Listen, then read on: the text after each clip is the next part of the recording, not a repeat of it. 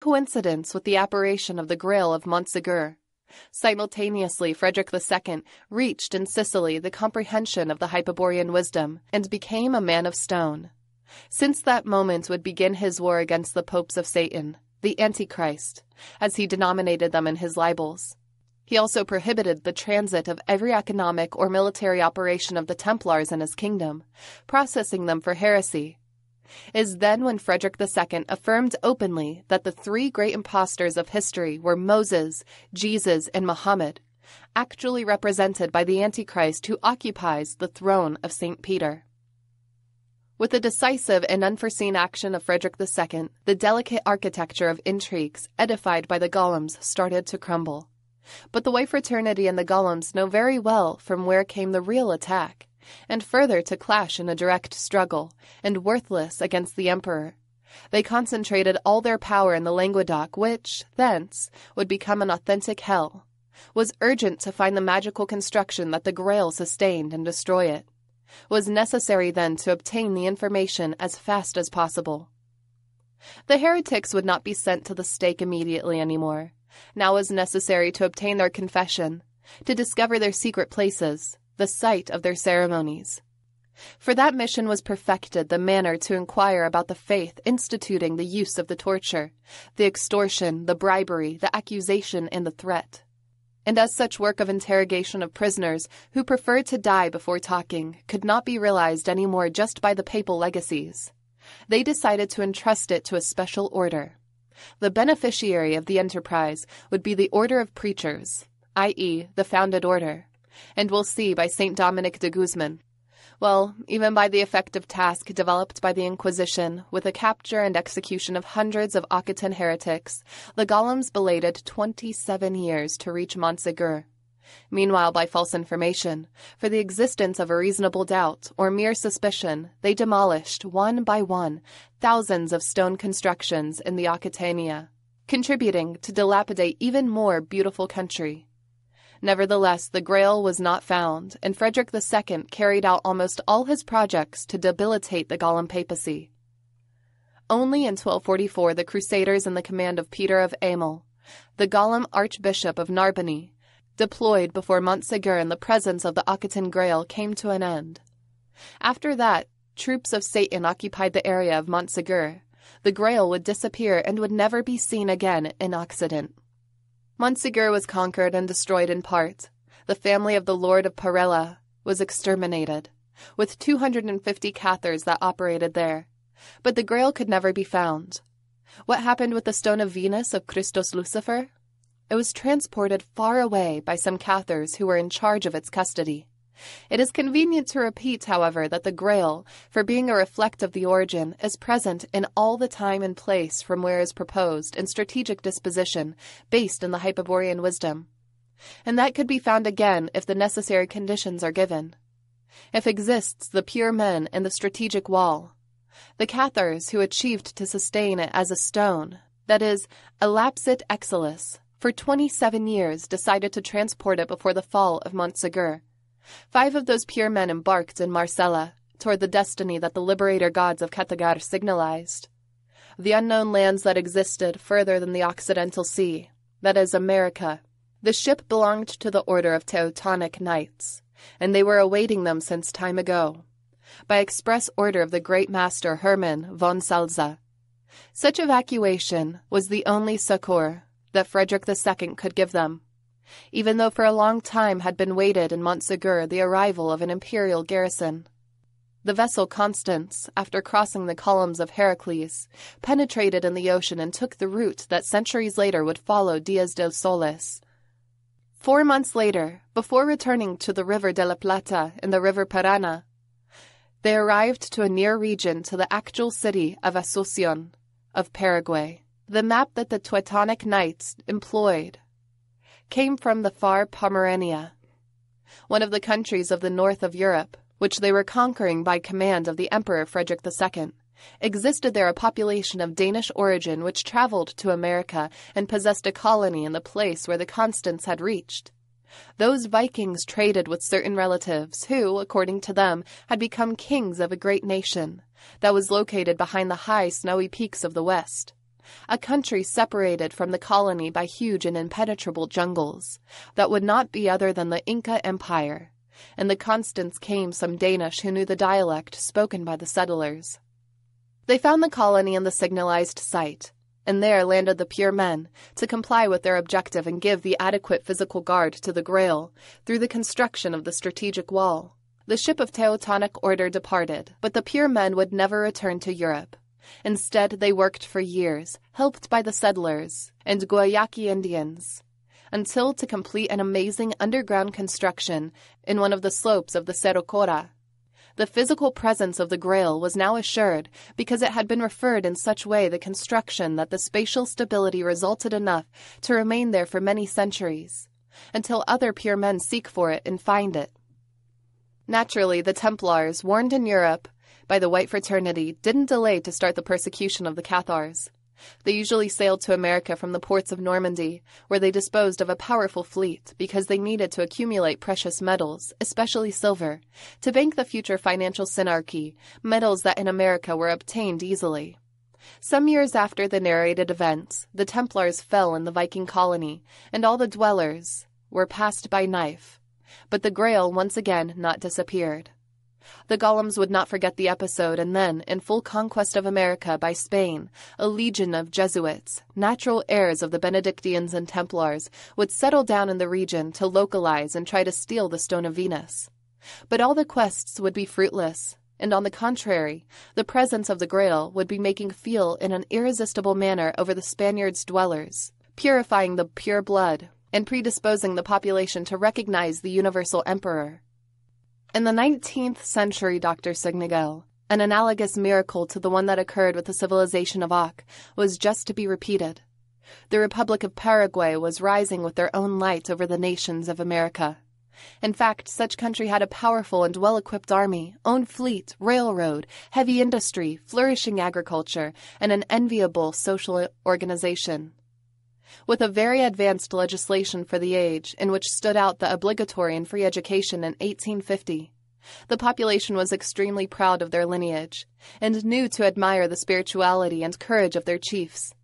Of course, to the white fraternity not resulted pleasurable the course that such society was taking, that would not agree to integrate the scheme of the International Division of Work, proposed then as the model of the economic world order. Such ordination was the previous step for the accomplishment in the 20th century of the financial synarchy, of the world government of the chosen people. Some ancient plans, which, as I have clarified, were frustrated in the Middle Ages. For the white fraternity, the Paraguayan people were going sick.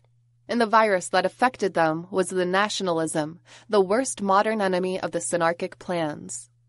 The height of the situation occurred in 1863, when the Grail appeared again and confirmed to all that the Marshal Francisco Solano Lopez is a king of the pure blood, a lord of war, a universal emperor. Then was decreed the extermination sentence against the Paraguayan people and the dynasty of Solano Lopez. Thereupon a new crusade was announced in all ambits. Argentina, Brazil, and Uruguay will contribute the means and troops, but behind them semi colonial countries and England, i.e., the English Masonry, Golem and Hebrew organization at the head of the Crusader army that was now called Allied, is placed the Argentinian general Bartolome Mitre, a Mason entirely subordinated to the British interests. But the capacity to officiate as Golem hangman demonstrates that the General Mitre exceeds widely the diabolic cruelty of Arnauld Amalric and Simon de Montfort, and his logic due to the patience of the enemy ended centuries ago and now pretends to give an exemplary punishment. A lesson that demonstrates clearly that the path of the spiritual and racial nationalism won't be tolerated anymore. The War of the Triple Alliance started in 1865. In 1870, when the armies of Satan occupied Asuncion and the Marshal Solano Lopez died fighting in Cerro Cora, the war ends and leaves the consequences. The population of Paraguay before the war, 1,300,000 inhabitants. Population after the war, 300,000 inhabitants. Béziers, Carcassonne are children's games before 1 million of dead, Dr. Siegnagel. And it is not necessary to add that the 300,000 survivors, many of them women, old men, and Indians, to the population of Hispanic origin, which was hardened and proud, was exterminated without mercy, house by house, in dreadful massacres that caused the delight of the potencies of the matter. Once again, Perseus had beheaded Medusa. One million heroic Paraguayans, with their pure blood chief, was the sacrifice that the satanic forces offered to the God One in the 19th century, in such remote country of South America, where nevertheless was manifested the transmuting presence of the Grail of Christos Lucifer.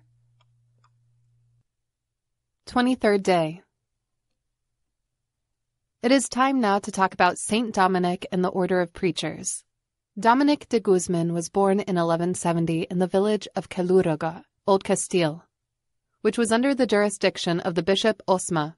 Before his birth, his mother had a dream in which she saw her future son as a dog carrying in its jaw an ardent labrys, i.e., a burning axe of double blade. Such symbol interested vividly to the lords of Tarsus because they considered it a sign that Saint Dominic was predestined for the cult of the cold fire. Thence the lords of Tarsus watched attentively during his childhood, and once concluded the primary instruction, they arranged an area for him in the University of Palencia, in which that moment was located in the zenith of the academic prestige.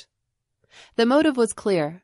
In Palencia, the famous Bishop Peter of Tarsus taught theology, better known by the sobriquet Petreño, who enjoyed of unlimited confidence by part of the King Alfonso VIII, of whom he was one of his main counselors. What occurred fifty years before to his cousin, the Bishop Lupo, was an admonition that could not be overpassed, and due to its Petreño, lived behind the walls of the university, in a very modest house, but which had the advantage of being provided of a small private chapel. There he had for his contemplation a reproduction of Our Lady of the Grotto. In that chapel, Petreño initiated Dominic de Guzman in the mystery of the cold fire, and was so great the transmutation produced in him that soon he became man of stone. In a Hyperborean initiate, provided with great thaumaturgical powers and not minor wisdom, such deep was the devotion of Saint Dominic de Guzman that it was said the own Holy Virgin responded to the monk in his prayers. He was who communicated to Petreño that he had seen Our Lady of the Grotto with a rose necklace, and Petreño indicated that such ornament was equivalent to Skull's necklace of Frya Kalibur. Frya Kalibur, seen from out of himself, appeared dressed of death and wearing the necklace with the skulls of her assassinated husbands. The skulls were the accounts with words of the deceit. Instead, Freya, seen from the depths of himself, behind her veil of death that represents her terrible for the soul, was the naked truth of the eternal spirit the Virgin of Agartha, of absolute beauty and immaculate, would be natural that she would wear a necklace of roses in which each sprout represents the hearts of those who were loved by her with the cold fire. Dominic remained vividly captivated with that vision, and not stopped until he invented the rosary, which consisted in a cord with three sets of sixteen fixed small balls with rose petals. The sixteen, thirteen plus three, corresponded to the mysteries of the Virgin. The Rosary of St. Dominic is used to pronounce orderlies' prayers, or mantrams, that goes producing a mystical state in the devotee of the Virgin and finally turning on the cold fire in the heart.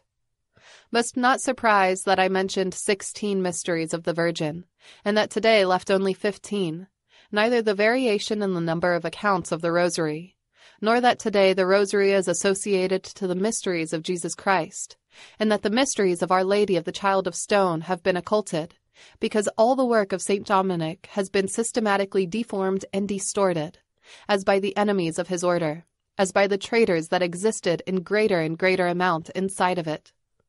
Dominic reached to dictate the Cathedral of the Sacred Writing in the University of Palencia, but his natural vocation for the preaching and his desire to divulge the usage of the rosary in the most remote regions of Castile and Aragon. In this action stood out enough as to convince the lords of Tarsus that they were before the right man to found the first anti-Golem order in the history of the Church. Dominic was capable to live in extreme poverty. He knew to preach and to wake up the faith in Christ and the Virgin. He gave proofs of real sanctity, and he surprised with his inspired wisdom to him would be difficult to deny the right to gather those who believed in his work. But to make that such right could not be denied by the Golems was necessary for Dominic to become known out of Spain, to give the example of humility and sanctity. The Bishop of Osma, Diego de Acevedo, who shared in secrecy the ideas of the lords of Tarsus, decided that the best place to send Dominic was the south of France. Region in that period was frenzied by a struggle with the church. The majority of the Octanian people had converted to the Cathar religion, that according to the church constituted an abominable heresy. And without that, the Benedictines of the Cistercian and Cluniac order, so powerful in the rest of France, would have achieved to avoid it. With that purpose, the Bishop Diego obtained the representation of the infant Don Fernando to arrange the marriage with the daughter of Earl de la Marca, what gave him the opportunity of traveling to France carrying Dominic de Guzman with him, to whom he had named presbyter. That journey allowed him to get internalized in the Cathar heresy and to project a plan. And the second journey to France, once dead the daughter of the Count, and decided the mission of Dominic both clerics traveled to Rome. There the Bishop Diego prepared for the terrible Golem Pope Innocent III the authorization to go around the Languedoc preaching the gospel and teaching the use of the rosary. Once obtained the authorization, both travel from Montpellier. To preach in the cities of La Midi, they made it barefoot and begging sustentation, not differing too much from the pure men that transited profusely the same paths. The humility and austerity is notably contrasted to the luxury and pomp of the papal legacies, which in those days also traveled the country trying to put end to the Catharism, and with the ostensible richness of the archbishops and bishops. However, they pick up proofs of hostility in many villages and cities, neither for their acts, that the pure men respected, nor even for the preaching, but for what they represented, the Church of Jehovah Satan. But such results were already disposed by the Petreño and Diego de Osma, who had imparted precise instructions to Dominic about the strategy to follow. The perspective of the lords of Tarsus was the next.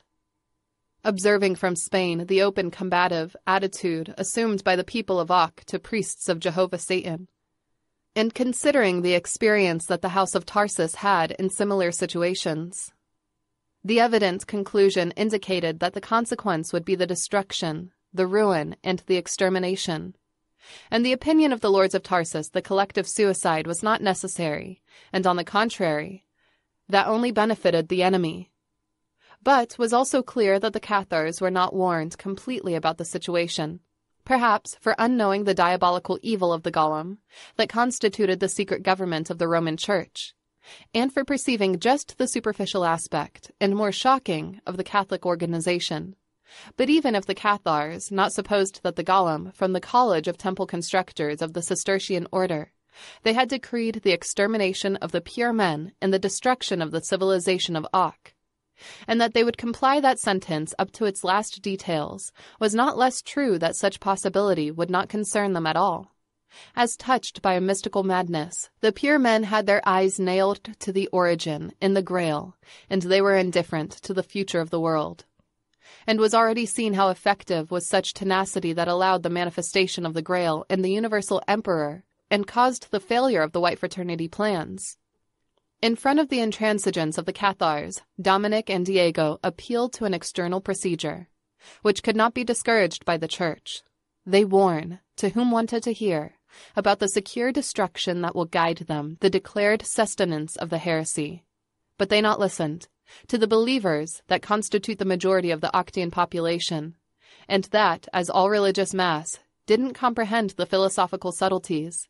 It is impossible for them to believe that the evil could triumph over the good. That's to say, that the Roman Church could effectively destroy the Cathar Church. And to the Cathars, who know that the evil can triumph over the good in the earth, they don't care about it because in every case are just variations of the illusion.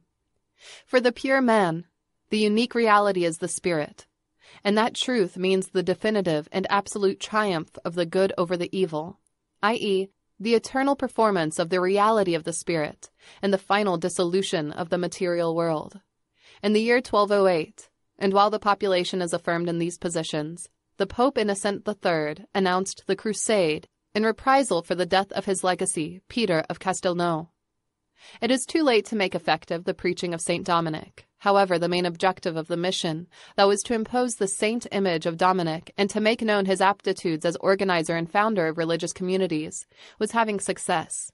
In such year, while the slaughter of Béziers and other Golem atrocities, St. Dominic realized his first foundation in Fanjeaux, near Carcassonne.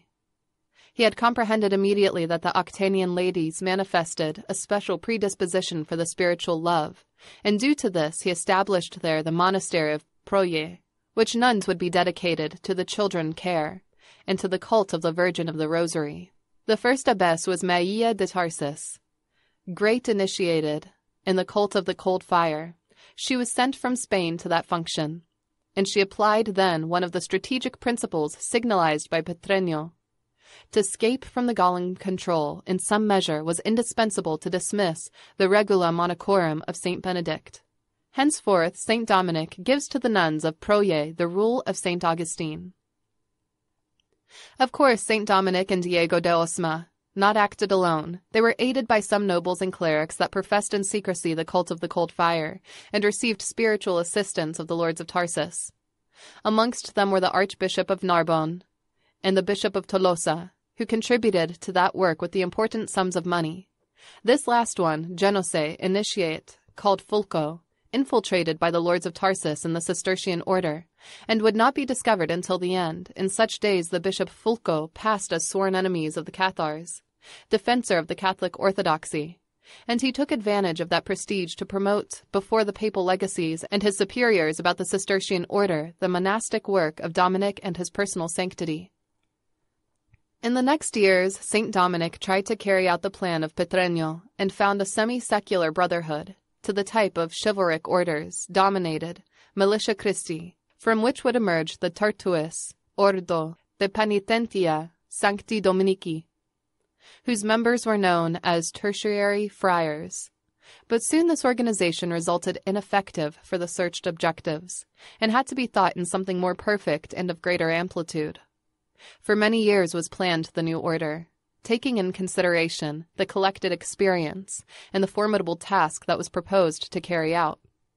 This is to fight against the Golem strategy, collaborated with St. Dominic in such projects a group of 16 initiates, coming from different places of Languedoc, who gathered periodically in Tolosa. Amongst them was the Bishop Fulco.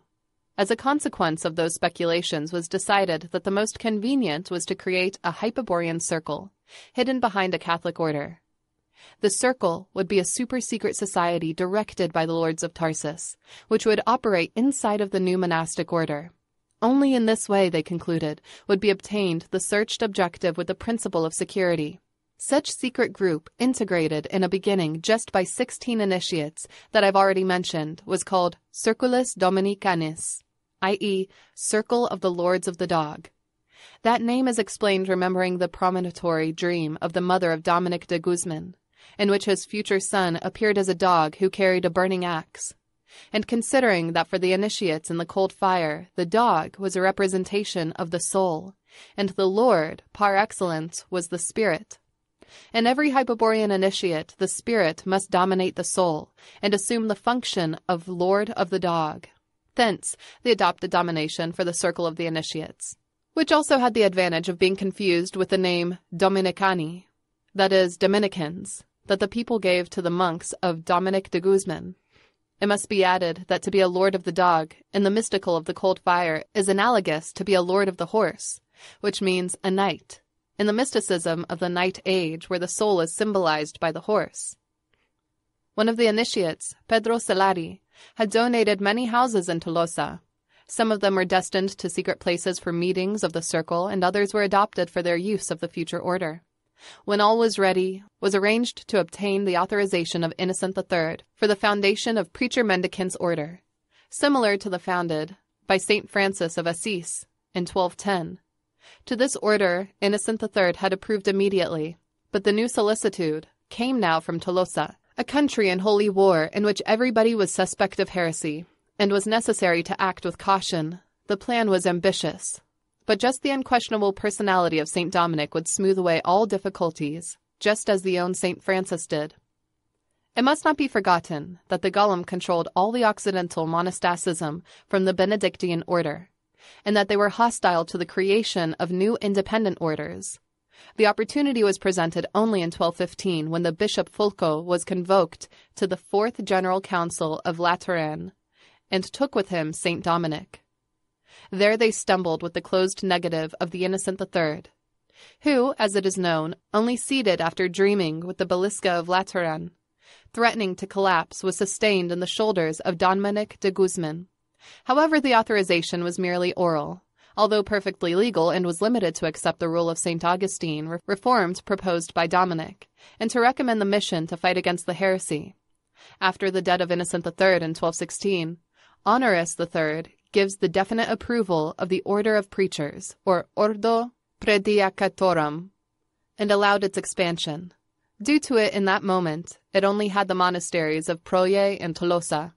In first instance entered to the order all the clerics of the House of Tarsus, that, as I said, were in majority, university professors carrying with them many other wise and erudites of the age. In a short time, because the order became an organization suitable for the high level teaching, nonetheless, that the first general chapter gathered in Bologna in 1220 declared that it was treating about a mendicant order, with minor rigor in the poverty, that the one of St. Francis. St. Dominic died in 1221, leaving the control of the order in the hands of an initiate of pure blood, the general master blessed Jordan of Saxony. However, in that moment, the Golems were struggling to achieve the institutionalization of a systematic inquisition of the heresy that allowed them to interrogate any suspect and to obtain the information conducive to the sight of the Grail, if such institution was entrusted to the Benedictines. As was pretended, the end of the Cathar strategy would be faster than the predicted. Not giving time to Frederick II to realize his plans to dilapidate the Golem papacy. Thence the insistence and the eloquence deployed by the Dominicans to present themselves as the best prepared order to perform such sinister function. But the Dominicans had some real advantages over the Benedictines. They not only constituted a local order, autochthonous of the Languedoc, where the Benedictines had lost influence long time ago, but they also disposed of monks with great theological instruction, appropriated to analyze the declarations that the Inquisition of the faith demanded. The Dominicans disposed of indubitable capacity of mobilization in the Languedoc, and when the Golems were convinced that the new order would be under their control and would allow entry of their own inquisitors, they also approved the concession. In 1224, the Emperor Frederick II, who even being already confronted with the papacy, he had cleared the situation of the Languedoc and the necessity to support the order of preachers, renovates through a new imperial law the old Roman legislation that considered the non-official cults as less majesty, i.e., liable of death sentence. In this case, the law would be applied to the repression of the heresy.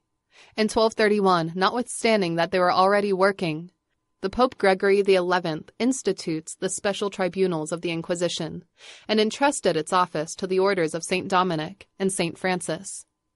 In the last instance, the Friar Elias, a secret agent of Frederick II, in the Franciscan order, who would be general minister from 1232 to 1239, and that at the end, discovered by the golem, would pass openly to the Ghibelline side. However, prompt would only remain the Dominicans in charge of the Inquisition. Two facts must remain clear when evaluating the step taken by the Order of St. Dominic when accepting the responsibility of the Inquisition. One is that represented the minor evil for the Cathars, due to the repression executed directly by the Golem, would have been terribly more effective, as was demonstrated in Béziers and in that way would be achieved, at least sabotage the quest of the Grail and to retard the fall of Montsegur, objective that was reached in great measure. And the other fact was that the lords of Tarsus were perfectly conscious that the order would be infiltrated by the golem, and that they would open the doors to the most cruel and fanatic personages of, of the Catholic orthodoxy, who would destroy without mercy neither remorse the Cathars and their work, the balance indicated that it would be preferable to run that risk and allow the golems to be managed by their own account. To the most fanatic inquisitors that soon would act in the order, should not be hampered openly because that would alert the golem. The tactic consisted then to subtly deviate the false clues or other forms of heresy. In the first case, in fact, the lords of the dog achieved to, under the charge of heresy, to liquidate in the stake the totality of the criminals, thieves, prostitutes of the Languedoc. They naturally never contributed with any information that could be useful to the golem, even if they were obeyed to confess the heresies by means of the torture. In the second case, the Dominican Inquisition produced an effect, not desired by the Benedictine golem, the one that they were capable to counteract. Justly by the same reasons that the lords of the dog could not avoid the golems to exterminate the Cathars, that is, to not remain in the contradiction with the active laws. The golem could not avoid that the members of the chosen people be repressed, easily accused under the charge of heresy, and the lords of Tarsus, who had not forgotten the accounts that they had pending since the age of the Visigoth kingdom of Spain, and the participation that they had in the Arab invasion as for the subsequent intrigues to destroy the house of Tarsus. They now had their hands with the Inquisition, a formidable arm to return every hit. Was in this way how the golem verified with the unpleasant surprise that the repression of the heresy ended in many opportunities in the systematic persecution of the Jews, who were sent to the stake with the same or major cruelty of the Cathars.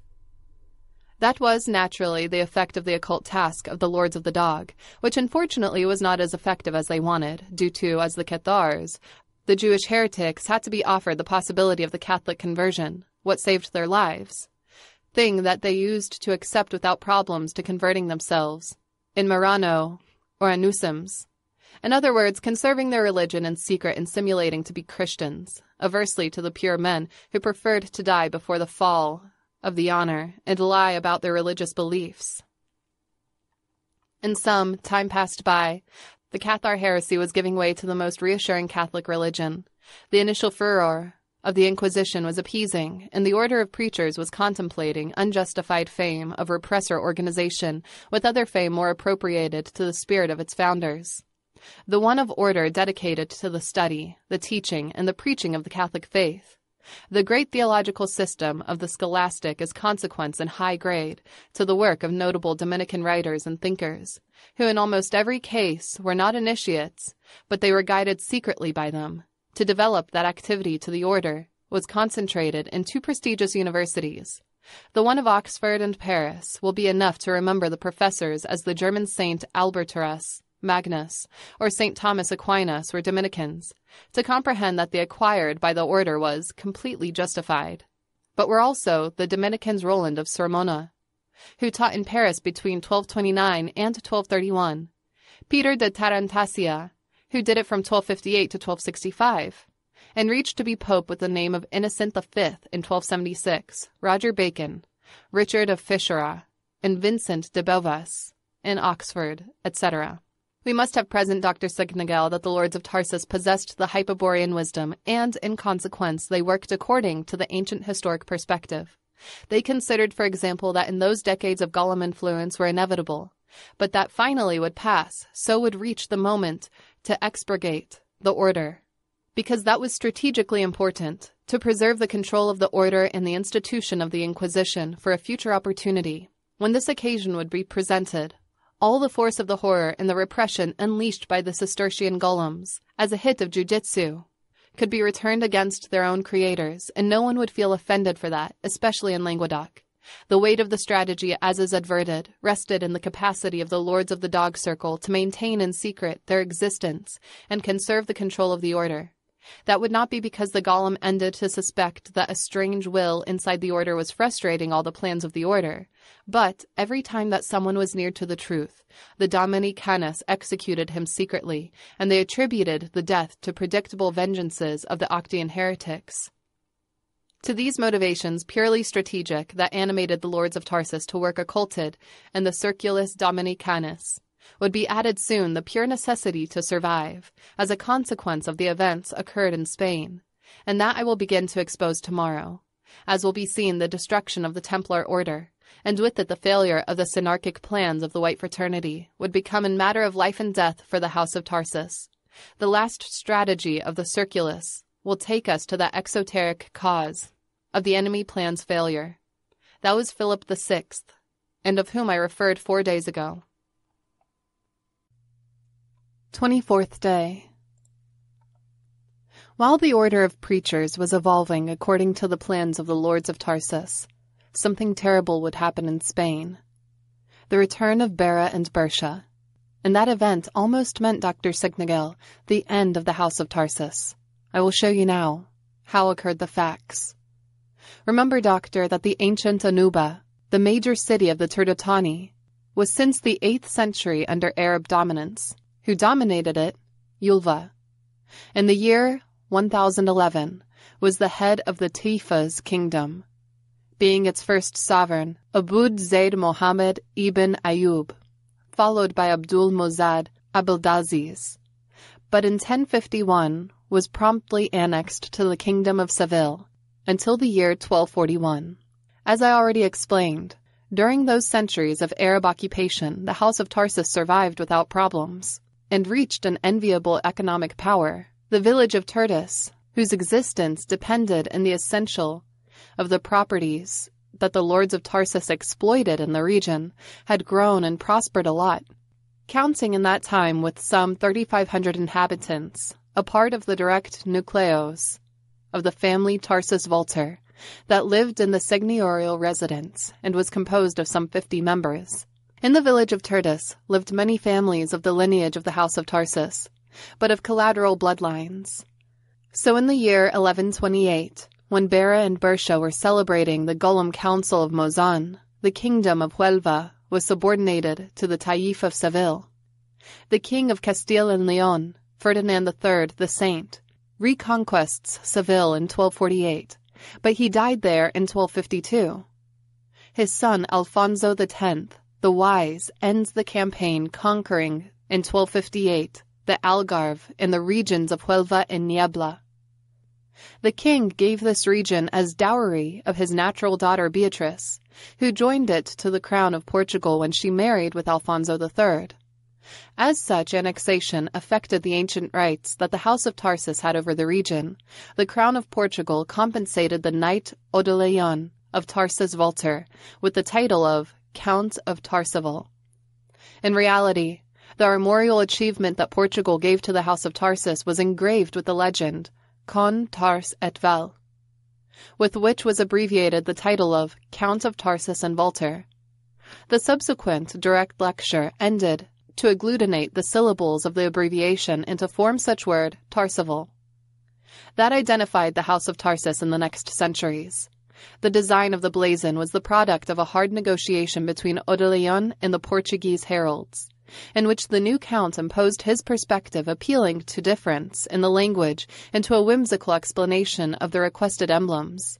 Assuming that in the ancient Lusitania no one remembered the House of Tarsus, they claimed the print making of many familiar symbols in the armorial achievement, and they went accepting in this manner the presence of the rooster as representations of the Holy Spirit in the left and right sides of the arms of Tarsus.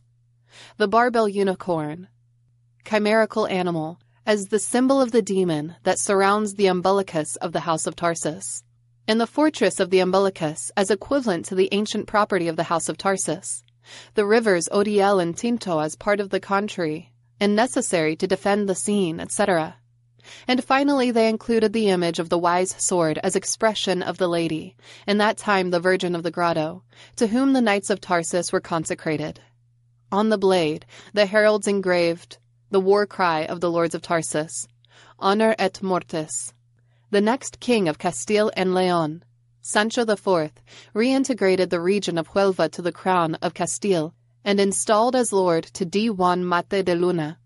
But he assimilated the title and the arms of the House of Tarsus to that kingdom. As we will see right now, the county of Tarseville, victim of a great mortality years before, was feudalized by a Catalan knight who had given rights of his rising Mediterranean county in exchange of those further Andalusian shires. More than a century had lapsed since Bera and Bersha ordained the Golem to execute two missions to comply with the extermination sentence of the Cathars, and to edify a Templar castle in Aracena. The first mission, as was seen, was carried out with neatness by the Cistercian golems. About the second, instead, with no advance yet, while Ferdinand III, the Saint, reconquests Seville in 1248, his son Alfonso X, the Wise, seizes in 1258 the Algarve and Huelva. and King Sancho II of Portugal, a short time before his death in 1248, he conquered Aracena, region that passed to integrate the crown of Castile in 1252. It can be assumed the urgency with which acted the Templars since the same moment in which Huelva was reconquered. In 1259, they had obtained a certification from Alfonso X that authorized them to occupy a property in the mountain range of Aracena and to fortify it conveniently, for the effects to shelter and defend the garrison of 200 knights. However, a few years before the omission of such certification, the Templars had localized the cave of Oriel, once charted the plans and excavated the foundations of the castle. All the mountain range of Aracena remained under the Templar control, including the population of Aracena and many minor villages. But the members of the chosen people who accompanied the Templars in the enterprise didn't come to an unknown place. The name of Aracena, in fact, comes from the Hebrew root arai, which means mountains, being Arunda, the mountainous, synonymous of Aracena. This curious etymology has nothing mysterious if it is thought that the village was founded by the Jewish traders who traveled with the Phoenicians during the occupation of Tharshish, a thousand years before the actual age, which later was called Archalassus by Ptolemy, Aracena by the Greeks, and Vriato, which resisted on it to the Roman legions dominated by Arisana. For the Arabs was Dar Hazan, and due to the horrible food that the Saracens made when the Christians took by surprise the village, the Moorish Aracena. Since 1259 were dispatched troops to Aracena from many regions of Spain and even France. By luck, that during the construction remained 2,000 knights camped, assisted by 3,000 servant brothers. Such forces were distributed around the hills and performed a rigorous surveillance to avoid that the near dwellers could get closer to watch the works. The Mates of Solomon, the Mason Guild, controlled by the Cistercians, concurred to the request of the Great Master due to, even if the Order of the Temple counted with their own division specialized in the military constructions, this fortress would have something different. In first place, it had to possess a great church. And in second term, that church would need to have a secret entrance communicated with its ships with the underground cave so it was indispensable the assistance of the College of Temple Constructors. The college entrusted the edification of the church to the master Pedro Milan. This one was authorized by the fiery Golem Pope Alexander IV, the same who in these moments excommunicated Manfred de Saubia and procured the extermination of the Hohenstaufen and the ruin of the Ghibelline party to consecrate the church to the cult of the sorrows. Such dedication, of course, was not casual, but it obeyed to the Golem plan by substituting to the Virgin of Agartha the divine Atlantean mother of Navutan for a Jewish Virgin Mary, who cried, distempered her heart, of fire due to the pain of the crucifixion of her son, Jesus. The Virgin of Agartha, on the contrary, didn't cry, neither experienced any pain in her heart of ice when his son of stone crucified himself in the tree of terror and died, but she rejoiced and shed her grace over the incarcerated spirits, because his son had died as the bravest white warrior who faced the illusion of the potencies of matter. The celebration of the cult to the Virgin of Sorrows was instituted, as could not have been in any other way, by the effable Golem Pope Innocent III when he introduced the sequence Stabat Mater in the Mass of the Sorrows, the Friday of the Passion of Jesus Christ. The Master Pedro Milan raised, then, for the Templars, the Church of Our Lady of Sorrows, patroness thence of Aracena, consecration that contrasted openly with the Virgin of the Grace and Happiness.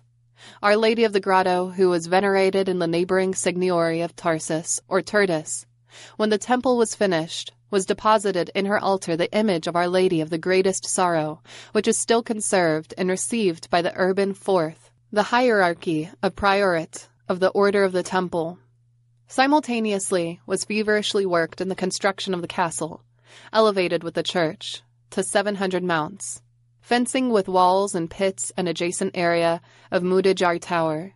Five years later, the church and the castle were finished, and the surplus troops, as the constructors, brother of Solomon, were withdrawing serenely from the zone.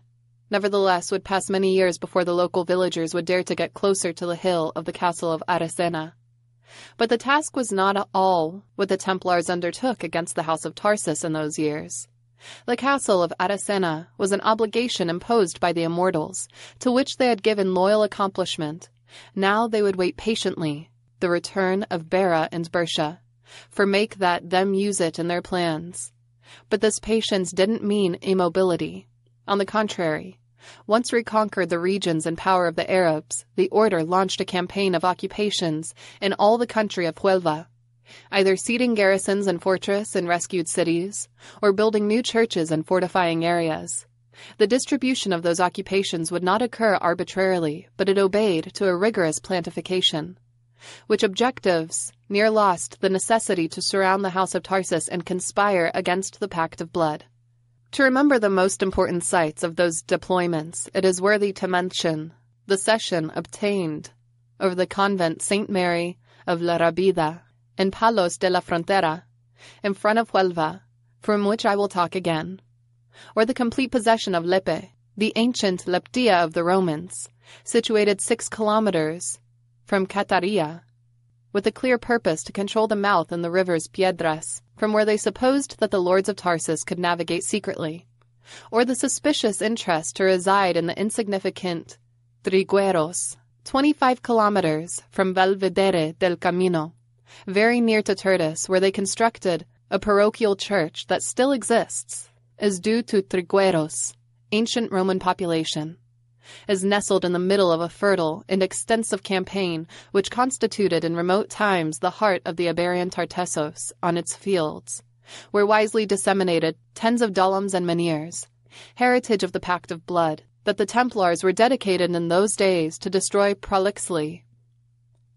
Only one dolmen was saved in the village de Soto, that can be visited today due to the lords Mayano de la Sera of the blood of Tarsus and traditional candy and honey makers, prevented the Knights of Satan to fulfill their infamous mission.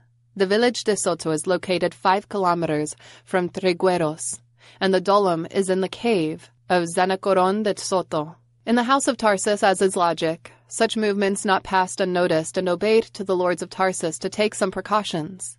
They fortified also the village of Tertius in the seigneurial residence because they believed that the Golem were preparing to outbreak a crusade against them, claiming some heresy, perhaps denouncing the cult of the Virgin of the Grotto, and placed themselves in the area a force of 500 almogavers and 50 knights. That was the maximum permitted to arm the Count of Tarsaval for other purposes that were not reconquest. Unfortunately, nothing of these would be necessary, but the lords of Tarsus didn't achieve once again to prevent the diabolical plans of Bera and Bersha. To all this you will wonder, Dr. Siegnagel, what happened with the wise sword? Since that day in which Tartessos fell and the Vrayas occulted in it the secret cavern.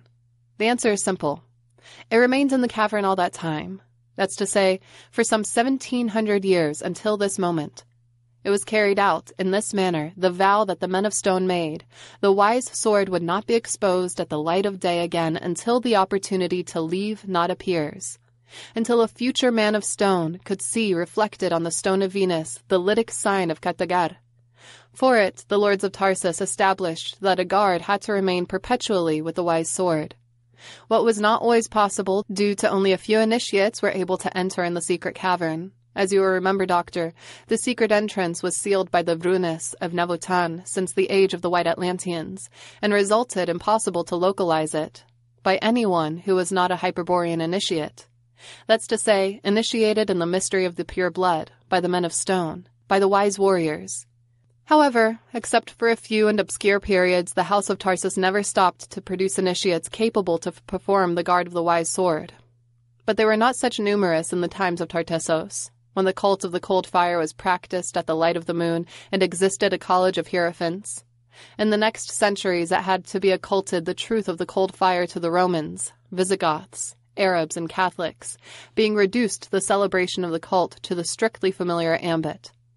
Even inside of such reserved familiar ambit, it had to be called only those who demonstrated a convenient Gnostic predisposition to face the test of the cold fire, which in nothing had changed and continued, being as terrifying and mortal as before.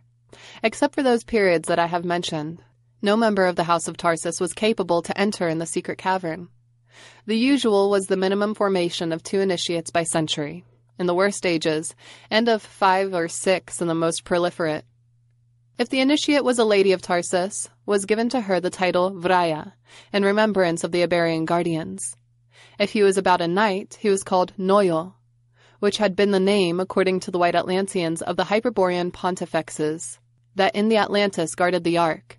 It means the basal stone of the infinite stairway that they knew to build and that guided to the origin.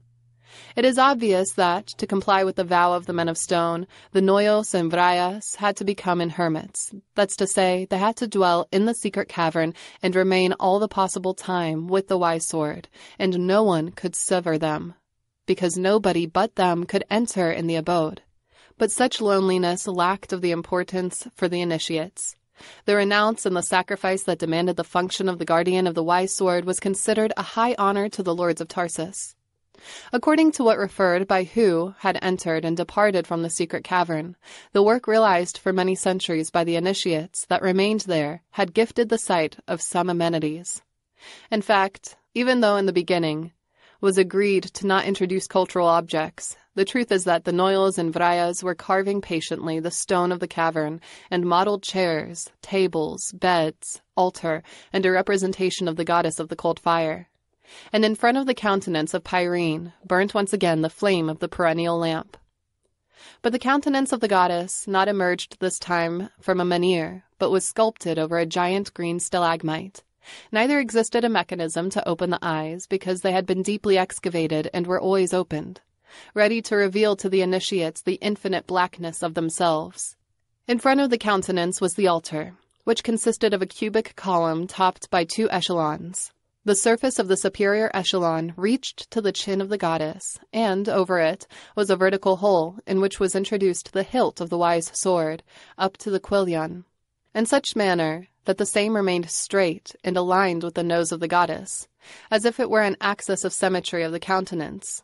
Thus the stone of Venus that was crippled and the cross guard of the hilt appeared in the center of the scene, disposed for the contemplation In the surface of the bottom echelon, under the level of the hilt, was placed the perennial lamp. Such section of the secret cavern had form of semi-spherical nave, being the stalagmite with the countenance of Pyrene in a near extreme to the wall of stone. This appeared gushed of lava and salts, while in the roof was presented bristly of greenish stalactites. The floor, on the contrary, had been carefully cleaned from the protuberances and leveled in such manner that it was possible to put comfortably in front of the countenance of the goddess and contemplate as well the perennial lamp and the wise sword with the stone of Venus. The necessary nourishment to subsist was provided by the lords of Tarsus, maintaining always filled the pantry of a chapel that existed at the foot of the hill Calendaria. Such chapel that had been constructed to the indicated purposes remained locked most of the year, and was only visited by the lords of Tarsus who went there to pray in the major loneliness.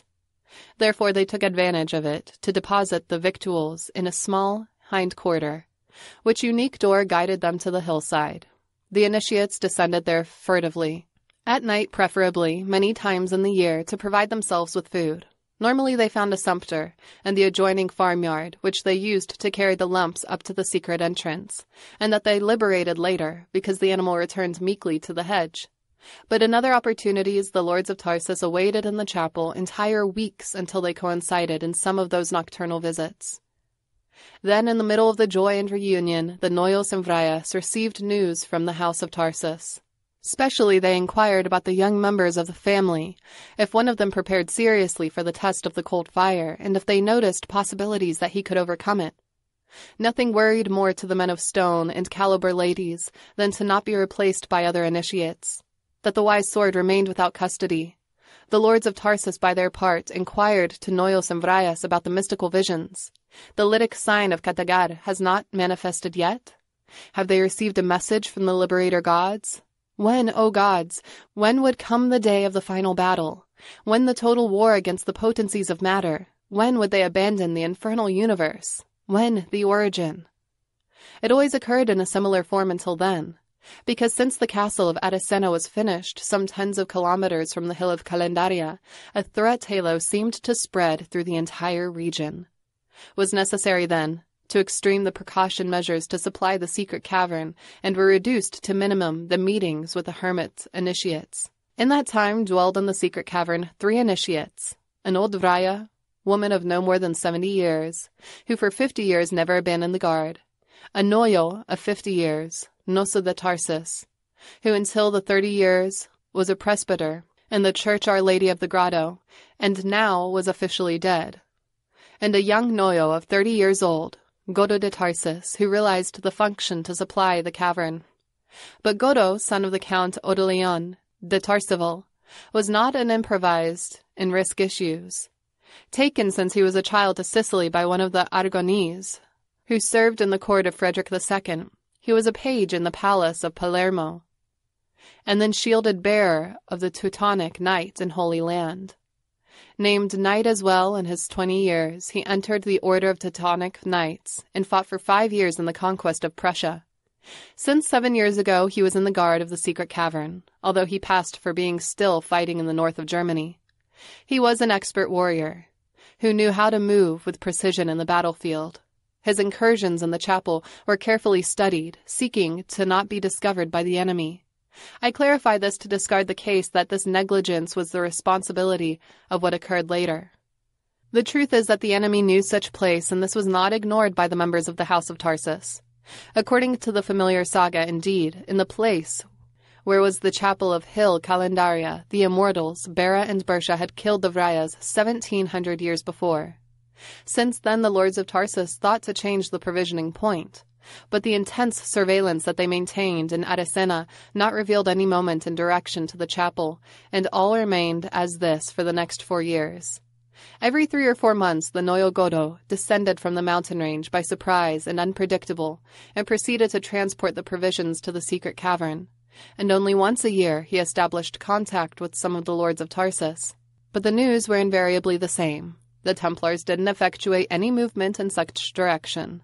But even if they not acted now, they were there, very close, and their presence constituted a threat that was perceived in the atmosphere.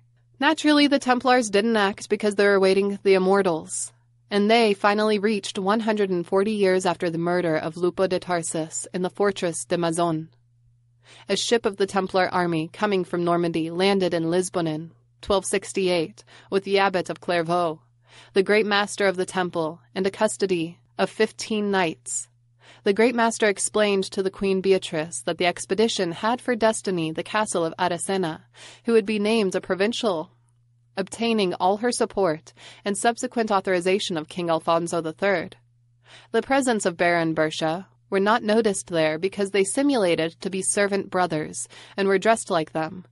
Days after the travelers took the ancient Roman road, which started in Lisbon and Seville and passed through Cortegana, a few kilometers from Aracena. Once in Aracena, the immortals approved all what the Templar did, referring to the edification of the castle.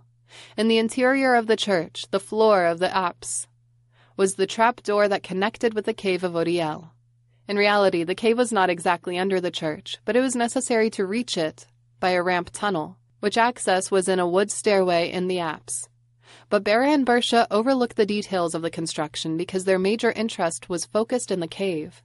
They explored it inch by inch for hours, speaking to each other in a strange language that their four accompanists didn't dare to interpret. They were the abbot of Clairvaux, the great master of the temple, both golems, and two Templar preceptors, experts in Hebrew language. It means two rabbis, representatives of the chosen people. Apparently, the inspection had positive results, that they divined by the expressions of the immortals because they were extremely serious in all what referred to the cave and their presence there. In any case, they only made one request the adaptation to some symbolic form which they described with precision the mirror of a small underground lake, which was fed by a trickle of minimum volume. Also, such affluent had to be momentarily interrupted, diverting to the eroded watercourse of alimentation and in certain places had to be distributed around the lake seven menorah candelabrums.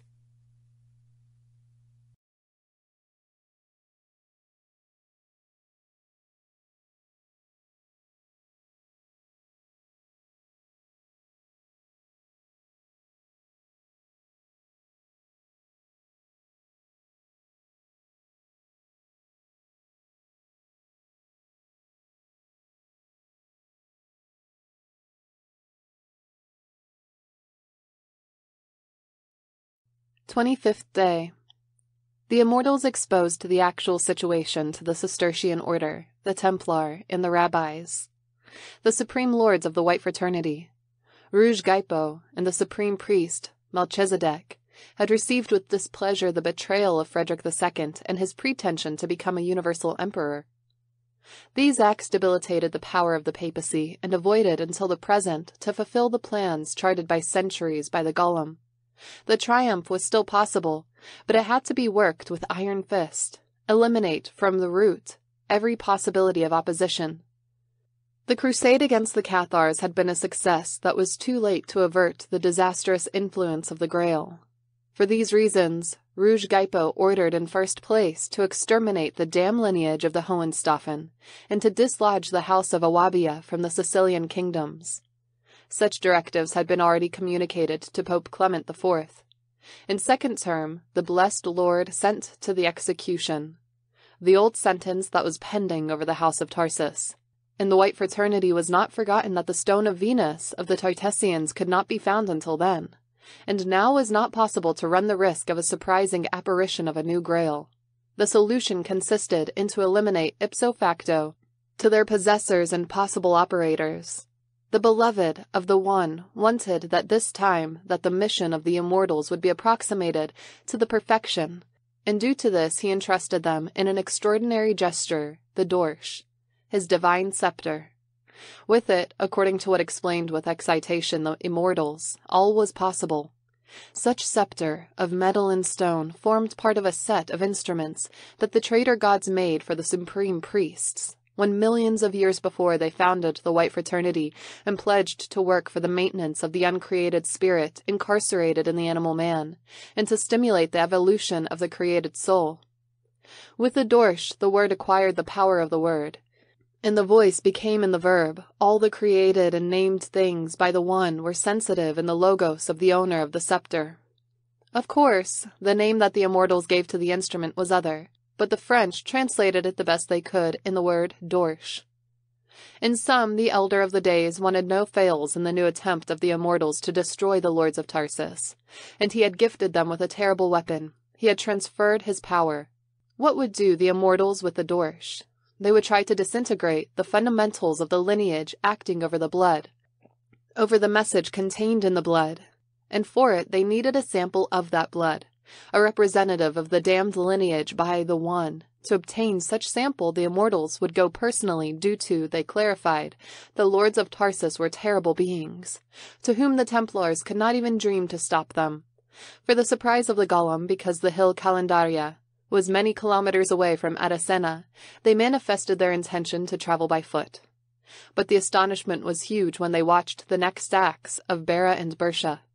They stood up facing each other, separated by a distance of five or six steps, and they looked each other straight in their eyes without batting an eye.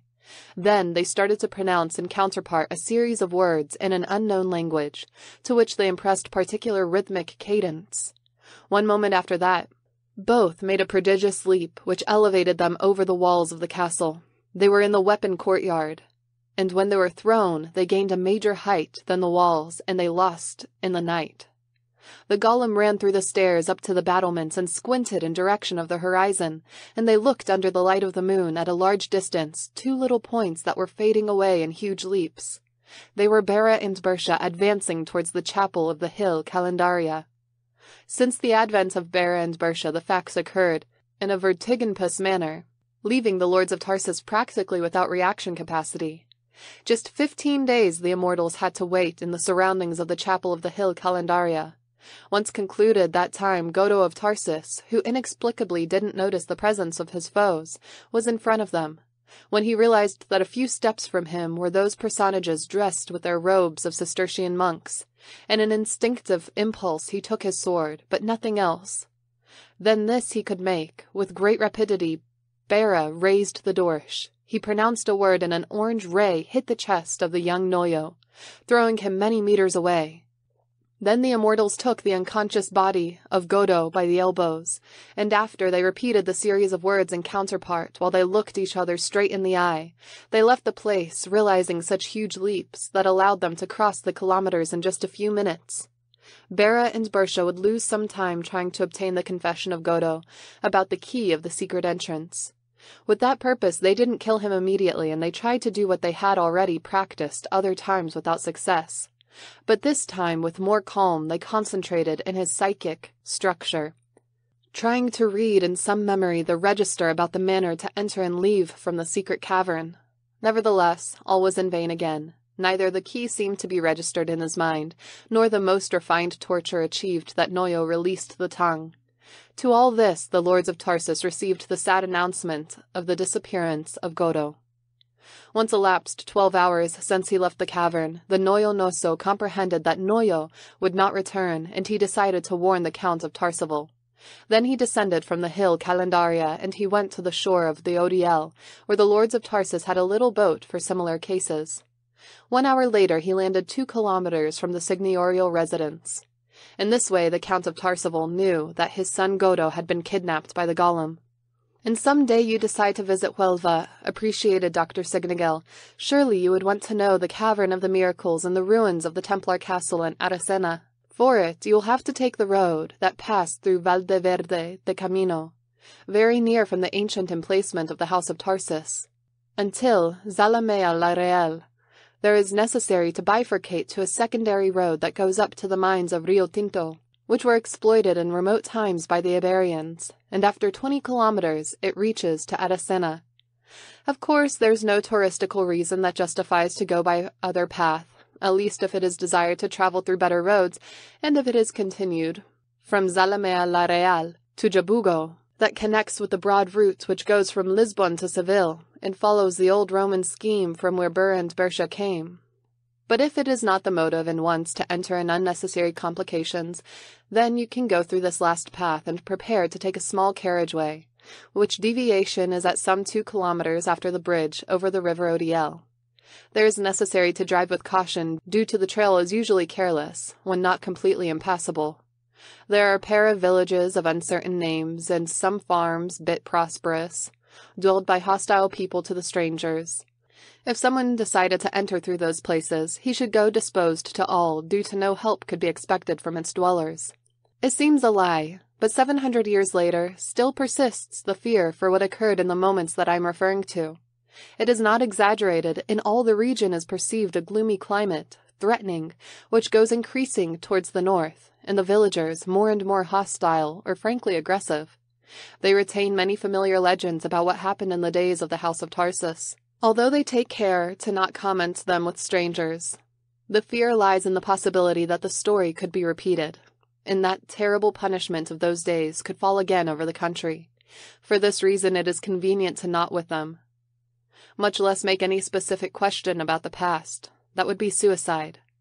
After thrilled or terror in the interrogated, undoubtedly would mount in wrath, and that would attract other villagers, and then, if he doesn't reach to escape at time, would be attacked by all and would be lucky if he saves his life. After roaming some 18 kilometers, very near Aracena, is arrived to a tiny elevated valley situated in the heart of the mountain range of Aracena. There exists a village which has to be crossed very fast to avoid the blows of stones of the children, or something worse, is a population of the 15th century, and it not seems to have evoked much since then. The majority of the housings are made of stone, with the apertures masked with wood worked by axe and roofs of uneven states, and many of these housings are uninhabited, some of them totally destroyed, showing that an increasing decadence affects the village, and that only the tenacity of the ancient families have prevented its extinction. Its name? Alquitran, or tar was imposed in that age and constitutes a kind of curse for the dwellers, who never achieved to change it by other, due to the persistence that neighboring villages have. The origin of the name is at two kilometers ahead, near to the end of the valley, where a colorless cartel expresses in Latin and Spanish Campus Pix Piscis, Campo de la Pez, Tar Pits. Logically, it is useless to search the tar pit, there because such denomination comes from the 13th century, when existed much tar in that field, at least something similar. From there the name of the near population of miners, who when they founded it in the 15th century had to support the tenebrous name imposed by their neighbors, and they ended to accept it without resignation. But from where had come the tar was distinguished that lost valley within desert mountains, that pitch, that tar, Dr. Siegnagel, is all what remained of the army that the Count of Tarsivil raised to attack the castle of Aracena and rescue his son Godo. In such valley, in fact, the Count Odilion encamped with his troops that overpassed the thousands effectives. Fifty knights, five hundred brave Almogavars, and five hundred men of the village, more than sufficient to attack and raise the Templar castle, which just counted of a garrison of two hundred knights, although the Templars had fame to fight three to one. Nothing could do against the forces five times superior. All that was required to end with the Templar threat and rescue Godo if he was still alive was to prevent that the castle could receive reinforcement, and for it would be fundamental to dominate the surprise factor. For this reason, the Count Odilion decided to march towards Aracena through a cornice path, which only the lords of Tarsus knew, and that passed for that valley where they went to camp the nocturnal hours to appear by surprise at the dawn. But the dawn would never reach for these lords of Tarsus. At eleven o'clock in the evening, Bera and Bersha began the satanic ritual. The Noyo was lying at the shore of an underground lake, still alive but fainted due to the received tortures and the multiple suffered mutilations. He had lost his hand and feet nails, the eyes, the ears, and the nose, and, at, and as the last act of sadism and cruelty, they had cut his tongue as a prize to his fidelity to the House of Tarsus and the White Atlanteans. Curiously, they didn't apply torment to his genital organs, perhaps due to the devotion that those sodomite priests professed for the phallus. Even though the forty nine candles of the seven candelabrums illuminated a lot the cave of Odiel, the aspect of the seven personages that were present was glum and sinister. The abbots of Clairvaux, the great master of the temple, and the two Templar preceptors were involved in a taciturn funeral air, their stillness was such absolute that they would have passed as stone statues, if it were not due to the malignant brightness of their eyes revealed late in life. But who would really infuse terror in any unwarned person that would have the opportunity to witness the scene? Were the immortals Bera and Bersha? They were dressed with linen tunics, now hideously stained with the blood of Noyo, and they were wearing pectorals of gold studded in twelve rows of stones of different sort, but what would impress the witness would not be the clothings, but the fiery of their faces, the hate that sprouted from them, and which was propagated in the environment as immortal radiation. But it mustn't be thought that the hate contracted or twitched the faces on the immortals. On the contrary, hate was natural in them. It could not be distinguished in the countenances of Bera and Bersha a single gesture that would indicate by itself the tremendous and inextinguishable hate that they felt for the uncreated spirit and to all what opposed to the plans of the one, due to their own, were entire, complete in their expression of the countenances of hate, and hate that would charge the sacrificial victims, the offering that Jehovah Satan was claiming. The ritual, if it is judged by the acts of Bera and Bersha, was rather simple. But if are considered the catastrophic effects produced in the House of Tarsus, it would be necessary to agree that such acts were the end of deep and complex causes, the unknown manifestation of Ruj Dagaipo. In this way was developed the ritual. While Bera was sustaining the dorsh with the left hand, the arm outstretched to the level of the eyes, Bersha lifted the head of the Noyo, taking a handful of hair with the right hand and placing a silver knife on his ear with the left one. Disposed in this way, the scene of the ritual, the head of Godo de Tarsus, was suspended some few centimeters from the water mirror. Then a simultaneous action, evidently prearranged. Bera pronounced a word, and Bersha beheaded the Noyo with one skilful slew in the throat. Really, the extreme of the knife had been supported in the left ear of the Noyo, and when Bera pronounced the word, he uttered a perfect curve that sectioned the throat and concluded in the right ear. Literally, the Noyo was beheaded from ear to ear. The blood gushed and then it fell, mixing with the water, while Bera continued reciting other words without moving the dorsh. Little by little occurred the first miracle. The water, that was barely staining with the blood, started to become red and to spread out until the whole lake seemed to be an immense clot. In that moment, a reddish luminosity was emerged from the water in form of steam, an intense resplendence similar to the one that an incandescent oven would emit. When all the water was converted in blood, that's to say, when not a single gout fell any more from the exiguine corpse of Godo de Tarsus, Bera put down the dorsh and signalized to the lake while he released a lurid scream. Then the color of the lake turned red to black, and its sustenance was transformed in a kind of pitch or dark tar. And there concluded the ritual. It must be added that such substance, similar to the pitch, was nothing else than an organic synthesis of a human corpse, as it would be obtained after a geologic period of evolution of millions of years, but accelerated to an instant with the wonderful power of the Dorsch. Such black pitch was then the essence of the physical death, the last extreme of what had been the life and which is potentially written in the message of the blood. But the blood is unique in each lineage, Due to this, the consequence seeked by the black magic of the immortals consisted in the propagation of that transmutation to the rest of the members of the lineage, to those who participated of that damned blood. It means to the lords of Tarsus, repeating the aforementioned, if it is judged the ritual of the immortal golem by the catastrophic effects produced in the members of the House of Tarsus, it must be agreed that they occulted a great secret relating to the power of the sound, the meaning of the words, and to the function of the dorsch. Because in the same moment that the lake of blood changed of color and Oz transmuted in black pitch, the 90% of the members of the House of Tarsus exhaled the last breath. Only the man of stone survived. It means those who had transmuted their human nature with the power of the spirit. Of course, within them was the Noil and the Vraya, but both too old as to procreate new members of the lineage. However, some hundreds of kilometers from there, other men of stone were also living, and they would comply with the familiar mission. From the rest of the house of Tarsus, no one survived to tell it.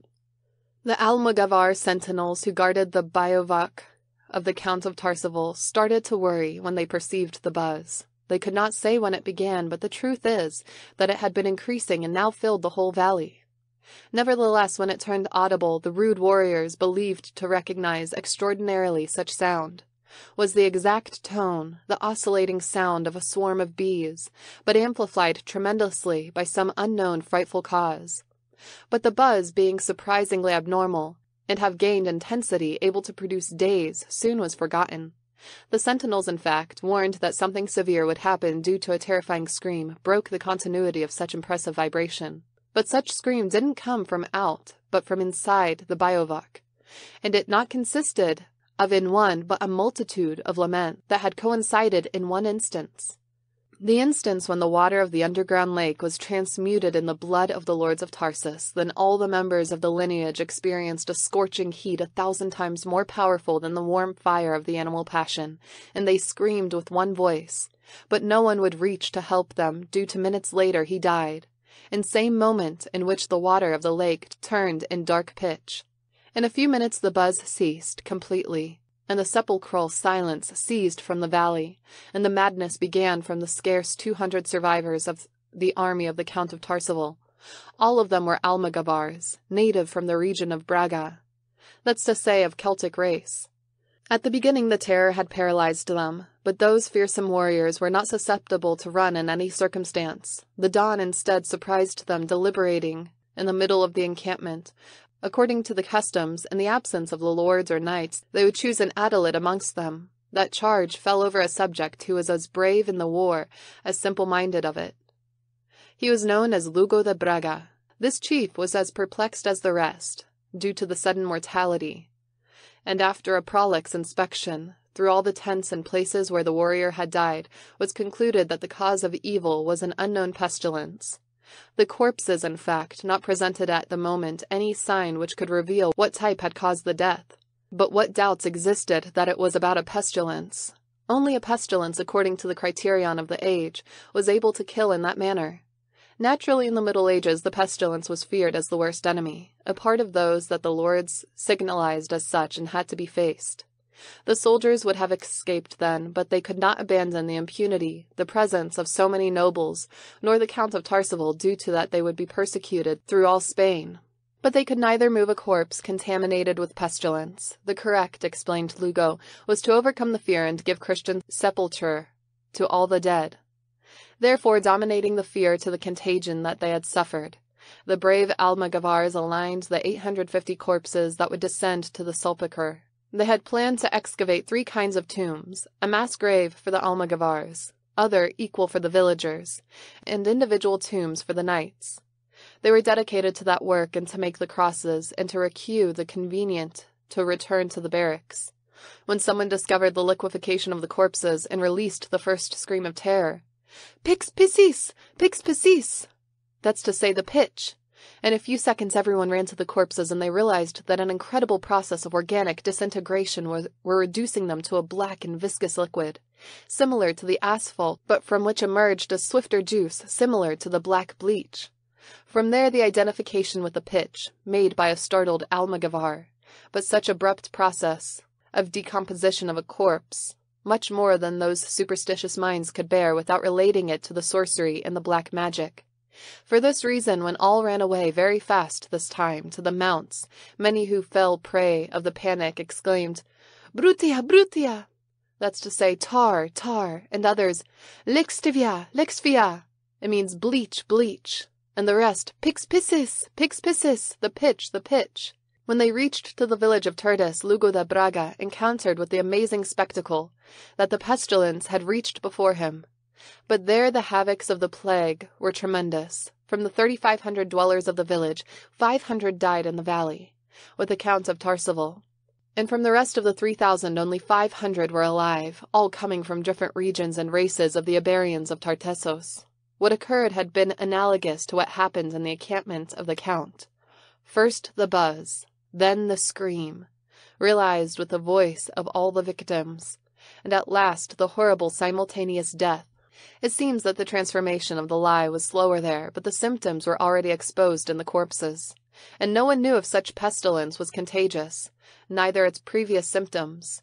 Hence, Lugo de Braga decided to run from the region forever. But before they did the most reasonable, common reaction of the age, he pillaged the village with his two hundred companions. The lords of Tarsus not existed any more, nor knights or nobles, to defend that patrimony. Lugo de Braga went to the seigneurial residence, and he plundered it thoroughly, but he didn't dare to burn it, as his people claimed. Then he left the country, taking the booty with him. Naturally, all of them would be persecuted years after for that crime, and many would end on the gallows. Although no one could imagine it then, when the pestilence attacked the house of Tarsus, there still remained some of them alive that later would claim their own. With this exception, the majority of the members of the House of Tarsus had died of the same cause, and in the same calamitous night, in such distant sites as Seville, Cordova, Toledo, and Zaragoza. Twenty-sixth day. Dr. Siegnagel, you will agree with me that the immortals almost had success executing the extermination sentence against the House of Tarsus. At least Bera and Bersha thought it, who presumed about it before the golems and rabbis. They were still in the cave of Odiel. The lake, brimful of pitch, was still bubbling, releasing sickening odors. In the first place, the fiery image of Bera excelled, the immortal that the golem called Baphol, and the Templars Baphomet, and they idealized him as expression of the perfect androgynous. Without leaving the Dorsch, he said in excellent Latin, Finally, the damned lineage of the house of Tarsus is extinguished. That will rejoice the supreme priest. You've contemplated a great prodigy. You have seen in action the power of Yahweh. Sebaoth, affirmed Bersha in the same language. Is this peradventure the death of the body? He dared to interrogate the abbot of Clairvaux. The asphalt, the pitch, the death, and the pestilence are one thing. We, answered Bera with security. Don't you recognize this substance? asked Bersha to the Rabbi Nasi. Yes, he affirmed, is bitumen of Judea, the same that contaminates the lake Asphaltites, which we denominate Dead Sea. The Golem and rabbis knew that Bera and Bersha were the last kings of Sodom and Gomorrah, and they also knew how they had obtained such high hierarchy in the white fraternity. During their reign, in a moment of wonderful illumination, they discovered the secret of the supreme holocaust of fire. Then fell the fire of heaven, which calcined these populations, and Bera and Bersha went to Chang Shambhala, one of the mansions of Jehovah Satan and his ministers, the Seraphim Nephilim. Thus, much before the existence of Israel, when its seed was still in Abraham and no one offered sacrifices to the God One. They had been capable to give their respective populations an holocaust for the glory of Jehovah Satan. The bitumen of Judea, evident residue of the annihilation of their people, evented for them to the region of the Dead Sea. But such sacrifice allowed them to be received by Melchizedek, the supreme priest of the White Fraternity, who consecrated them in the highest grade of his order. What priest of the Cultural Pact would not desire to imitate Bera and Bersha? Oh, thought the four present there, what would not give a priest to dispose some day of an entire population to sacrifice, as undoubtedly Bera and Bersha did? They would be a sacrifice worthy of Jehovah Satan. What is the curse of Jehovah Satan for those who don't comply with the law? asked Bera to the Rabbi Benjamin. I will send you wild beasts upon you. I will smite you seven times for your sins, and I will send a sword upon you. And when you are gathered in your cities, I will send the pestilence among you. I shall break the staff of your bread, synthesized Benjamin, repeating to Isaiah. Thus is written, confirmed Bersha fiercely. That would be the punishment for our weakness, but it can also be our force. You must think on it, as Bera and I did millenniums ago, when the law was not written in the manner in which you have expressed. Then we were capable to comprehend the secret of the supreme Holocaust, and to carry it out in Sodom and Gomorrah. For this reason, and by the will of Jehovah God, now we are the pestilence. You must mediate about the curse with composure, we advise you because only who have the calm to contemplate the beginning and the end of time could understand the secret of the supreme fire holocaust, the end of the humanity. But the reward of such knowledge means the immortality of the soul. The high priesthood and the power that you have seen us applying. Reflect on it, priests. We, the six of us, are the manifestation of Jehovah and we mustn't break the law, but we can induce the Gentile to do it to make that the curse fall upon them, to produce the pestilence among them. Then will be possible the supreme fire holocaust. In what consist? roared the abbot of Clairvaux, unable to resist. There is the answer, Bera said, signalizing with the dorsch the lake of tar. But this would only be comprehended by who understands that our war is between the stone and the bleach. The stone placed in the beginning of time is the enemy, and mankind placed the end of time is the bleach, the supreme holocaust, and the purification by the warm fire that demands the priesthood of Melchizedek. Notwithstanding the instance of the immortals, no one of the four of them understood that they had revealed to them the secret of the supreme holocaust. The matter of what was between the stone and the lie seemed very mysterious for them. Only Nasi asked, Are you referring to the death of the final judgment, the burning death of the condemned? No, it is written that the flesh will not really die, even though the corpse is disintegrated in the tomb because all men would resuscitate to be judged according to their sins. That will be possible because men exist in many worlds simultaneously. Worlds that have been and worlds that have not been. But from those worlds will be extracted the corpse that will be reborn. Perhaps for a thousand years, perhaps for much more, some of them will be condemned effectively and will die definitely, but others will live again over the earth is not then about that death which we are talking about. Really, we are referring to something much posterior and conclusive, of the extinction of the human consciousness. The end of mankind will come when the warm fire embraces all the worlds where men exist, and the soul of men, and will only remain the lie as witness. In that moment, we, the manifestation of Jehovah Satan, will reach the perfection of the soul, the divine finality projected since the beginning. But not the Gentiles, who will have no reason to exist in the worlds any more, due to the objective of their creation was to stimulate our perfection will be the will of the Almighty that the ashes cover the earth, to produce that the salt water of heaven turn them into rivers of lye. Listen well, priests of the Almighty. As soon as mankind can be calcined, is as soon as you will approach the perfection. Convert men in lie, and you will consummate the supreme holocaust that the Creator awaits in the end of time explained Bera, displaying notable patience. And he continued speaking, because the four priests had muted.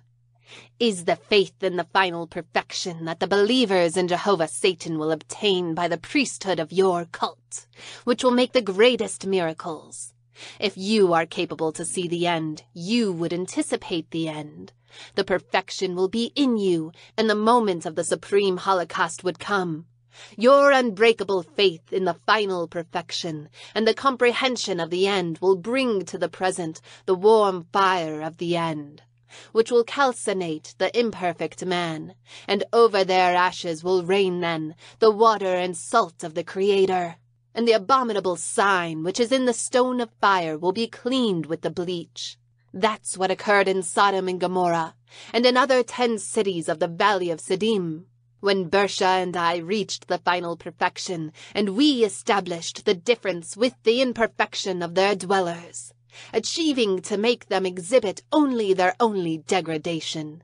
Then the Shekinah of God descended, and the angels of God, and fell the fire of heaven that reduced to ashes those senseless populations and fell the water and salt of God, and appeared the lake Asphaltites, the sea of bitumen of Judea, the Dead Sea, really the sea of the bleach. That was priests, our holocaust to Jehovah God, but such sea of lie was insufficient to clean sign from the stone. Such mission is reserved to the chosen people of Jehovah Satan, to the sacred race of Him when they will be enthroned over all the Gentile populations of the earth, when the whole humanity will be subjected to their world government. Then will come the moment for the supreme Holocaust. For it, you must work without rest, with the faith placed in the final perfection, and the effort applied to fulfill the universal synarchy of the chosen people. Only the supreme holocaust of all mankind by the priests of the chosen people will produce the lie that will clean the abominable sign in the stone of fire. All our followers, the great priests, know this secret, and they have consecrated their populations with the sign of the ash. Even the Brahmin priests have anointed the Aryans with the sign of the ash, attempting to cover the abominable sign, and waiting that the grace of heaven give them water to form the lie and clean the stone of fire. For that reason the ash has always been a sign of pain and affliction, sign of repentance and penance. The man anointed with ashes is who begs for divine mercy, who kneels before the Creator and asks for the forgiveness of his sins specially the greatest sin, to be himself before the Creator who is everything, sin that can only be cleaned with bleach. The members of the chosen people anoint their heads with ashes in sign of penance, but the priests of the lambs add holy water to the ashes, to create the lie of the forgiveness of Jehovah. But nothing will save men from the fire holocaust, and from the ashes and lie of the final judgment. Jehovah warned millenniums ago against the false priests who employ the ashes of the incense to give a false forgiveness. Only the human ashes constitute the lie that cleans the abominable sign, and Jehovah promised to convert in ashes the false priests who not respect the necessary fire holocaust. Repeat, Cohens of Israel, the words of Jehovah. The Rabbi Benjamin repeated in the act. And behold, there came a prophet of God from Judah unto Bethel, by Jehovah's command, where Jehoram stood by the altar to burn incense. And he screamed against the altar, by Jehovah's command, saying, Altar, altar! Thus saith Jehovah, Behold, a child named Josiah shall be born unto the house of David. He shall offer upon thee the priests of the high places, that burn incense upon thee. Upon the altar man's bones shall be burnt, and the bones of the false priests. And he gave a sign the same day, saying, This is the sign that Jehovah hath spoken. Behold, the altar shall be rent, and the ashes that are upon it shall be poured out. Thus is written, only of human ashes is composed the lie that claims the justice of Jehovah and that are the ashes of the real penance, which Job employs when he confesses his sinsuto Jehovah. Benjamin didn't need more than a gesture to clarify the quote. Then Job replied, I recognize that thou canst everything, and that nothing can be withholden for thee. I am who hideth thy plans with senseless reasons. Therefore I have uttered about I understood not, things too wonderful for me which I knew not. Hear, I beseech thee, and I will ask and declare thou unto me. I have heard of thee only by the hearing of the ear. But now mine eye seeth thee. Thus I recognize myself guilty, and I repent in dust and ashes. The scarlet heifer is the symbol of the consecrated mankind unto Jehovah for the ritual sacrifice of ash and bleach, for the elaboration of the lustral water. Jehovah said unto Moses and the supreme priest Aaron, and opposed them the duty to sacrifice the scarlet heifer of mankind to purify the chosen people. That will be perpetual law for Israel. Remember it, Cohen. Speaketh Jehovah unto Moses and Aaron, and who burneth the scarlet heifer shall wash his clothes in water, and bathe his flesh in water, and will be unclean until the afternoon. An Israelite that is clean shall gather up the ashes of the scarlet heifer, and lay them out of the camp in a pure place. And it shall be kept for the congregation of the children of Israel to prepare the lustral water. It is a sacrifice for the sin, and who gathereth the ashes of the scarlet heifer shall wash his clothes, and will be unclean until the afternoon. And it shall be a perpetual law for the children of Israel, and for the foreigner that sojourneth amongst them, declaimed Benjamin without mistake. And how does Tamar purify himself, who had been raped by her brother Amnon? And Tamar put ashes upon her head, Benjamin answered quickly. Only the lie will clean the abominable sign. For that sin there is no forgiveness or redemption except for the bleach. The repentance and penance or mortification of the haircloth are not enough. Only after the sprinkling with lustral water on the ashes, the penitent will wear the haircloth, just as the chosen people did when was attacked by Holofernes, who was beheaded by the divine Judith. Benjamin referred the quote all Israelites cried with fervence to Jehovah, and all men of Israel, children and women who dwelled in Jerusalem, prostrated before the sanctuary. They put ashes upon their heads, and covered with haircloths, and they claimed with one accord to Jehovah. Now you will understand the meaning of this ancient law. The sages of Zion, said Jeremiah, have covered their heads with ashes as sign of penance. And then the prophets with Jehovah's words speak to his wife, Israel Shankna, and warned her that this will not be easy to erase the stain of infidelity. Very pleased, Benjamin recited the metaphor of Jeremiah. Saith the Lord, Go and tell this to the ears of Jerusalem. For of old time ye have broken thy yoke and thy bands, and saidest, I will not serve. When upon every high hill and beneath every leafy tree thou laid as a whore.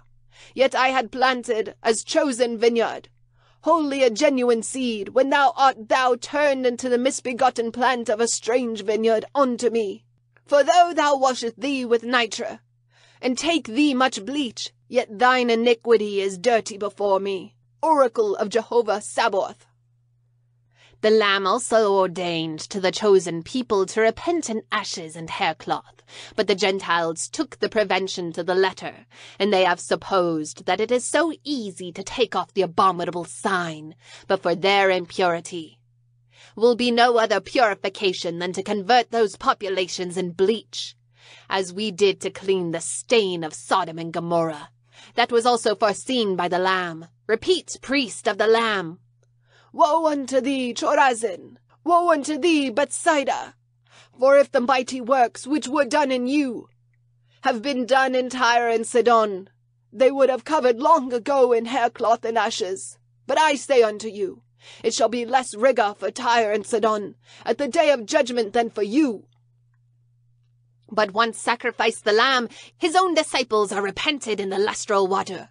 Yes, affirmed the abbot of Clairvaux during the Lent, before the resurrection.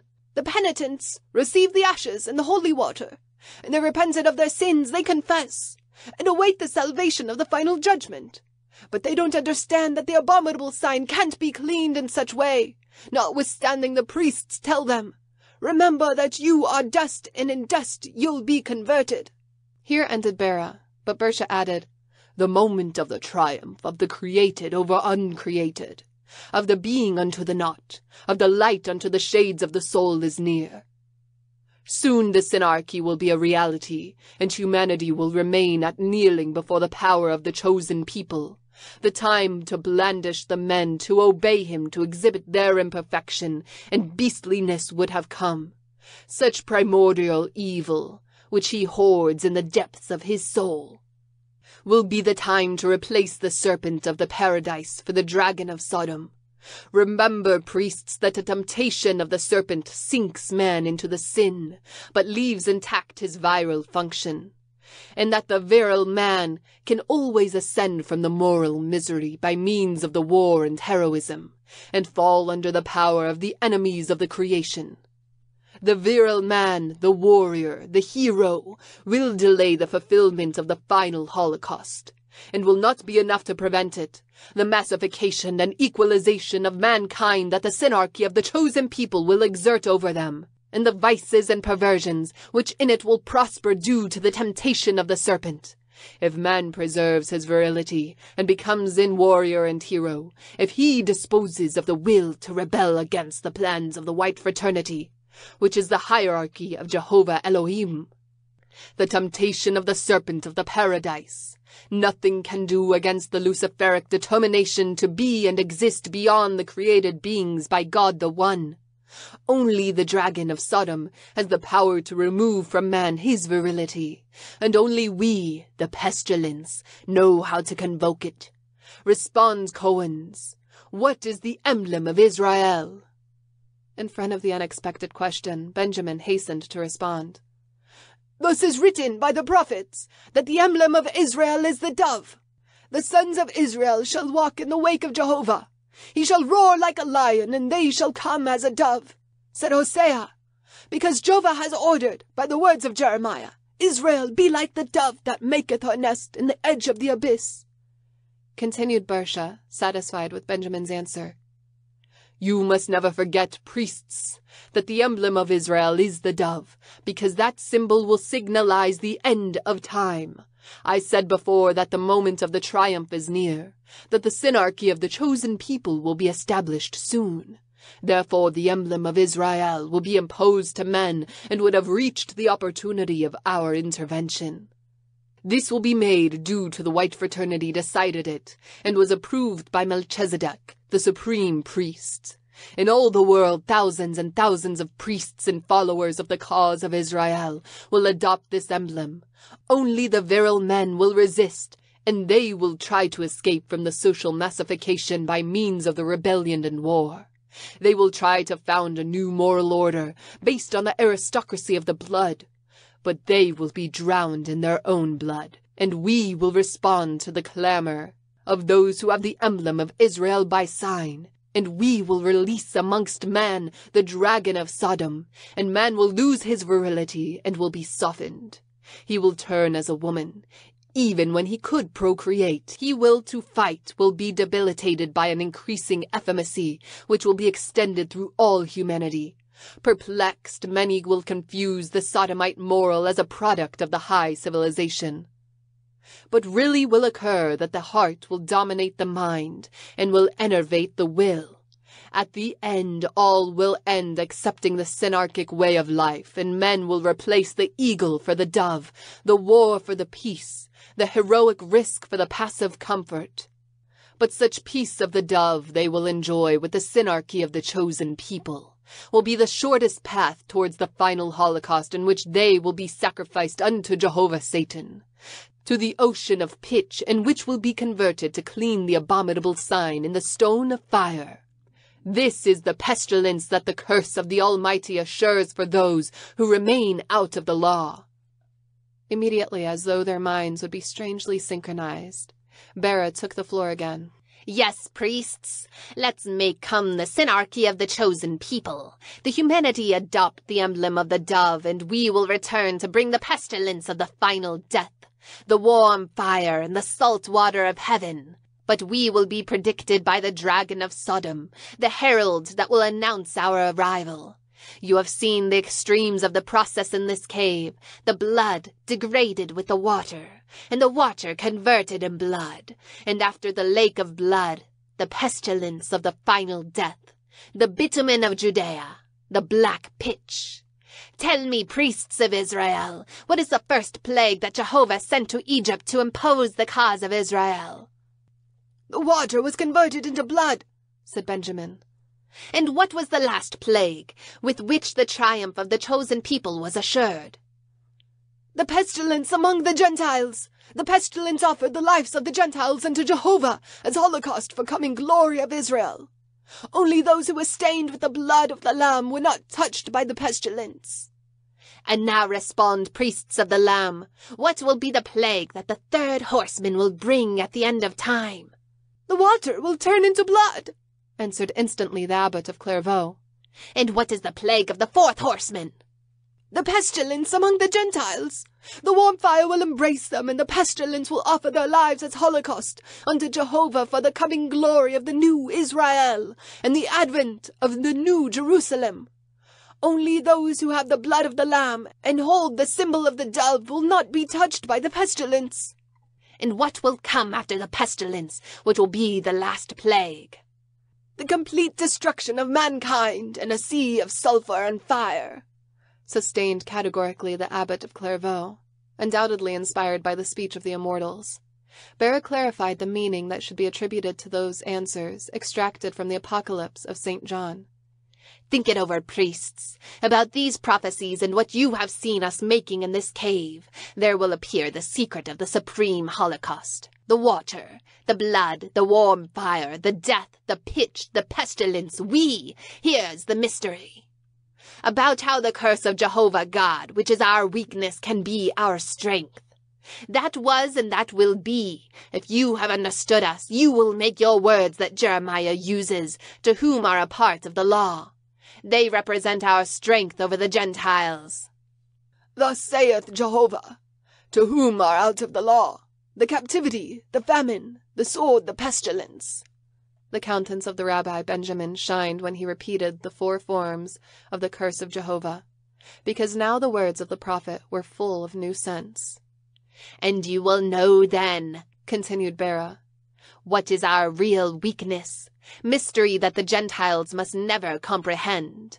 And Benjamin added the forthcoming words of Jeremiah. Jehovah admitted to the people of Israel about the four classes of evil before they would be weak.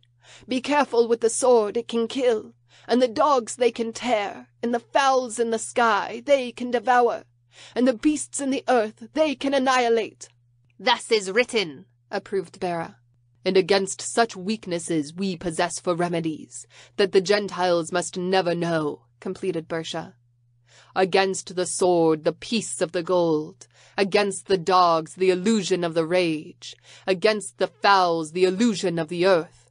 Against the beasts, the illusion of the heaven. That was more than mysterious, and the priests remained momentarily mired in deep reflections. The great master of the temple, notwithstanding, who until now had been quiet, was thinking in other things. Oh, Tizdak, he said, your explanations continue the brighter light of our understanding, and many of us appreciate the privilege of hearing them. I'd not want to abuse of the favor that you have dispensed us, asking for clarifications that perhaps you must have given. But I can't stop telling that our hearts would be full of joy if you could talk something else about the stone of fire. You say well, priest. The stone of fire contains a very big mystery. I will talk about it, but we will be brief because it is time to return to the east. It was evident that Bersha was speaking in an allegorical key, because the immortal would not leave until the next day. But before we leave, we will also talk about your next mission now that the damned seed of Tarsus died, and will be fruitful to do it in the mark of that mystery. Have you brought the book that we requested? As you demanded, the book has been transferred here, affirmed the abbot of Clairvaux. It is in the library of the castle, under permanent custody of three knights, who will kill to anyone who try to get closer to it.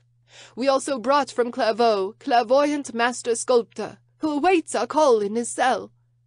Let's go up then to the library, ordered Bera, while he was hiding the fearsome Dorsch under his robe.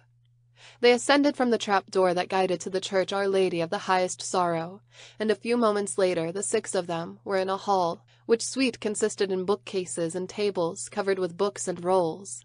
Many lecterns exhibited, opened, some enormous books, of exquisitely illustrated pages by the Benedictine monks, and constructed with tops and bedded with gold and silver, of a reinforced bunker with the riveted fittings and voluminous lock.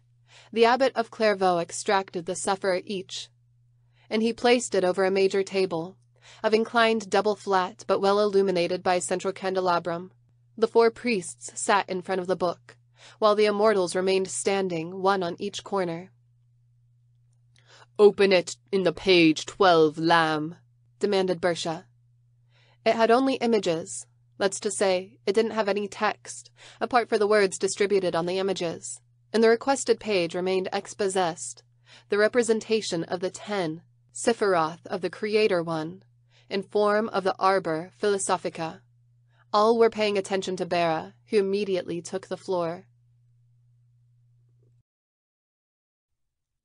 27th Day As it is known, Dr. Siegnagel, the sacred book par excellence for the Jews is the Torah, which is essentially composed by the five books of the Pentateuch, just as was presented by scribe Ezra in the 5th century BC. But this is the written Torah, Torah Shebektav, which must be considered as a profane doctrine, exoteric, due to its real divine wisdom, Hokmah. Due to its real divine wisdom, Hokmah is encrypted in the writing, and it can't be interpreted unbeknownst the cryptographic keys of the Kabbalah. Also exists an oral Torah, Torah Shebelpeh, which treats about these keys and constitutes the esoteric doctrine of the members of the Kabbalistic chain, Shelchelet HaKabbalah. The main theme of the Torah is the Sinaitic revelation. It means the Hokmah that Jehovah, Jehovah, reveals to Moses in the Mount Sinai, and from this fact must necessarily emerges the Kabbalistic chain due to Kabbalah comes from the verb kabal, which means receive. However, if Shalshalet a Kabbalah begins with Moses, it must be remembered that he received two tablets of the law. The first just contained the revelation of the divine wisdom, Hokmah, object of the esoteric doctrine of the Kabbalah. The second was an esoteric synthesis of it and was encrypted as the whole written Torah. According to the Kabbalah, the first tablets proceeded from the tree of life, that's to say, the intelligence of the One, Binah. Meanwhile, the second were taken from the side of the tree of good and evil. The tree of the science of the good and evil, whose fruit had eaten, was the cause of the expulsion of Adam from paradise. And Jehovah God said, Behold, the man is become as one of us for knowing the good and evil, and now, lest he put forth his hand, and take also of the tree of life, and eat, and live become immortal. Therefore Jehovah God sent him forth from the Garden of Eden, to till the ground from whence he was taken. So he drove out the man, and he placed at the east of the Garden of Eden cherubim, armed with flaming sword, to keep the way of the tree of life. Genesis 3. Therefore, the second tablets are destined to those who want the redemption of Adam's sin, but who still remain subjected to him. The first, instead, reveals the Hokmah to whom have elevated themselves above the human condition, to the Adamic state, and deserve to gain the immortality that proceeds from the Binah, the intelligence of the tree of life. They can only be, of course, the highest priests of the chosen people, for this reason, Moses veiled the Hokmah to the population, and he only communicated it to Joshua. Joshua transmitted it to the elders of Israel, and he sealed magically the concealment, in such a manner that they could only be found in the 12th century AC by the Templars, who transported it to Clairvaux. Other prophets nonetheless communicated the Hokmah verbally to the priests of the great synagogue, who continued the Kabbalistic chain, after the captivity of Babylon, there were no more prophets in Israel, and Esdras. The scribe presented to the Jewish people the exoteric doctrine of the written Torah, based on the second tablets of the law. That doctrine was sustained by the priests of the great synagogue, who were then called scribes, Sopherim, until the advent of the Tannaim. From the first to the third century AC, the great Kabbalists of such period, amongst them stood Simeon bar Yochai, named the Holy Lamp, They achieved to transcend the written Torah and to obtain the Hokmah again. Then the oral Torah was transmitted again by the Amoraim and rabbis, rabbi until the Middle Ages. Apart from the written Torah, three books can be considered as the most important for the Jewish Kabbalists the Sefer HaZohar, the Sefer Yetzirah, and the Sefer Itzheh. The Sefer HaZohar, or the Book of the Splendor, was written by Simeon bar Yochai in the second century AC, but the unique existence version since the 13th century is the translation to Aramaic, effectuated by the Spaniard Kabbalist Moses de Leon. The Sefer Yetzirah, or Book of the Formation, is older, and the traditional Kabbalistic chain traces its origins to Abraham. But by far the most secret and mysterious book, as the most coveted by the Kabbalists, is the Sefer Itzheh, or Book of the Fire Holocaust, which is supposed contemporaneous of Adam, and that proceeds, as the first man from the Garden of Eden. Really, the original book had been written in paradise by the angel Raziel for the instruction of Adam, and its content would be the own Hakma. Such mystical book must not be confused with the book of Raziel, written in the 12th century by the Kabbalist Elazar ben Judah of Worms, and based in of second-hand news of the tablets of sapphire. According to the rabbinical tradition, the real book of Raziel, engraved tablets of sapphire, had been stolen from paradise by Rahab, king of the sea, and hurled to the ocean. Then it would be found by the Egyptians and would remain for millenniums in the power of pharaohs. Moses would carry with him the Exodus, and he would bequeath it to Joshua, from whom, following the Kabbalistic chain, would come to the King Solomon. He would obtain his famous wisdom, Hakma, by the interpretation of the tablets of sapphire, the book of Raziel but noticing its enormous power, he would hide it in the temple in such manner that only the Golem Templars would find it within the ruins 21 centuries later. It is clear, Dr. Siegnagel, at the light of what I have already exposed in this letter, that the tablets of sapphire and the tablets of the law are the same thing. That's to say, that the first tablets, with the Hakma proceeding from the tree of life, are nothing else than the book of Raziel, given to Moses in Egypt by the priests of the cultural pact. The explanation is the next. If we despoil the Hebrew myth from its cultural custom, results that Rahab is no other than Poseidon, the king of the sea, and legendary ruler of the Atlantis. We arrive in this way to the Atlantis, the Garden of Eden, homeland of the first man, of such lost paradise came the swarthy Atlanteans, founders of the Egyptian priestly hierarchy. After the cataclysm, they had transported to Egypt one of the Book of Crystal that existed in the library of Atlantis, which contained the register of the construction of the universe by God the One, Jehovah Elohim. That book of crystal would be the book of Raziel, in which were engraved 32 operations executed by the Creator to build the universe, 10 Sephiroth, and 22 letters. In other words, the tablets taught by means of signs the 22 sounds and measures of the sacred alphabet, employed by the Creator One, Jehovah Elohim, from which comes the Hebrew alphabet and the cosmic form adopted by him to create and sustain the universe. That's to say, the 10 Sephiroth is what is known as the secret of the serpent. In the age of Moses, the Egyptian priests ignored how to interpret the tablets, but they remembered that the swarthy Atlanteans had left them there to be given to the chosen people by the One, as a fundament of a divine covenant. Moses received in secrecy then the tablets of stone, and he went with his people to Mount Zion, where Jehovah celebrates with his lineage the covenant of fire, Berith Esh, and reveals the hokmah of the tablets of the law. The retribution demanded by Jehovah to the chosen people would consist, as it can be concluded from the statements of Bera and Bersha, in the supreme holocaust of fire, Itzheh, from where the book adopts the name that the immortals requested to the four priests in the castle of Atasena. In some, the Templars found the first tablets of the law, the book of Raziel, which made possible to the Golem Church the attainment of the Hokmah for the College of the Constructor of Temples and to outbreak the architectonic revolution of the Gothic or Gaelic. But even if the mathematical Kabbalistic decoding, it means gematria, the Book of Raziel, permitted to know the secrets of the construction of the cosmos, as certain images that were seen on it remained incomprehensible for the Cistercian golems. Such visions were represented symbolically by the rabbis and golem priests, which constituted the book Sefer Itzheh.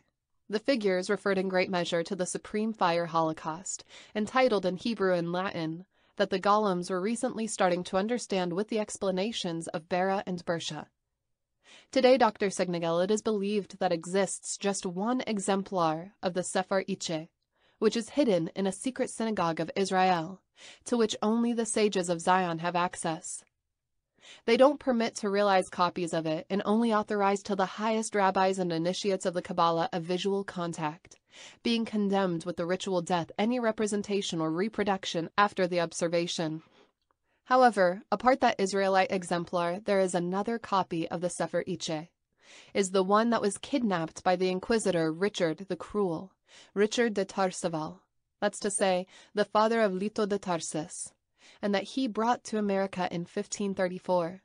It is a quite reliable replica of the Templar book, dated in Granada, 1333. That's to say, after the dissolution of the order, and surely copied from the original that the golems and rabbis carried when they escaped from France, from the Grenadine edition, which for centuries has remained in a chest of our house in Tucuman, is the facsimile of the page 12, the attached one for the better comprehension of the descriptions of Bera and Birsa. Well, priests, exclaimed Bera, while he was examining attentively the image that exposed in the page 12 of the Sefer Itzheh.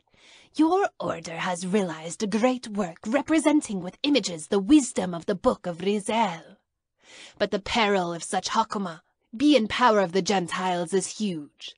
Thus you must avoid the unnecessary copies of this book and submit it to the most rigorous control.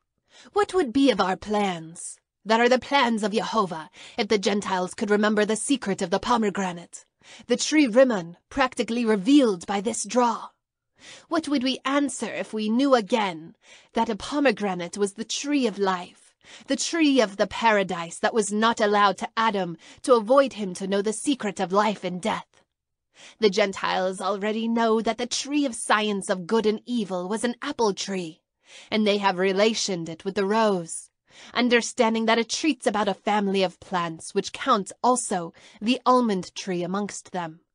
They know then that in all them there are different parts of a unique message, of an idea impressed of the Creator One. However, they will never reach to relate the pomegranate with any tree, to form the family because Rimmon is archetype of the creation. On it will be discovered similar elements to all the rest species but the same could not be derived of any other thing, as Jehovah contains all them with this form, but he is not contained by any one. The mission that we entrust you is related to the pomegranate of the life, but it is specially referred to one of its fruits, the Sephira Binah, in which you should inspire to fight against the awful heresy of the house of Tarsus. Yes, priests, even though the lineage of Tarsus died, there still subsists the effect of their luciferic acts, from which is not minor the cult to the Virgin of the Grotto. Against that impostor you shall fight immediately, developing the attack according to the instructions that we will give you now. In this moment of history, that the very holy has designed for the chosen people is smiling to us. Soon will be established in Europe the universal synarchy. Then will appear the world government of the chosen people, during which will be manifested, upon the Gentile humanity, the irresistible power of the Messiah, for whom will be offered the fire holocaust. But much before such wonderful act be fulfilled, I'd say that in the present days, if it is possible, the order of Melchizedek will raise to the scepter of Spain a child from the house of Israel, gifted with the verb of the Metatron. He will possess the necessary Chokmah to close the doors that the Hyperborean demons have opened, and to open the doors of the heavenly palaces. Hekoloth from Eden, the Kabbalistic name of the supreme priest, is Quiblon, will be gifted with the great power. He will emerge from the now and will drag the entire Spain behind the gold that he will offer to them in abundance. Blind as Perseus, Spain will rise the sword and will cut three heads of Medusa in a shelter, beyond the Tenebrous Sea, and now a Tartarus, which path he will show them. Heed, priests, because we are prophesying it. Is the word of Jehovah which is sprouting from our lips. I repeat, Quiblon will be sent from heaven, an ambassador of Jehovah, and you must know that this region of Huelva has been signalized by Melchizedek as the seat of the embassy of Quiblon, as port and breakwater for his magical voyages.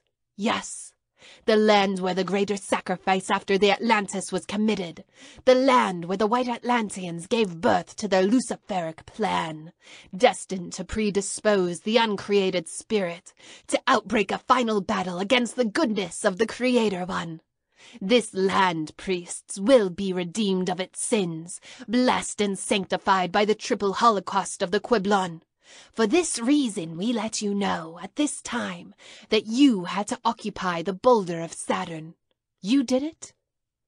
In fact, O divine Arlim, confirmed the great master of the temple, who was still awaiting the explanation about the mystery of the stone fire. Once received your message, we requested the papal authorization in the same site of the boulder of Saturn. Well, you must know also that Rus Baal, or Boulder of Saturn, is a place consecrated to Binah, the aspect with which Jehovah is manifested as Great Mother. When Quiblon reaches to that sacred place, Jehovah will reflect in him the Shekinah, and he will gift him with the verb of Metatron. How many times descended to Shekinah to the earth? Ten times in front of Israel, hastened to respond the Rabbi Nasi. First in the Garden of Eden, as they heard the voice of the Jehovah Elohim walking in the garden in the cool of the day. And Adam and his wife hide themselves from the presence of the Jehovah Elohim amongst the trees of the garden. Second, to watch the Tower of Babel, and then Jehovah came down to see the city and the tower that the children of men built. Third, in Sodom, speaketh Jehovah, I will go down now and see whether they have done according to the cry of it, which is to come unto me, and if not, I will know. Fourth, in the burning bush, then Jehovah appeared unto him in a flame of fire, out of the midst of a bush, and Moses looked, and behold, the bush burnt with fire, but the bush was not consumed. Fifth, in Egypt, therefore, I come down to Egypt, to deliver them out of the hand of the Egyptians, and to bring them out of that land into a good and large land, into a land that floweth with milk and honey, in the place where lives the Canaanites, the Hittites, the Amorites, the Perizzites, the Hivites, and the Jebusites. Sixth, over the Mount Sinai, Jehovah came down upon Mount Sinai on the peak of the mountain, and Jehovah called Moses up into the mountain. Seventh, on the elders, Jehovah came down in a cloud and spake unto him, and took of the Spirit that was in him, and he gave it unto the seventy elders. As soon as the Spirit rested upon them, they prophesied, but they failed to do it again. Eighth, over the Red Sea he bowed to the heavens, come down, and dense clouds he left under his feet. Ninth, in the sanctuary of the temple, Jehovah said unto me, This gate shall be shut, it is not to be opened, no man shall enter by it.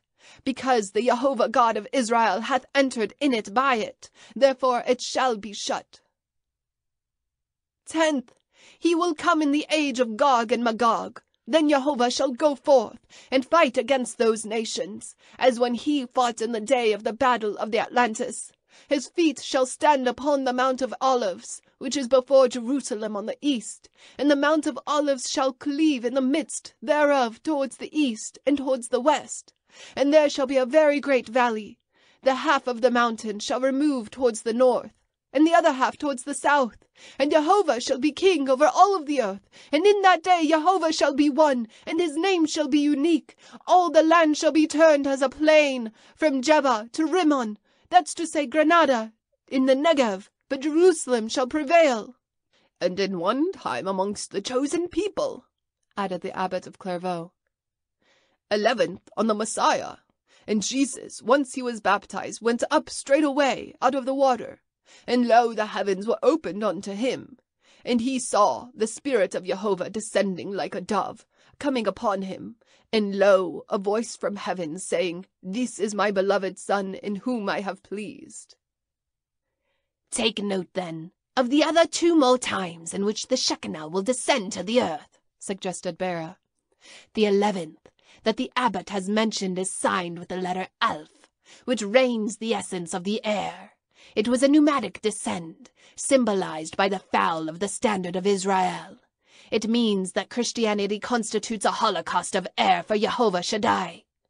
The twelfth, now that we announce you, will occur in the Boulder of Saturn, in Rus Baal, before Quiblon, when Quiblon seek there the intelligence of the great Mother Binah.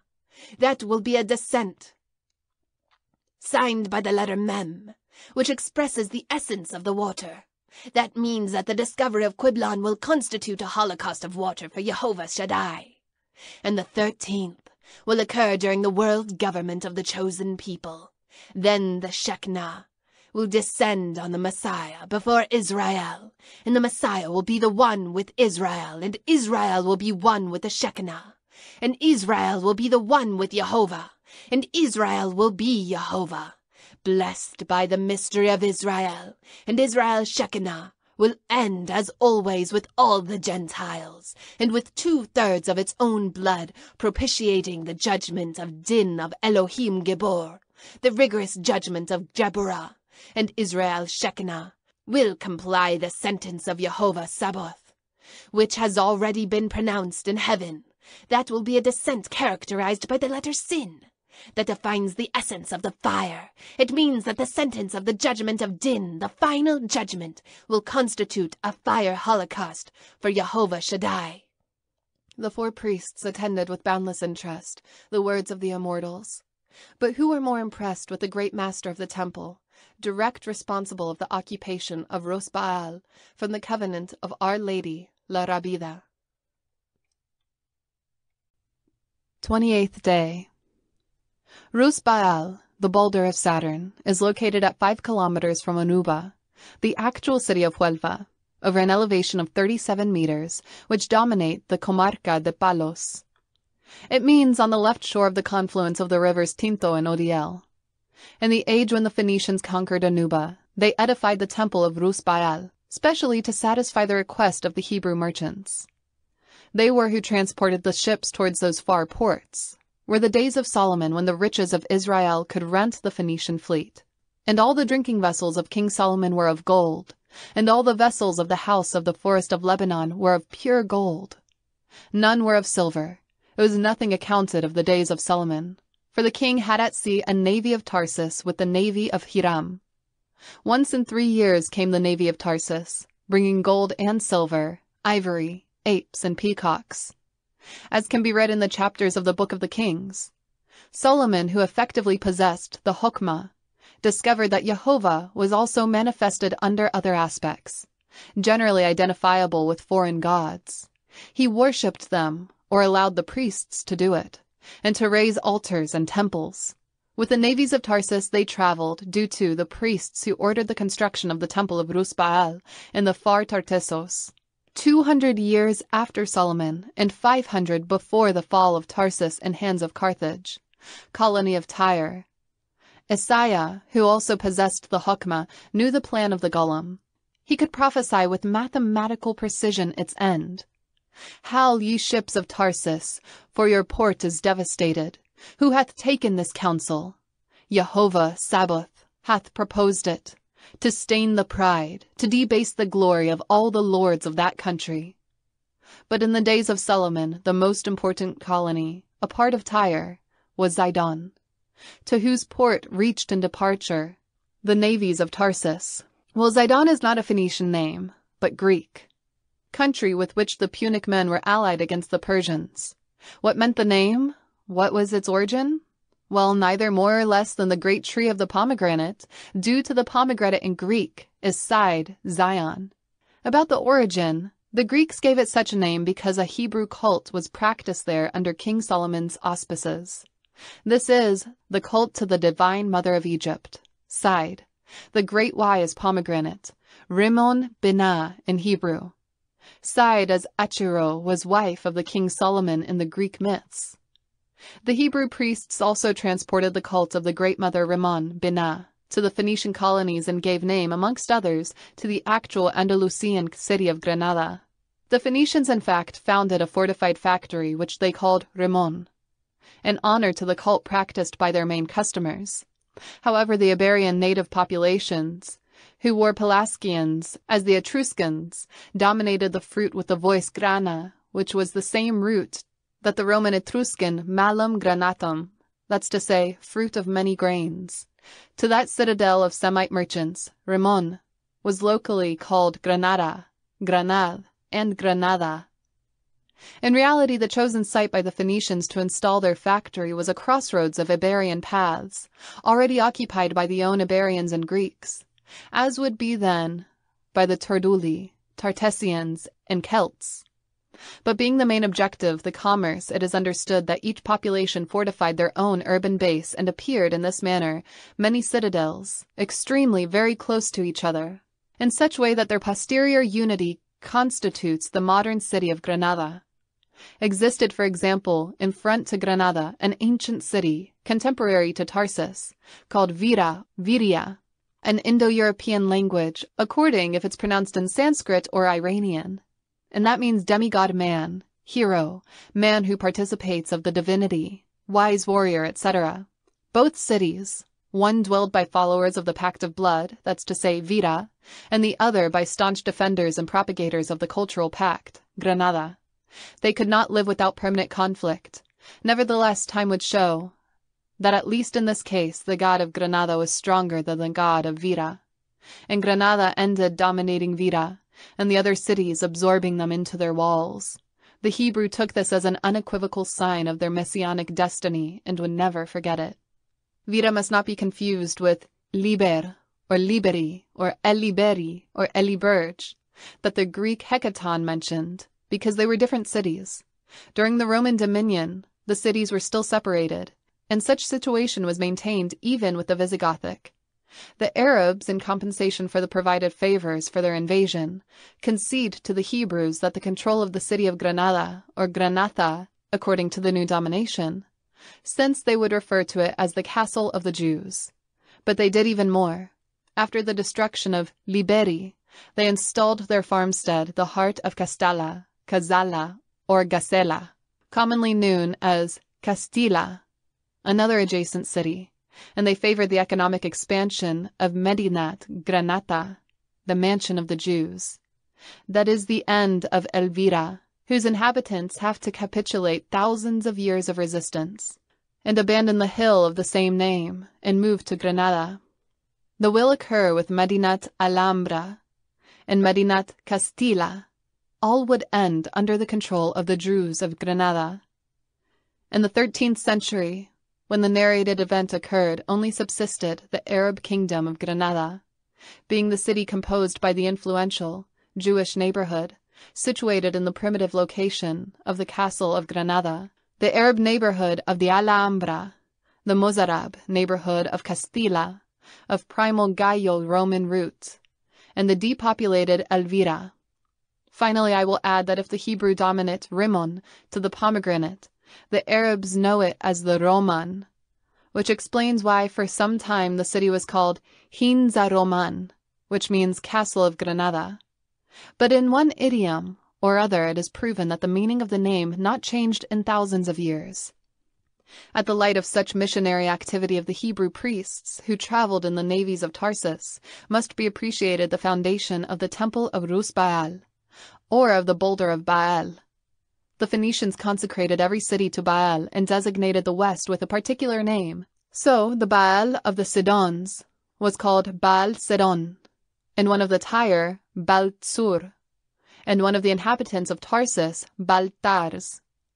From the three main aspects of Baal, this is Baal Chon, the producer, Baal Tammuz, the conservator, and Baal Moloch, the destructor, the Hebrews accepted the last as a personification of Jehovah Sabaoth, the aspect of Netzah, of Jehovah of the armies, whose guides to the victory by the destruction of the enemies of the chosen people, or Shekinah.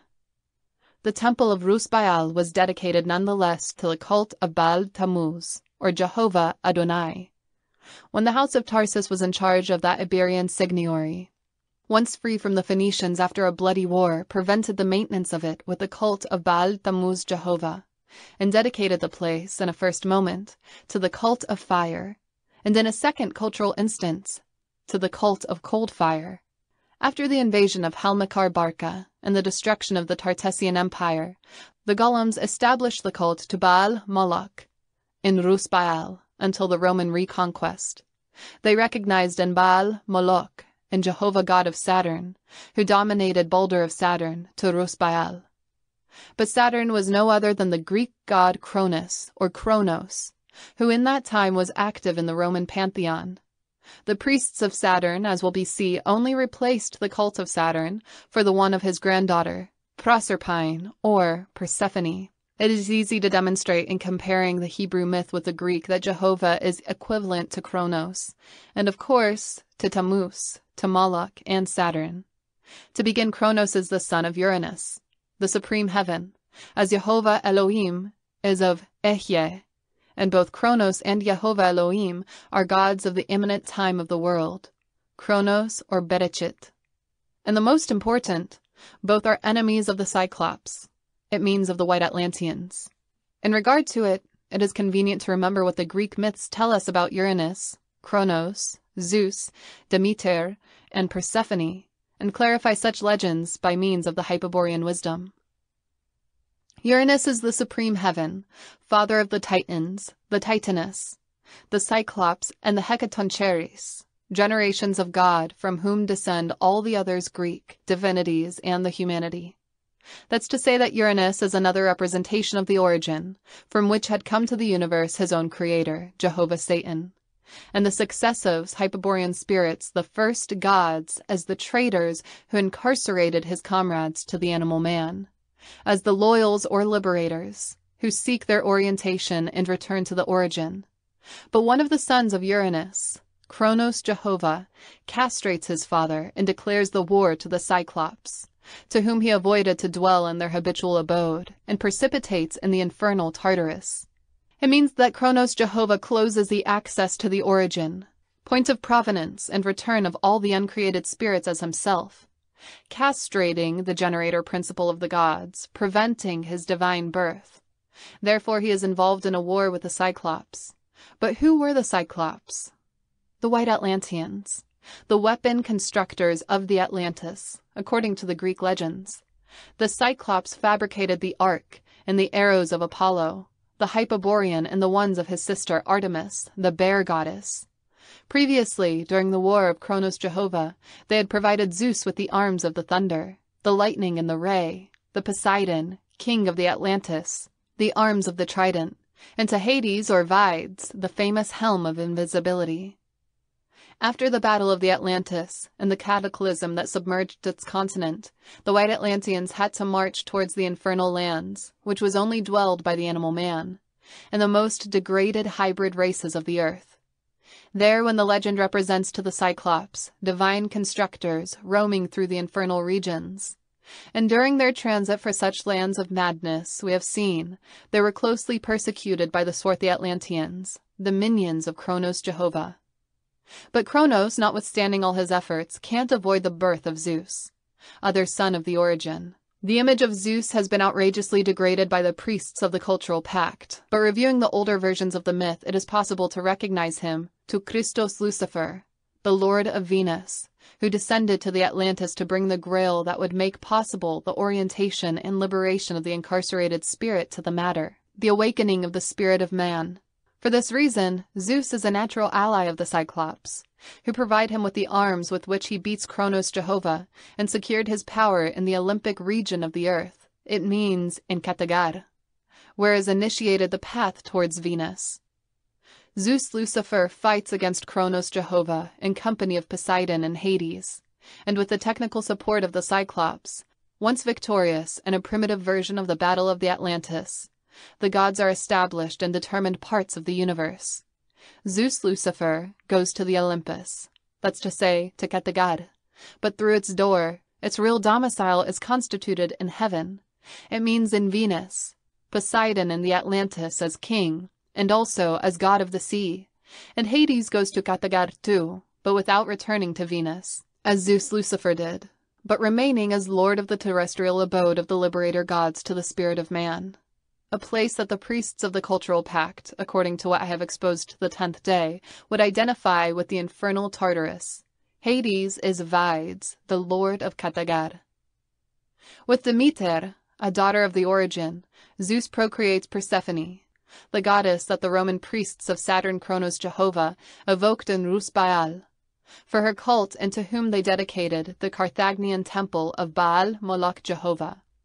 She was a cruel goddess who dwelled in the infernal Tartarus with Hades, and consolated perfectly with such remote region of Tartessos, famous for the ancient legend that signalized her as the residence of Medusa.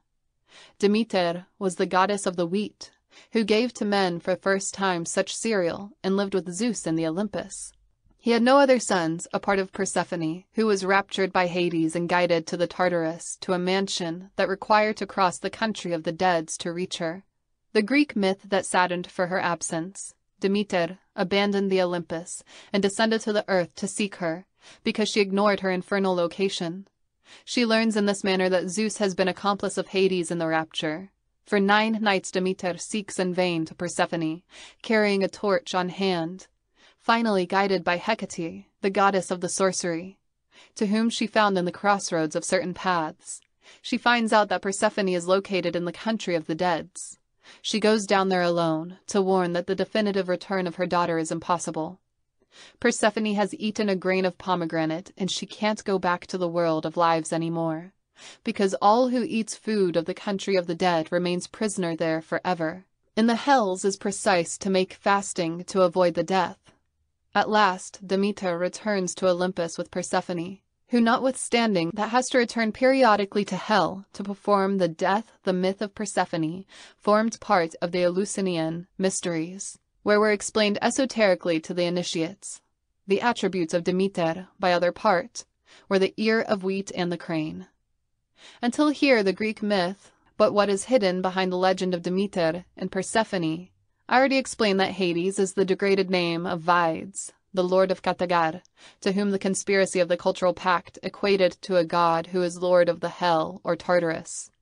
In the same way the priests threw there Persephone, an ancient white Atlantean goddess. Who am I referring to?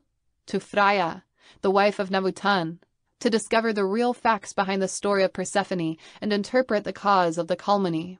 It is necessary to take present that for the white Atlanteans, as for every member of the Hyperborean race, the wife is also the sister, identity which goes further than a simple symbolic association, and refers to the mystery of the original couple of the uncreated spirits. Freya, a part of being his wife, is sister of Navutan, to whom the Greek priests of the cultural pact equated to Demeter, the goddess who gave to men for first time the plant of the wheat, the keeper of the seed. Thenceforth it is said that never to have a son of Demeter, to whom she would have conceived being virgin in Venus. That's to say, in the Olympus, as I already related the twelfth day. Her spiritual son Navutan, who auto-crucified himself in the tree of terror, the pomegranate of life, to discover the secret of the death, and would be his wife, Freya, who would resuscitate him, revealing with her dance the secret of the life and death. For this reason the legends only mention Freya Persephone, whose name was very ingrained amongst the populations of the Pact of Blood, and they cast the veil of taboo over the feet of Navutan. The swarthy Atlanteans and the priests of the cultural pact wanted to hide by every means the posterior legacy that the resurrected Great White Chief made unto men, i.e., the mystery of the labyrinth. Was Navutan, in fact, the real inspirator of the mystery of the labyrinth, in whose course was administered to the Hyperborean initiates a cult sign Tyro formed with the uncreated runes? Such sign permitted to the incarcerated spirit to wake up and orient towards the origin, finding the exit of the labyrinth of the illusion in which was strayed. Nevertheless, as in the case of the feet of Navutan, the exit could never be found by the hero with absence of his original couple. Another way he can die, uh, spiritually, after the nine nights hanging from the tree of terror. Thereby, in that the cultural humbug of the priests wanted Ama Demeter, to search for Freya Persephone for nine nights. Who guides her, finally, as Hecate, with whom she coincided in a crossroads of paths. It means, in the inferior of a labyrinth, Hecate, is then a general representation of what Freya would be individually for Navutan. The original couple, for the ancient Greeks in all the crossroads of paths was Hecate, pleased to orient the lost journeyman towards his better destiny symbol, that, as it is seen, came from far away. Notwithstanding this wonderful goddess, to whom Tricephalus statues were erected, that indicated the triple nature of the white man, physical, soul, and uncreated spirit. She was finally converted in a goddess of the sorcery and witch, consequence, of course, of the cultural pact. Naturally, the rapture of Freya Persephone is a spiritual rapture, realized by herself to resuscitate her husband. It means in the impulse of a sacred ecstasy. Zeus Lucifer, allegedly the father of his own Navutan, and Hades Vais, the lord of Katagar, are the sages of the age to whom she asks about the manner to save his husband.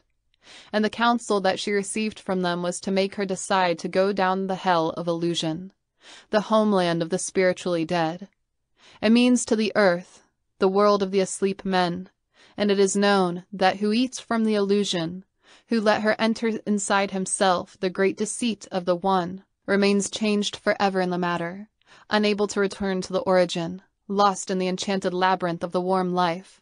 However, Freya had not tasted the forbidden fruit, was free to go back, if she wanted, to the origin, keeper of the secret of the death, was her decision to resuscitate Navutan, revealing by means of the dance the knowledge of the Kalachakra key.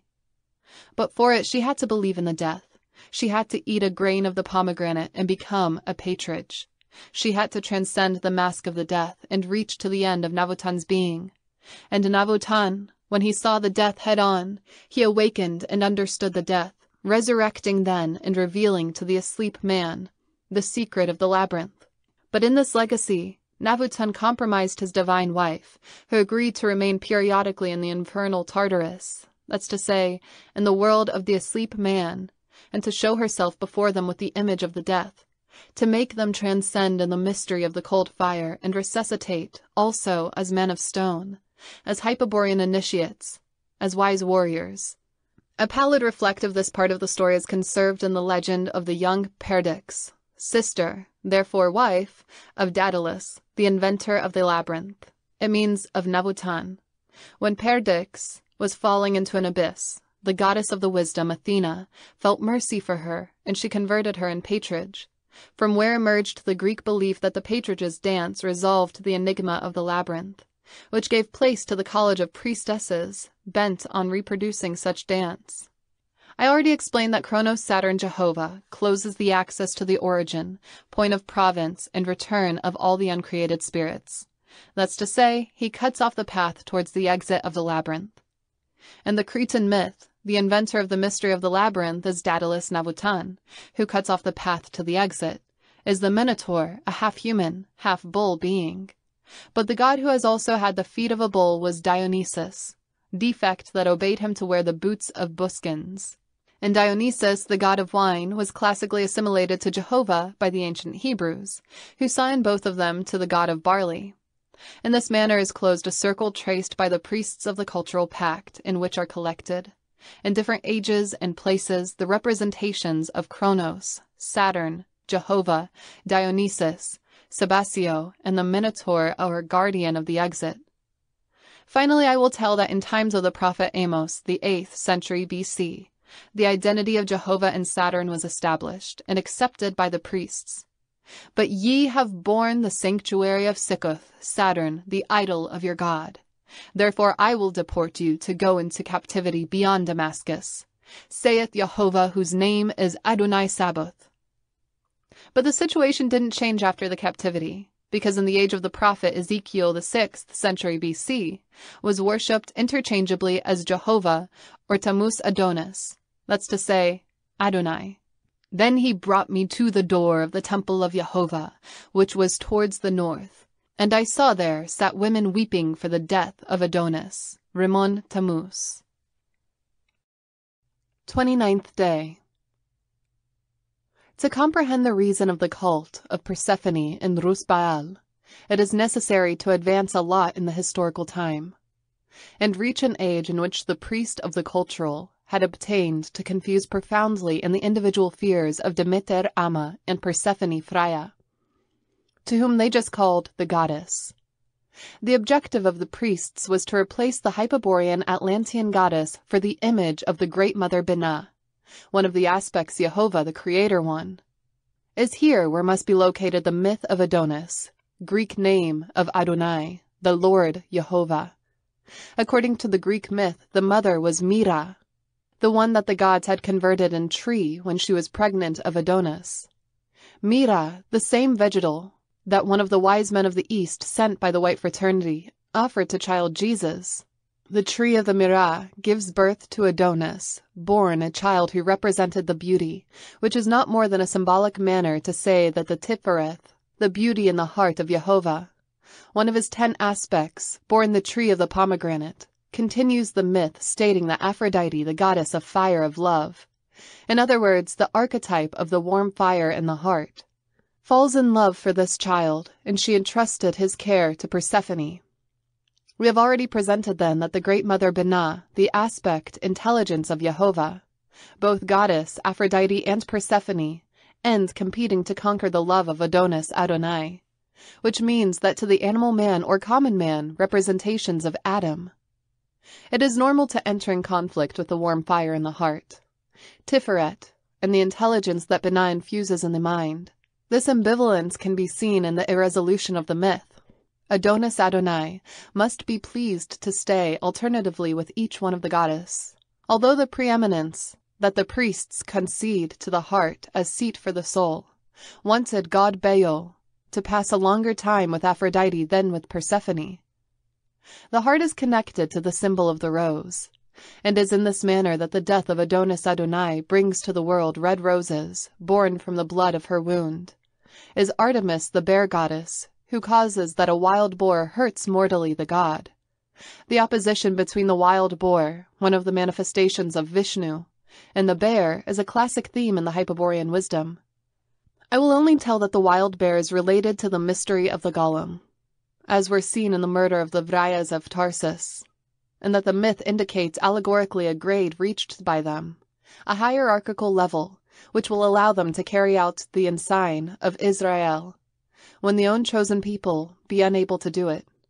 When Adonis Adonai be draining blood momentarily in the Pardes Rimomenon to create the roses that will flourish during the universal synarchy.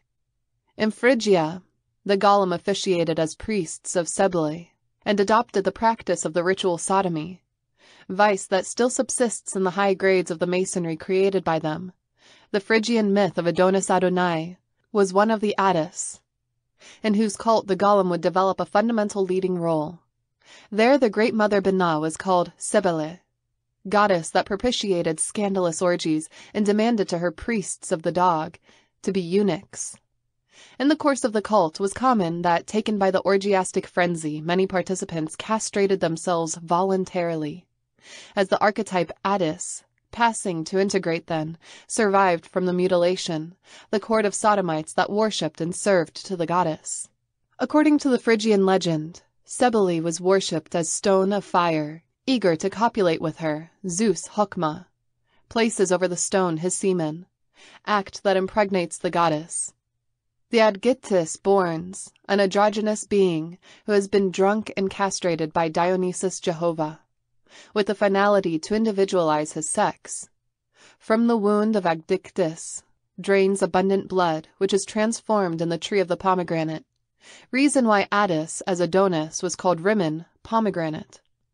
However, the maimed phallus of Agdistis, hurled to the earth, is transformed in the tree of the almond, a member of the family of the roses.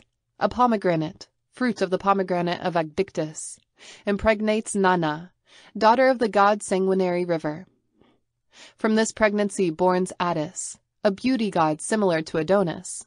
And as Adonis for Attis will fight for the great mother Binah and the goddess of the warm fire in the heart, Tifereth, Agdistis, now converted in woman, falls in love with Attis, as also Cybele, with whom she has to dispute the favors of the beauty god. Evidently, Attis is a Phrygian Adonis, a representative of the beauty of Jehovah in the heart, pretended simultaneously by Great Mother Binah Cybele and by Tifereth Agdistis Aphrodite. But the Phrygian myth contains more details. Attis, mad for Agdistis, castrates herself and dies due to the mutilation. During the cult of Cybele, the goddess buries him and plants on her tomb an almond tree. Attis was then a eunuch and a sodomite. Signed by the symbols of the pomegranate and the almond, what clearly proves that the origin of the myth is Hebrew. Remember, Dr. Siegnagel, on the other hand, that the Jacobins, who developed the French Revolution, whose chiefs were Jews and Golem, identified themselves with the Phrygian hat.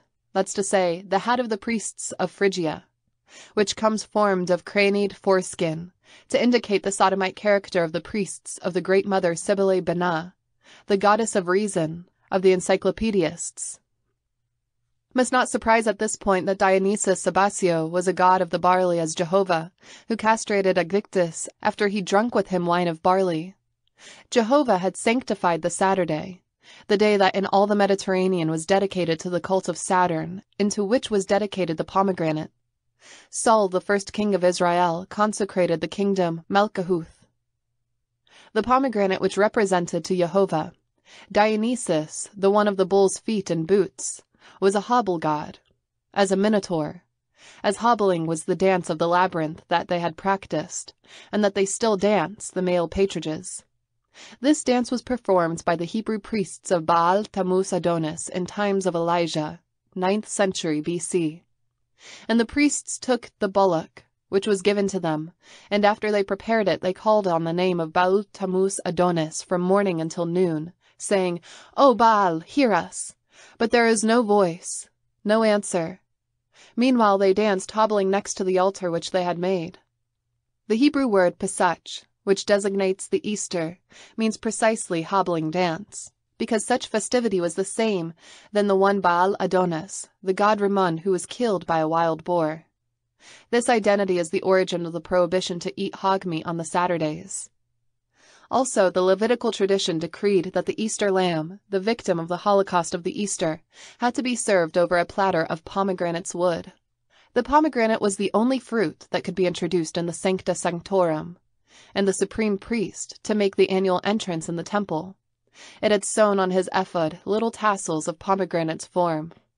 The roll of the Torah was wrapped up in a stick called Es Chajim, i.e., the tree of life which was topped on each extreme with two carved pomegranates. And the octuple candelabrum, Chanukah, possesses a pomegranate crowning each arm in which Yod shines, the eye of Jehovah. The septuple candelabrum, on its part menorah, has seven shafts of almond flour that evokes the institution of the priesthood of Aaron, when the almond's rod flourished that Moses gave him, and occurred that on the morrow Moses went into the tabernacle of witness, and the rod of Aaron, of the house of Levi, was budded, and brought forth buds, and bloomed blossoms, and yielded almonds. To perpetuate the remembrance of this miracle, Jehovah said, Thou shalt make a candelabrum of pure gold. Of work beaten out with the hammer shall the candelabrum be made. Its shaft, branches, bowls, knops, and flowers shall be the same. Six branches also shall come out of the sides of it, three branches of the candelabrum in one side, and three branches of the candelabrum on the other side. Three bowls like unto almonds in one side, one knop and one flower in one branch, and the same in the other. And according to the vision of the prophet Zechariah, these seven lamps are the eyes of the Jehovah which run through the whole earth. That is a representation of the Shekinah, the cults of Rus Baal, the ancient of Baal Tammuz Adonis, practiced by the Hebrew priests, and the one of Baal Moloch, officiated by the Golem, were interpreted by the Romans as different forms of adoration for Kronos Saturn, a god equivalent to Jehovah Adonai, or Rimmon Attis Adonis Dionysus. Since the 3rd century BC, the priests of the cultural pact who proliferated in Rome dedicate Rus Baal to the cult of Persephone, the infernal lover of Adonis. In the same age and at a short distance the lords of Tarsus consecrated to the cult of Vesta of Tarsus and the goddess of the fire of home, behind her they veiled their conception of the cult of the cold fire. Both opposed cults, the fire of Vesta from Tarsus, and the other of the warm fire of Persephone de Palos, are performed simultaneously without any of them surpass the other. And it is worthy to repeat that such version of Persephone was equivalent to the late Persephone, closer to the great mother Sebel, Binah, than the old Persephone or Freya, the wife of Navutan. In the second century AC, always furtively, Bera and Birsa reached to Huelva. But this time they didn't attack the house of Tarsus, but they go to Rus Baal to supervise the cult of Persephone under the command of Melchizedek, a supreme priest of the white fraternity. The temple of Comarca de Palos started to gain fame for the miracles that the goddess realized. The main of them was the cure of the hydrophobia, that all the regions of the peninsula and even overseas came the bitten or infected by the dog's bite to recover the lost health. Only when they heard to Bera and Birsa against the dog the illusion of the rage. The four priests understood those ancient miracles were related to the powers of Bera and Birsa.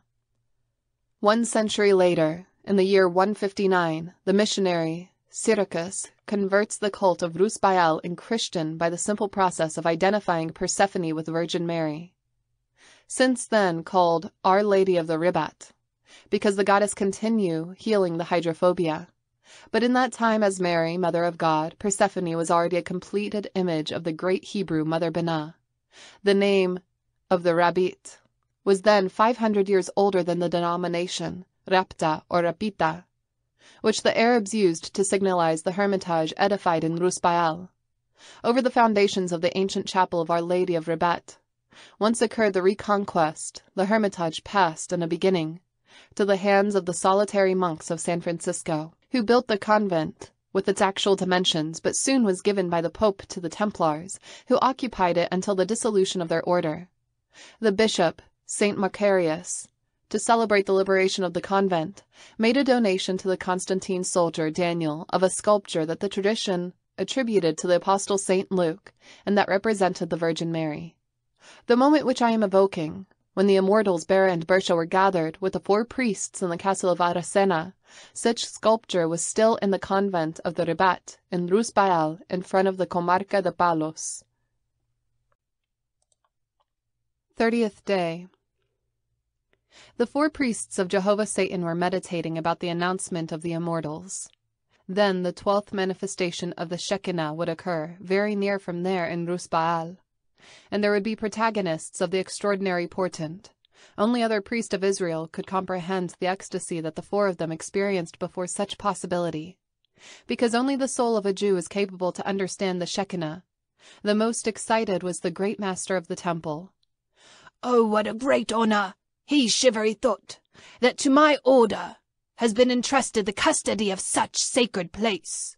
The own God will descend now amongst the hours, and with this style, each one of them released their golem in rabbinic fantasies. Indeed, priests, approved Birsa, reading the thought of the presence. You will contribute as nobody to execute the plans of God. Thousands of golems, monks, and Hebrew doctors are working for the establishment of the universal synarchy. All of them are favored by Elohim, and they will be magnificently rewarded. But only four of you know today the announcement of the Shekinah, and only to you, and to whom you call to collaborate, Jehovah will consider responsible of the water holocaust that Quiblon will offer in this day. Rejoice then, priests, because the triple holocaust of Quiblon, one of the most signatory of history, will attribute to you if you comply with the mission that will entrust you. Of that depends the realization of the plan of Jehovah. On it rests, priests, one of the pillars of history. Now that the evil has been extirpated from Huelva, continued Bera, now that the blood of Tarsus has been converted in pitch, we will entrust you a very simple mission, which is to affirm the good on earth. And the good is Jehovah, and Jehovah can only descend in Holy Land. To you correspond priests of Jehovah, the purification of the earth. The gaze of Bera was questioner. Yes, exclaimed Nazi and Benjamin with one voice. The purification of the earth is the work of the priests. To sanctify it is faculty of God. Agree, priests! We, the representatives of Melchizedek, command you to purify this land of Huelva, erase any vestige of the mystery of cold fire, clean the stain of the cult of the Virgin of the Grotto, and above all, remove the remembrance of this tenebrous deity. Because there will be no peace, nor in earth nor in heaven, and Rusbaal will not be holy land, while the perturbing presence of Virgin of Agatha keeps carrying the damned seed. Naturally, said Birsa, that such atonement will only be effective if a cult is replaced by another. In consequence, we also command you to implant in all the necessary places the new cult of the Virgin of Miracles. She will illuminate with her warm fire the shades that the intruder shed. When the Gentiles give their hearts unconditionally, the intruder will be forgotten. The remembrance of her abomination will be obscured, and the earth will be purified. Then, and only then, the Shekinah will descend in Rusbaal. But that cult already exists, interrupted the great master of the temple. Precisely in La Rabida is worshipped the virgins of miracles, the ancient Persephone de Palos, Lady of the Rage. You are wrong, priests, assured Bera, smiling horribly. I am referring to a new cult that will also replace the one that you are mentioning the cult of the great mother Binah, to whom you will advocate as Virgin of Miracles to avoid that the Gentiles suspect the substitution, but who will receive many sacred names, only knew by the initiated priests, golems, and rabbis.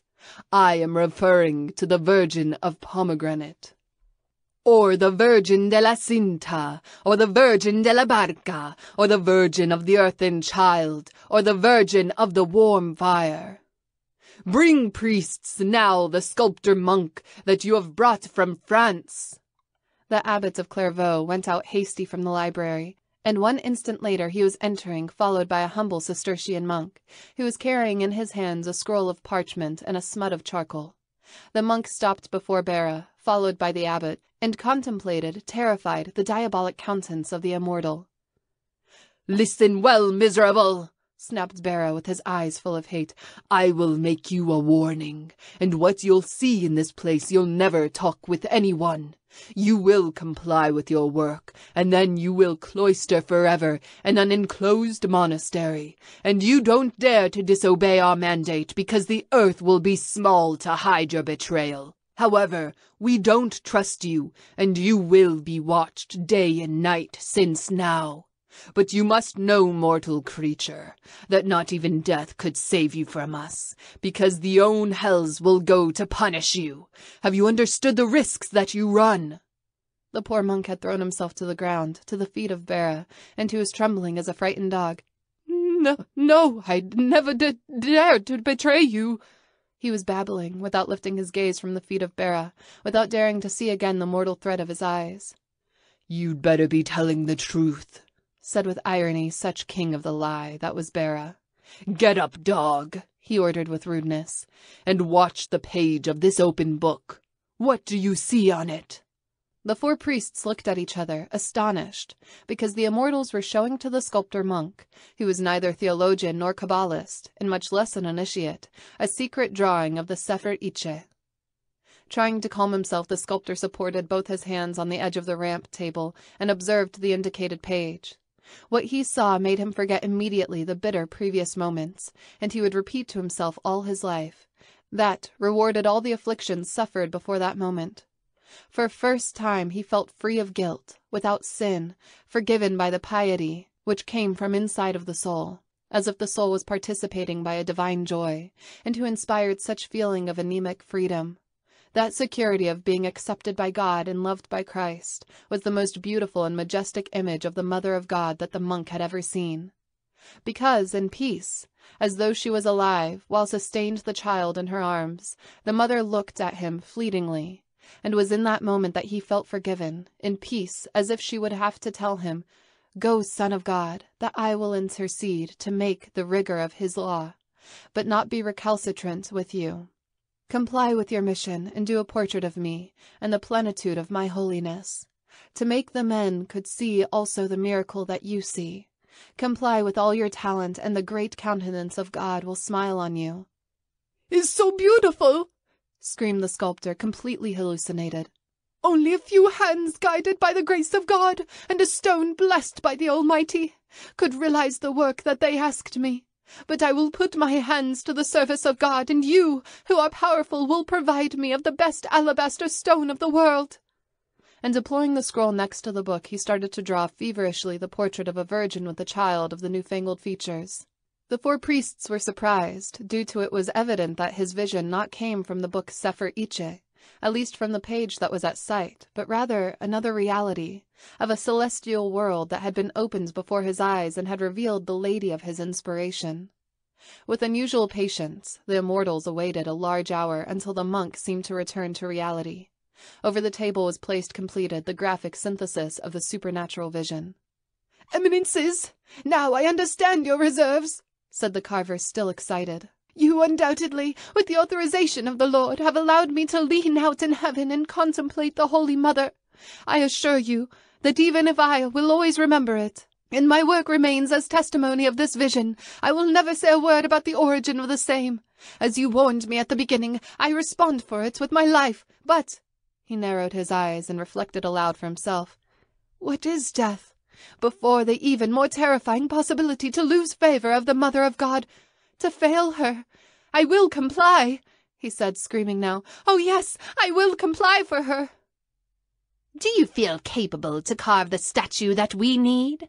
asked Birsa, without many contemplations of the mystical state of the sculptor monk.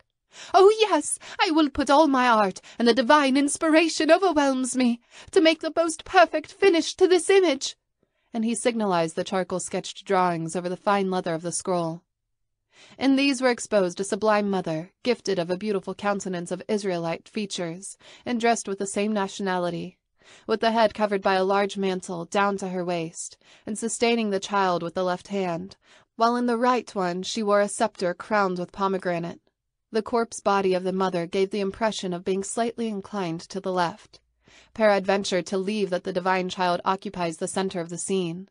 The child, by his part, was looking straight and blessing the observed with a gesture of the right hand, while in the left he sustained a sapphire of bis and taré.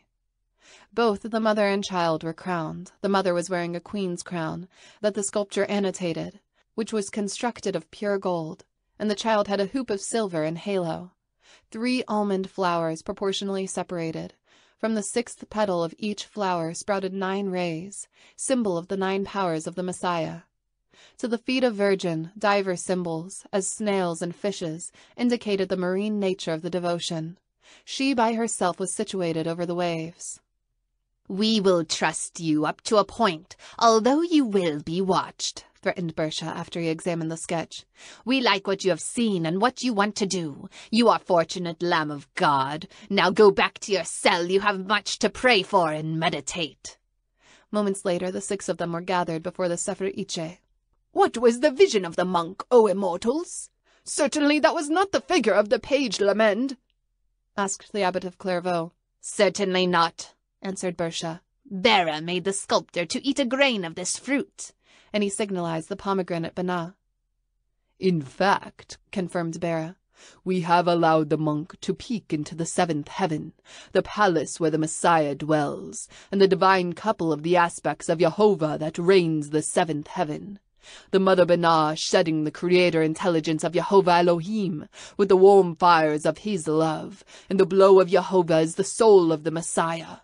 The child whose form is Metatron, whose horse is Araboth, the clouds whose round is realized over the waters of Avir, the ether, and whose manifestation is the Shekinah, the descent of Jehovah onto the kingdom.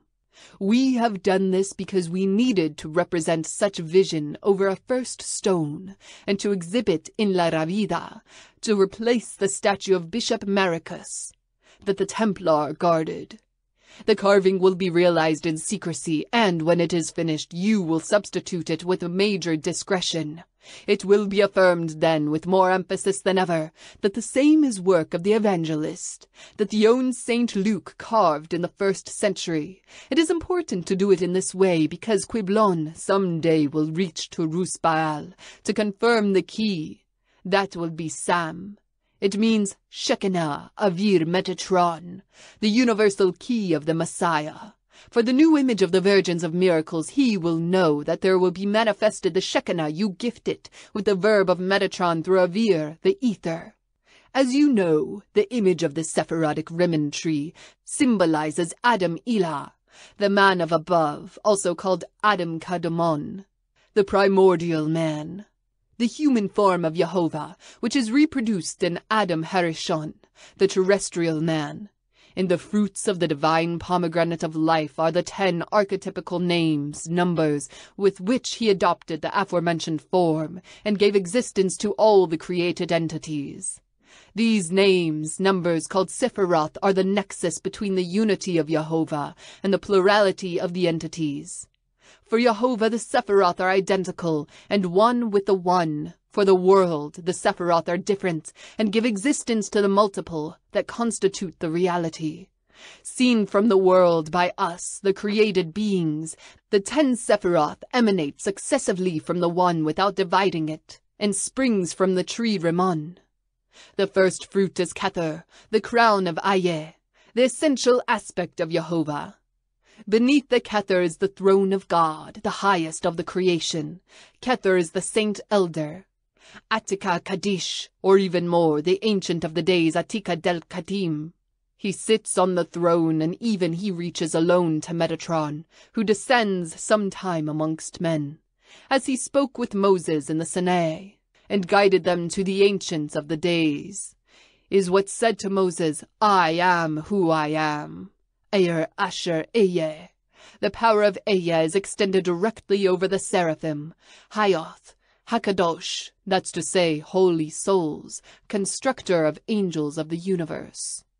From Kether emerges the second of the Sephiroth, the Sephirah Hokmah, the wisdom of Yah, the Father God. The Hokmah is the divine thought of all the entities. There is nothing that already existed, exists, or will exist that was not before in potency in the Hokmah. Many are the grains of this fruit, father of all the fruits of the earth. This same image of the tree Rimmon is product of the Sephirah Hokmah, which in this case reveals to itself. Who is present in the Hokmah and introduce men in the sphere of the Father?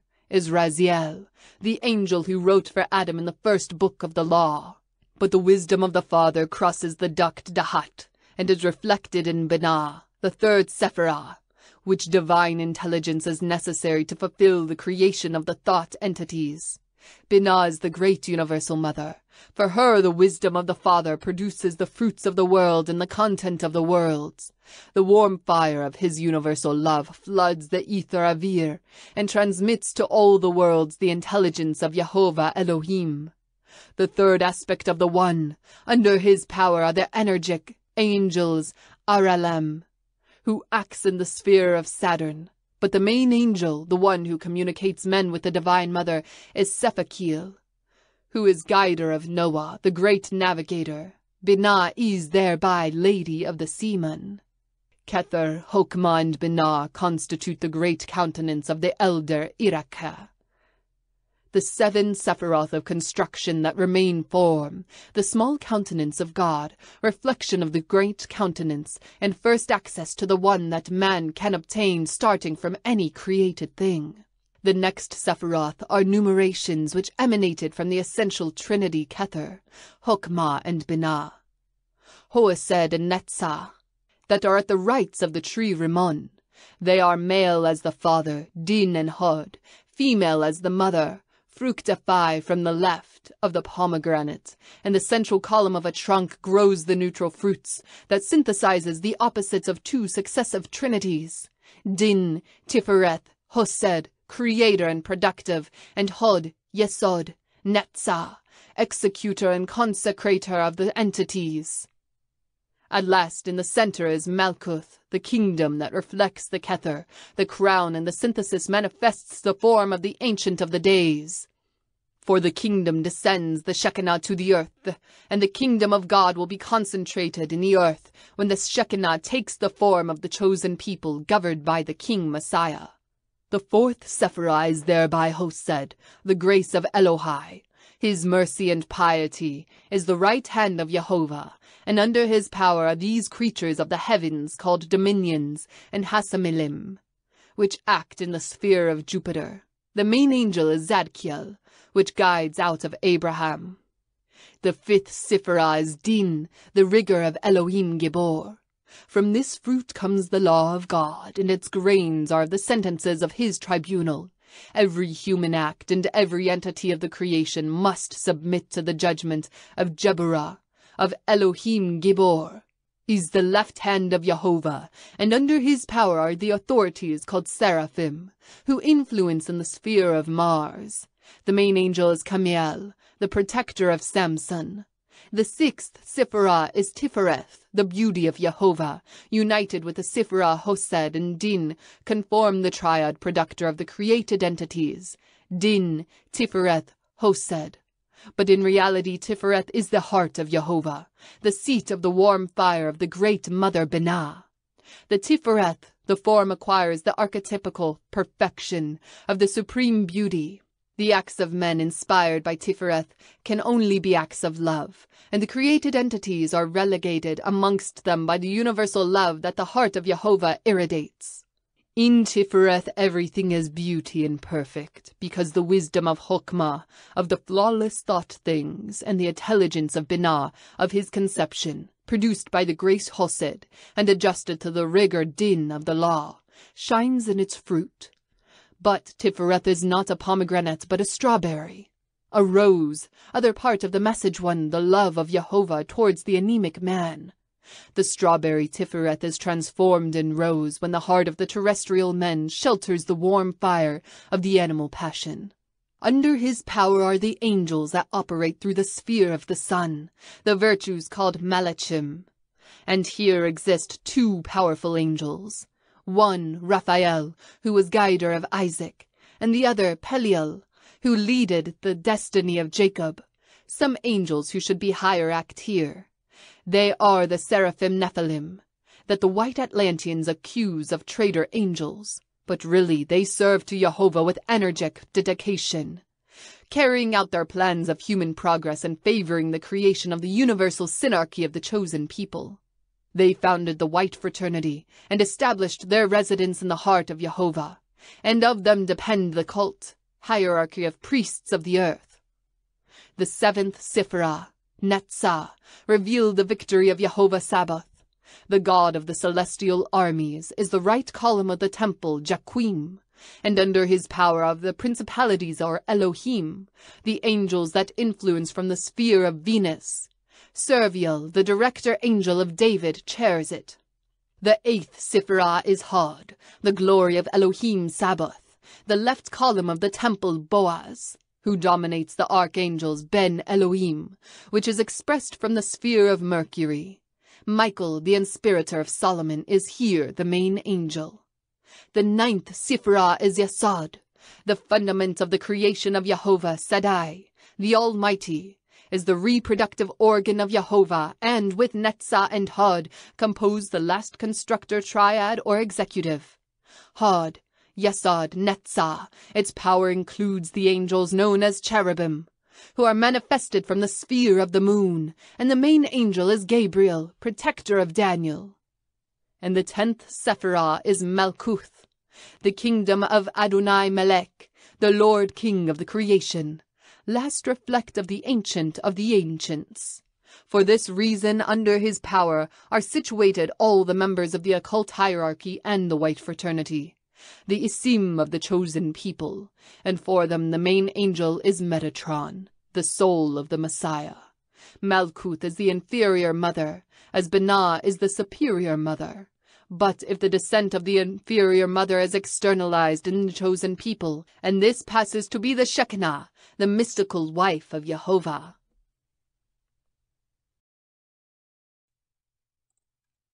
Thirty-first day. You know well all this, added Bera, who was describing the draw of the Sefer Itzheh. But I have repeated the essential to avoid misunderstandings. But immediately we will explain the mystery of the stone of fire. Such explanation that was requested to us by the great master of the temple needs the previous and exact comprehension of the work of the One, the creation of Jehovah, from his manifestation in the created as the tree Rimmon of the eminent and absolute principles, of his triple immanent action, Shekinah, Avir, Metatron, sighed relieved the great master, who already feared that the demanded explanation will never come. Watch the roots of the pomegranate of life. From the tenth Sephirah emerges the kingdom that carries on its trunk the sign of the almond. As the candelabrum menorah, the roots are seven and culminate in the chalices of the almond's flower, from where poke out the terrestrial world the eyes of Jehovah, the eyes that never sleep, the eyes that see everything, the eyes that prophet Zechariah saw. These optical roots of the tree of Jehovah represent the Israel Shekinah, the chosen people being one with God. They show the fulfillment of the plan, the chosen people performing the world government in the name of the One. In reality, will be the ineffable One who will show himself in the Shekinah of Israel at the end of time. The prophet said, continued Birsa, Jehovah saith, Heaven is my throne, and the earth the stone of fire beneath my feet. Jehovah rests because his feet, the roots of the tree Rimmon, over a stone of fire which is nothing else than the soul of the Messiah, manifested in the Shekinah. The terrestrial stone is the replica of Metatron, the celestial man, archetype of all the men of warm clay, because this stone of fire, which was since the beginning of creation, but that was not employed by the constructors, will fit the justice, the end of time, when the time will end and will become in cornerstone, key of the vault of all the edification, the stone which the quarrymen refused to become cornerstone. And where is the seat of the stone fire, the soul of the Messiah, Metatron, which is the model of all the men of warm clay? According to the prophet, Thus saith Adonai Jehovah, Here I am to put in Zion the foundation of a stone, a tried stone, precious, fundamental, corner, a grounded. He who believeth shall not move from such foundation. The mortal men, stones of clay, shall be the end as the fire stone, as Metatron, the celestial man. Thus shall be when the temple be ready, and each one will occupy his place in the construction, according to the model of the Messiah. Thus shall be in the days in which the kingdom of Jehovah will be concentrated in the earth.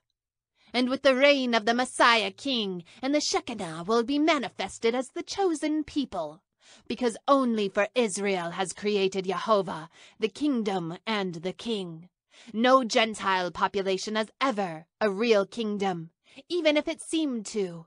Neither has existed a real king out of the chosen people. For this reason, the name Melchizedek, the supreme priests of our order, really means the one who dethrones the kings, and not the king of Zedek as we have made believe to the Gentiles. Melchizedek, in those who belongs to his order, must destroy every false kingdom and king, ere the real kingdom of Jehovah be reproduced in the earth. Malkuth, with the world government of the chosen people. However, priests, the plan of God has been disturbed, and now will be necessary to sacrifice the men of clay in a fire holocaust the end of time, justly when the temple be erected, and the kingdom be realized in the Shekinah of Israel.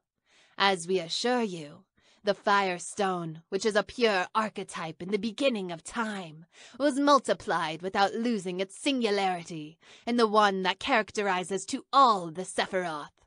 And each stone of fire, identical to the one of the beginning, was a soul that would reach the perfection at the end, when all would be one with the one. The men of clay would reach in this form to be stone of fire, similar to Metatron. For it only should comply the law and travel through time towards the end. Where is the perfection? And was there when they, the seraphim Nephilim, creators of the white fraternity, engraved the abominable sign in the stone of fire over which each soul of the man of clay is seated? and abominable sign cooled the stone of fire, Aben Esh, and removed it from the end. Therefore, priests, the stone that must be cleaned with pitch at the end is the cold stone that would not be where it is, due to it was not placed in the beginning by the Creator One. Damn stone! Stone of scandal, seed of stone! They placed it after the beginning in the soul of the man of clay, and now it is in the beginning. Time is the constant stream of consciousness of the One. Between the beginnings and the end of time is the creation.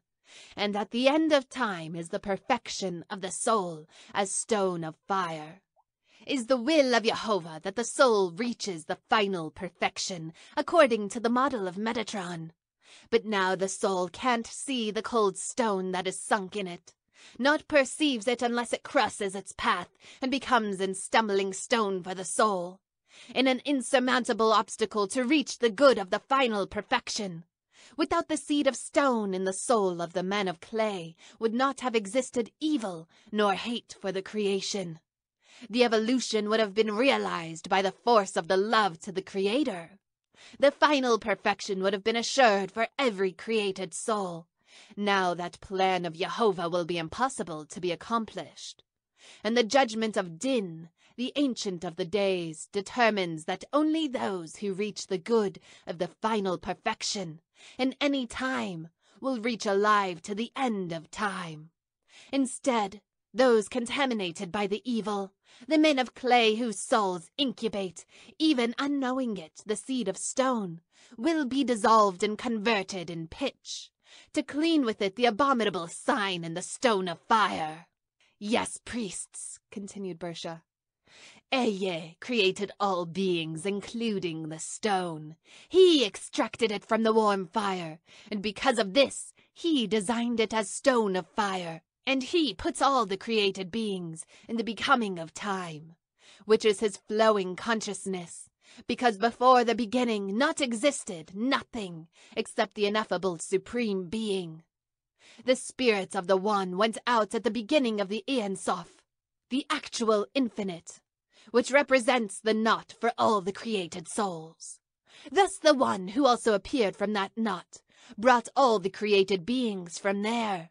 The first of them was the warm fire, created the first day, giving in this way beginning to the time. The souls of the men of clay created after started to evolve thenceforth, in direction to the final perfection. But that evolution was very slow. To accelerate it, the seraphim Nephilim came with the consent of the One.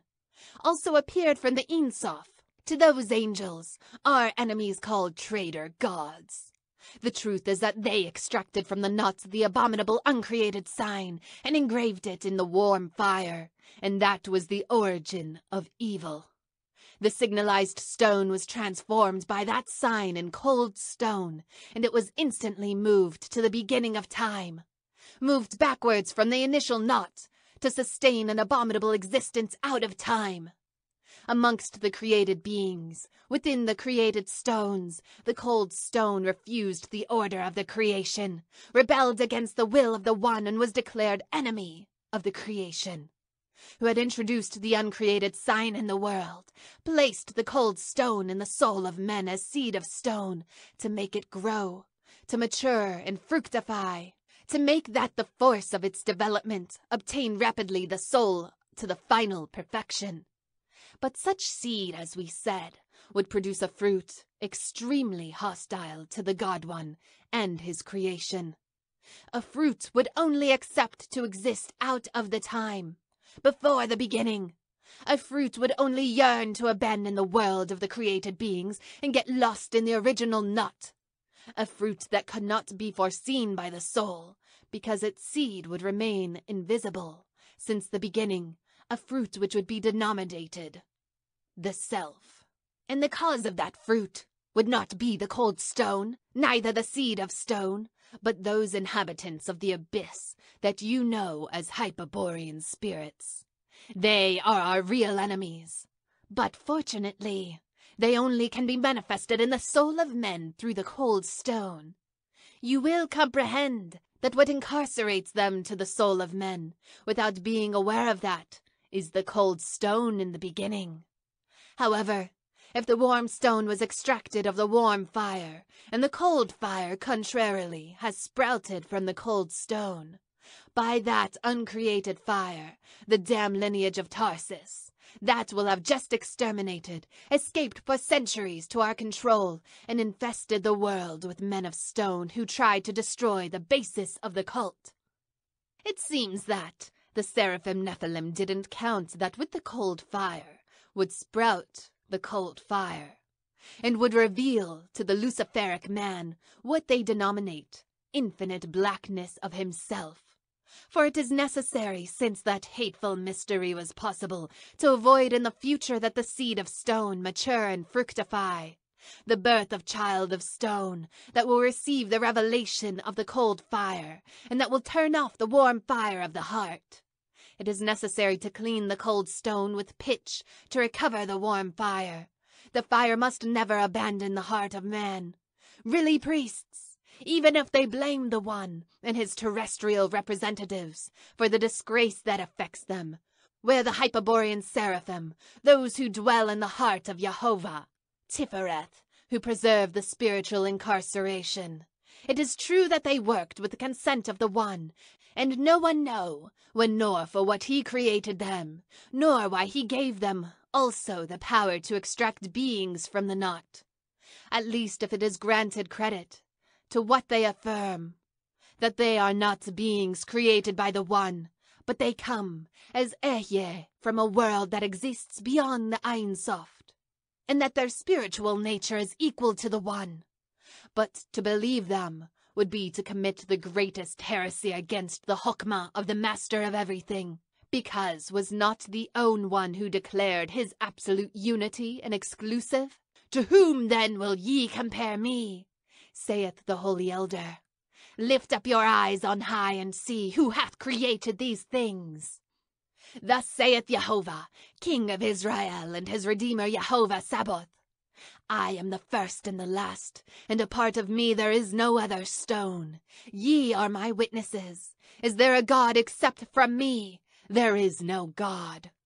I know no other. Ye are my witnesses, saith Jehovah, and my chosen people, that ye may know and believe me, and understand that I am Ehye. Before me there was no God, neither shall there be after me. I am God, since always and also since today. I am the same, and there is no one that can escape of my hand. I will do what I want, and who will change it? Yes, priests, we must not doubt of the one, but neither forget that the Hyperborean Seraphim founded the White Fraternity, to which all of us belong, and in which hierarchy we have reached the highest priesthood. In sum, according to the plans of the Seraphim Nephilim, while the seed of stone is being developed, the soul of the Earthian men would evolve undoubtedly accelerated towards the final perfection. But the reality contradicted these plans such germ of evil, when it be fructified, far of impulsing the soul to raise it towards the final perfection, would be sunk in the terror of abyss without name, in the eternity of an infinite blackness, and finally the seed of stone would end, dominating the soul of the man of clay, and converting him in an enemy of the Creator and the creation hardening his heart and turning him into a being without love, converting him in a man of stone. For this reason, we, the perfect priests, must propitiate the fire holocaust that will clean the pitch at the end of the abominable sign in the stone that is planted in the soul of the man of clay, concluded Birsa. 32nd day. Immediately, Bera added the next. For millenniums in the submersed continent of the Atlantis, that the Gentile must never know that existed. The priests of the One fought against the hostile effect that the cold stone caused in the souls of men of clay. Was attempted by divers means that the uncreated spirit, incarcerated to the soul by the cold stone, forgets its origin by the Ein Sof and the results were encouraging then. Finally, the blood of men of clay had been degraded in such a way that the uncreated spirit was incapable to orient itself to the cold stone that would reveal the divine origin. Then existed a cultural golden age in which other chosen people, similar to Israel, established the universal synarchy and was prepared for the kingdom of Shekinah.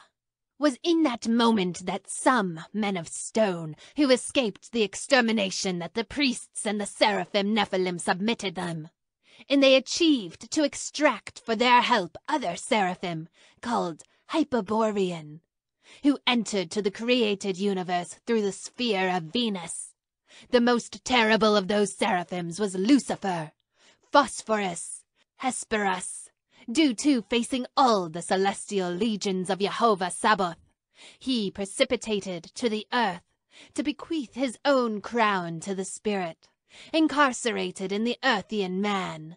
He placed here, then, the damned gem of the Grail, which has the power to avoid that the spirit forgets its divine origin. Once realized, he returned from where he had came, but leaving the fertilized germs of the luciferic lineages against which we are all still fighting, in all similar to the house of Tharsis that we have recently exterminated. And with those condemned lineages by Jehovah, especially the ones that emerged from the white race, the ones that would never forget the origin, the ones that would try to germinate the seed of stone in all the earthian men, which would unbind the rebellion against the law of Jehovah and the hate for the creation. Thus was reached inevitably to the Battle of Atlantis, which ended with a planetary catastrophe. However, the greatest evil not happened yet. This one overcame because of Lucifer and that woman, the intruder Amma, who is capable to enter in the sphere of Venus and to obtain the secret of the seeds of stone. Yes, priests, the seraphim Lucifer gave to the intruder the spikes of the seeds of stone that until then was only possessed the seraphim Nephilim. And with his return, the greatest evil fell over the Earthian men, because the intruder chose the bravest ones and started to plant in their hearts the seed of stone that turns off the warm fire of the animal passion, the love of the great mother Binah. Each seed of stone would be one wise warrior, a man of stone situated out of the law of Jehovah, instead of the name identical to Metatron which was destined to be at the end of time, with her indescribable act, the intruder, the Virgin of Agartha, offended profoundly to the great mother Binah, to whom she snatched the love of many sons. For this reason, the land of Huelva must be purified, that for many centuries has been dedicated to an impious cult. Only in this way will descend the Shekinah in Rus Baal. She, priests, is our most powerful enemy. Her evil is above all the evil. Her hostility for the creation surpass any man of stone. Her courage to face the one overpass the bravest wise warrior. Before her and her infinite mystery all tremble of terror.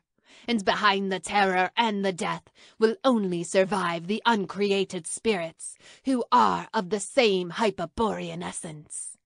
She returned from Venus, carrying the spike of the seeds of stone, bringing in her belly the demon of the war, Navutan, her uncreated son. All was a conspiracy of the seraphim Lucifer. He wanted that Amma to have a child of stone, a son that would be at the head of the white race, and would found for his members a mystery and that the initiates in that mystery could obtain the immortality and receive in their hearts the seed of stone of the Virgin of Agartha. Look at the Sefer Itzheh, ordered Bera, to whom this part of the history produced a strange mix of hate and terror. Here Navutan crucified himself. He signalized the branches that ranged from the trunk unto the pomegranates housed in Din. The ace was tied from the right, and the left arm of the holy elder under his great countenance, and without realizing that the stone of fire, Aben Esh, was hanging over his head. Nine nights agonized in the cross of Rimmon until Frya, a female demon as terrible as Amma, went out from the eye and found the secret of the death. But to reveal it to Navutan, who had just died, she had to eat a grain of the pomegranate, hokma, and become a partridge, She performed for Navutan the lame dance that allows to go out of the labyrinth of the illusion of the death. However, such food incarcerated her to the illusion as Persephone, and she couldn't return to the origin from where she had come to save his husband. Thus Frya, a new enemy of the creation, remained with Vydes, the lord of Agartha, the refuge of the uncreated demons, and with Navutan, his husband, to carry out the essential war against the One. Navutan, by his part, resuscitated and revealed to the members of his race the secret of the death through the mystery of the labyrinth, in which course the initiates receive in their hearts the seed of stone of the Virgin of Agartha and become men of stone. Disciples of Navutan were the white Atlanteans, who planted in the world of impious stones, who opened the doors of the celestial mansions to take them by assault. For this reason, don't forget, priests, the conditions of the cultural pact. The men of stone are our most terrible enemies, because they are proposed to impede the fulfillment of the plans that Jehovah has disposed for the humanity. And there are also the stones of the men of stone. Not forget that their damned stones must be destroyed because inside of them could exist seeds of stone germs of inconceivable beings that could fructify and born in determinate moments of history. Don't forget that the cold stone is invisible for our souls, but ready to manifest their essential hostility when the opportunity, that's to say, the Kairos permits it. We ignore, if from such men here will emerge the men of stone, but in any case we must destroy it. Remember that we declared the essential war against the enemy of the creation, and that our war is between the pitch and the cold stone, between the warm fire and the cold fire, between the created and the uncreated, between the being and the not. Birsa spoke again to talk exclusively of the mission that the immortals left to the priests. The meeting was ending and would pass before many years, their return. Perhaps then, as before, as always, would exist other priests to receive them. They shouldn't thereby miss any word that they were telling, because no one could repeat it after, and the error in the order of Melchizedek was severely punished. You already know in part your mission, said Birsa. You will dedicate all your powers and influence to purify this region of Huelva. The house of Tharsis has been destroyed, and even if we are not recovered the stone of Venus, it neither would be used against you. That was one of the last stones of Lucifer, that allowed the Hyperborean initiates to orient in the labyrinth of the illusion of life. Without them, the guardian of the labyrinth can be tranquil, Jehovah Adonai. Only the priests of Israel know the lame dance that signalizes the exit. Priests, the enemy is almost defeated. The synarchy of the chosen people will be a reality soon. The Shekinah will descend prompt, and the Messiah King will reign. The Holocaust of fire is drawing nigh. Quiblon will come to Rus Baal to search for the great Mother Binah and will exhibit his name, Sam, Shekinah, Avir Metatron, and she Lovely will plant the earthian seeds of the Pards, Rimmon. The germ of Metatron, that at the end will be stone of fire. Perfect soul of the chosen people. Demolish without considerateness the altar of the impostor. Remove her hand from the abominable spike of hate. Make that nobody remember her essential sacrilege, her seeds of stone condemned by Jehovah. Destroy her places of cult and her images. Kill even her memory. And of course, burn it to ashes and make pitch with it. To all those who believe in the Virgin of Agartha and aspire the seed of stone, be hard priests because the enemy deserve it. Raise altars for the sweet Mother Binah instead. Put in her hand the wonderful pomegranate of the love of Jehovah. Let that everyone know her essential sacrifice of being depository of the earthian seeds blessed by Jehovah Build places for her cult and invoke her images. Generate in the people her remembrance. And of course, reward with the greatest dispenses to all those who believe in the virgins of miracles, or of the ribat, or of the pomegranate, or of the ribbon, or of the boat, or of the Earthian child, or of the warm fire. Be effective priests, because the plans of Jehovah demand it. In sum, you will start substituting the statue of the bishop Macario by the new sculpture, Our Lady of Miracles, that the monk will carve accordingly to the vision of the Iche. You will place this sculpture in the covenant Our Lady of the Ribat, but immediately you shall dedicate to the work and the propitiate the near edification of a great sanctuary for the Virgin of the Ribbon. This one will have to shelter a brotherhood of seamen and owners of naus, who will request her protection and will gather round her cult. The ideal site will be a hill near the sea, from where could be descried the estuary of Odiel, the city of Huelva, Palos, La Rabida, y Moguer. And the image that will be worshipped there will be very similar to the one seen by the sculptor monk, but gifted of major sacred attributes. The great Mother Binah will exhibit in her left hand the pomegranate, the acid fruit of the warm life, halved in from the vulva and showing the aperture its grains of the seed of stone, and with the right hand will hold the Messiah, who will appear completely naked except by his feet, that will be covered with getirs to dismantle his lameness of Dionysus. The left hand of the divine child will be directed to the pomegranate, while the right will sustain the sephirotic ribbon, the cord, with the ten measures of the universe, the symbol of the overseas navigators. But in the dress of the Mother of God, visible and contrasted, must be the Hebrew letters of the name Quiblon, Sam, that is Samek, Aleph, and Mem. Finally, about the image of the Virgin of the Ribbon, you will portray two of the seraphim Nephilim, sustaining in their hands the Celtic symbol of the Kalachakra key. You will also make other images and sculptures inspired in the recent descriptions. But have present that in every case, the Messiah child must be despoiled from the sacrilegious book that holds the child of stone, of the Virgin of Agartha, the book of the Hyperborean wisdom. On its place, you'll put a sapphire Orbis Terrae, as symbol of the universal power that the Messiah King will reach in the kingdom of Israel Shekinah. Similar to it, due to they will be the images and sculptures that you'll distribute in all the places that be necessary. And lo, priests, because we'll prophesy you one last time. Hear this message. It will be accomplished at any time and place because is the word of Jehovah.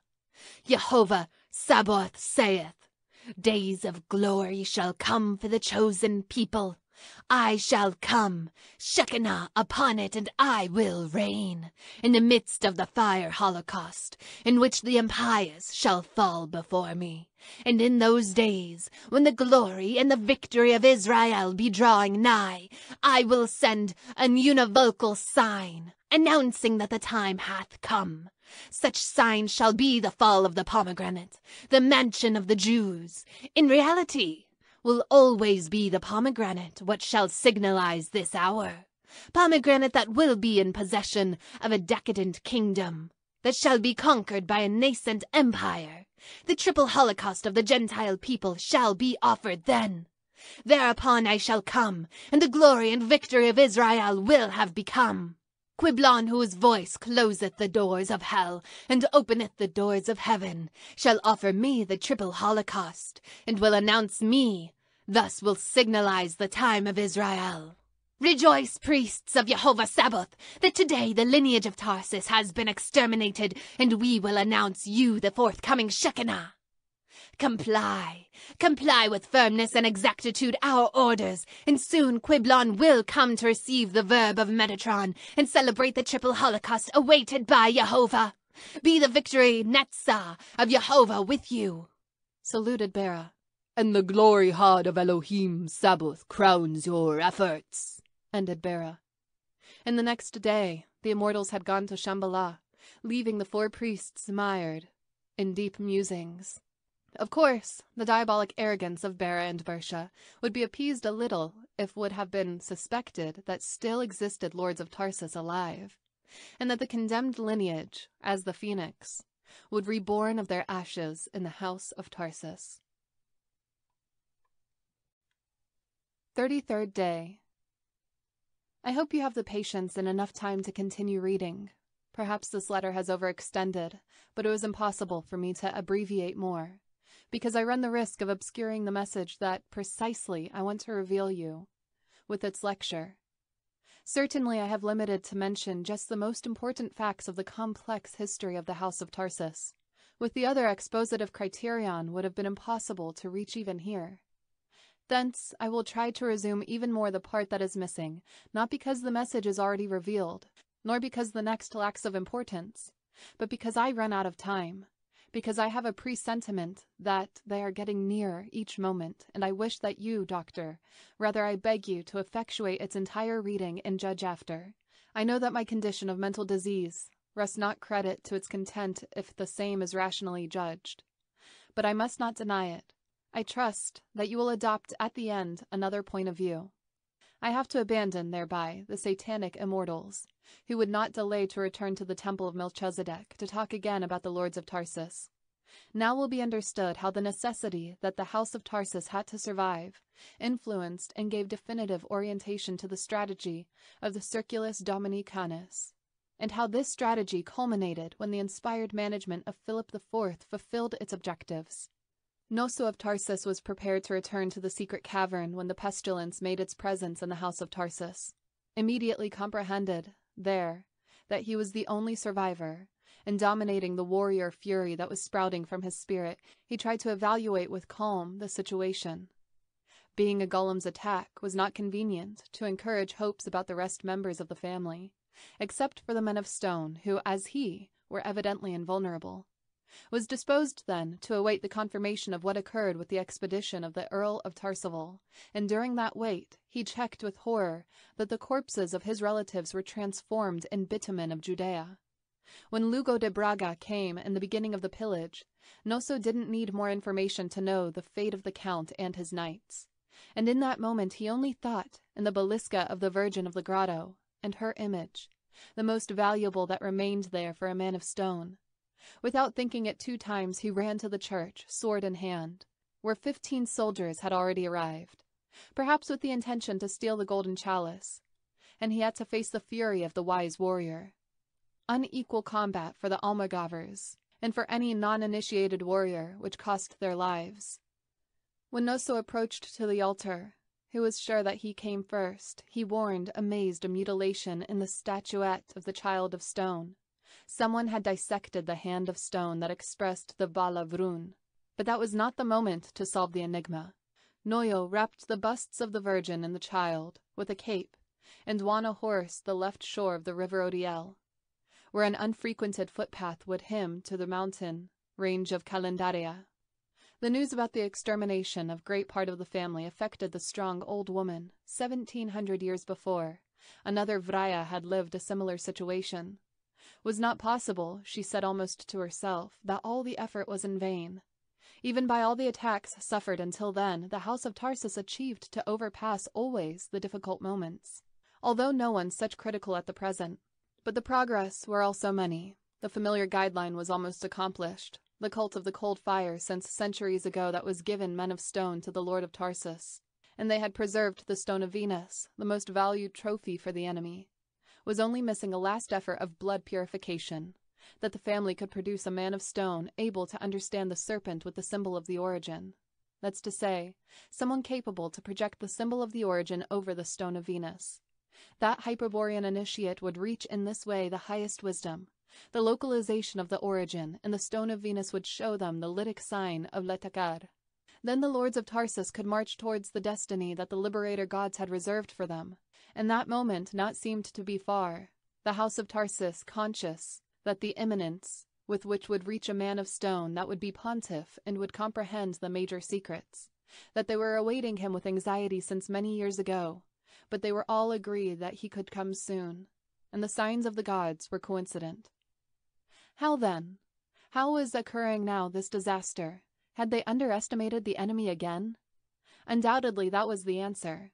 Was not maintained a sufficient state of alert and was allowed to the enemy to act, who had to be attacked preventatively once he approached to the region of Aracena. Being as this, the occurred was explained, at least strategically, because against the knowledge employed by the immortals they had no defense apart of the purity of blood. Was not possible, repeated the Vraya, that the liberator gods have abandoned us at the will of the golems. Such hit could not mean the end of the House of Tharsis, not before the accomplishment of the familiar mission. With security would remain some lords of Tharsis alive to save the lineage and make possible the generation of the awaited Man of Stone. Was necessary to search for them. Noso of Tharsis would have to leave and go around the places where lived other relatives, although it was not convenient to keep hopes about the survival of no one who was not initiated. And these last ones, the men of stone, were all incorporated to the order of preachers, working in different monasteries and universities of France and Italy. The Noyal would travel immediately. She would remain on guard, rationing all that was possible the available victuals, would resist six months, then naturally would die there, if Noso not returned at time. The Vraya was right. There still existed lords of Tharsis alive and with possibilities to save the lineage but was not less true that this would be the most critical situation that they ever faced, including the destruction of Tartessos. This time, 16 members of the family achieved to survive. Now remained only eight, considering the old Vraya and the Noyo. In fact, during his journey to Seville, Cordoba, and Toledo, Noso only found the mourning and fear of the non-sanguineous relatives to whom nothing had happened, and he realized that the pestilence knew not distance. Recently in Toledo, Noso met another man of stone, who was aware that something terrible occurred and he was preparing to travel to Turdus. There also had died many familiars by the weird pestilence. When he learned of the bad news, he decided to travel with Noso to Zaragoza and Tolosa, in the Languedoc, where lived the chief of the Domini Canis. In Zaragoza, they realized that the final death was converted in bitumen the beautiful family of one of his cousins, mother of twelve children. The thirteen of them died in the same moment, in the same fateful night. His husband, a Byzantine knight, talented professor of Greek, had no consolation. According to what he said to the lords of Tharsis, the deceased had revealed years ago that an esoteric sect integrated by some terrible people called Golem was persecuting since ancient times to the lords of Tharsis. When he exhaled such frightful scream before he died, she clung to Pedro de Creta, and he believed to have distinguished the word golem, modulated with the last breath. For this reason he swore later, over the thirteen corpses, to revenge those dead if they were really consequence of the golem's black magic, just as was suggested by the horrible decomposition that was seen in the bodies.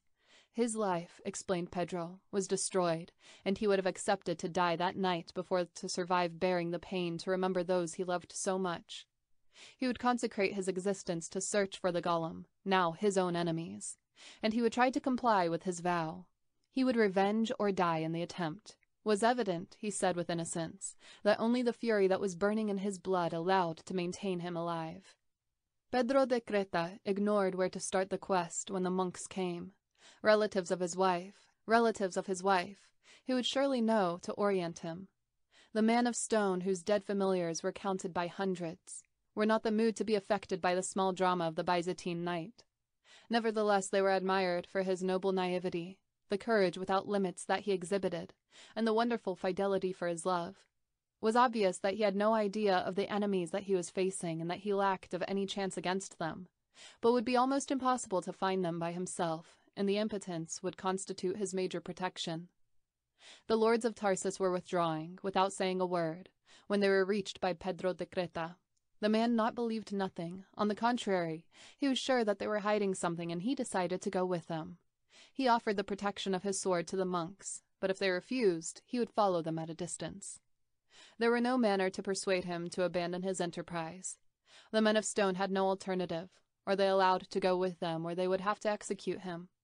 They decided the first, because Pedro de Creta was clearly a man of honor. The chief of the Domini Canis was waiting for them. He was Rodolfo, and was born in Seville, but in the order he was called Rodolfo of Spain. His wisdom was legendary. But for strategic motives, he never wanted to stand out in the academic ambience, and he only accepted to priorate in surrounding of Tolosa. From his monastery, he operated the most internal group of the Circulus Domini Canis. He belonged to the same family of Petreño, and he had still a grade of kinship as second uncle of the newcomer monks, who were cousins.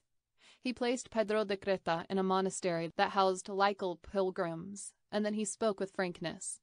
I know everything. The voice of the pure blood revealed it to me in the moment that occurred, and the eternal sight permitted me to watch the ritual of the demons. Now they have gone to the temple of Melchizedek, with a conviction that they achieved to exterminate the house of Tharsis. Thereby we have a little strategic advantage that we must utilize effectively to save the lineage of Tharsis. This is the scheme of the situation. From Spain, only you two and the Vraya have survived. Here are two nuns who are my nieces, Brunalda and Valentina, and two initiates, one in Paris and the other in Bologna. To them I have already sent messengers requesting them to come urgently to Tolosa. Gentlemen, we must sustain a familiar council. Fifteen days later, the seven of them were gathered in a secret crypt, under the church of the monastery of Rodolfo of Tharsis. In reality, there was not much to discuss, because the six remaining would accept all what proposed Rodolfo, by far the wisest of the lords of Tharsis. And they were not wrong in their plan, simple and effective, which resulted rather efficient against the enemy's strategy, and permitted to save the lineage of Tharsis. Thus he exposed. First of all, I must confirm you that the House of Tharsis is debated as never before in front of the alternative of the extinction, and that the possibilities of continuation of the lineage are minimum. Specifically, they are based in the two present ladies here. It is not unknown for us that in the whole history of our lineage the men of stone have always proceeded from the matrilineal heritage.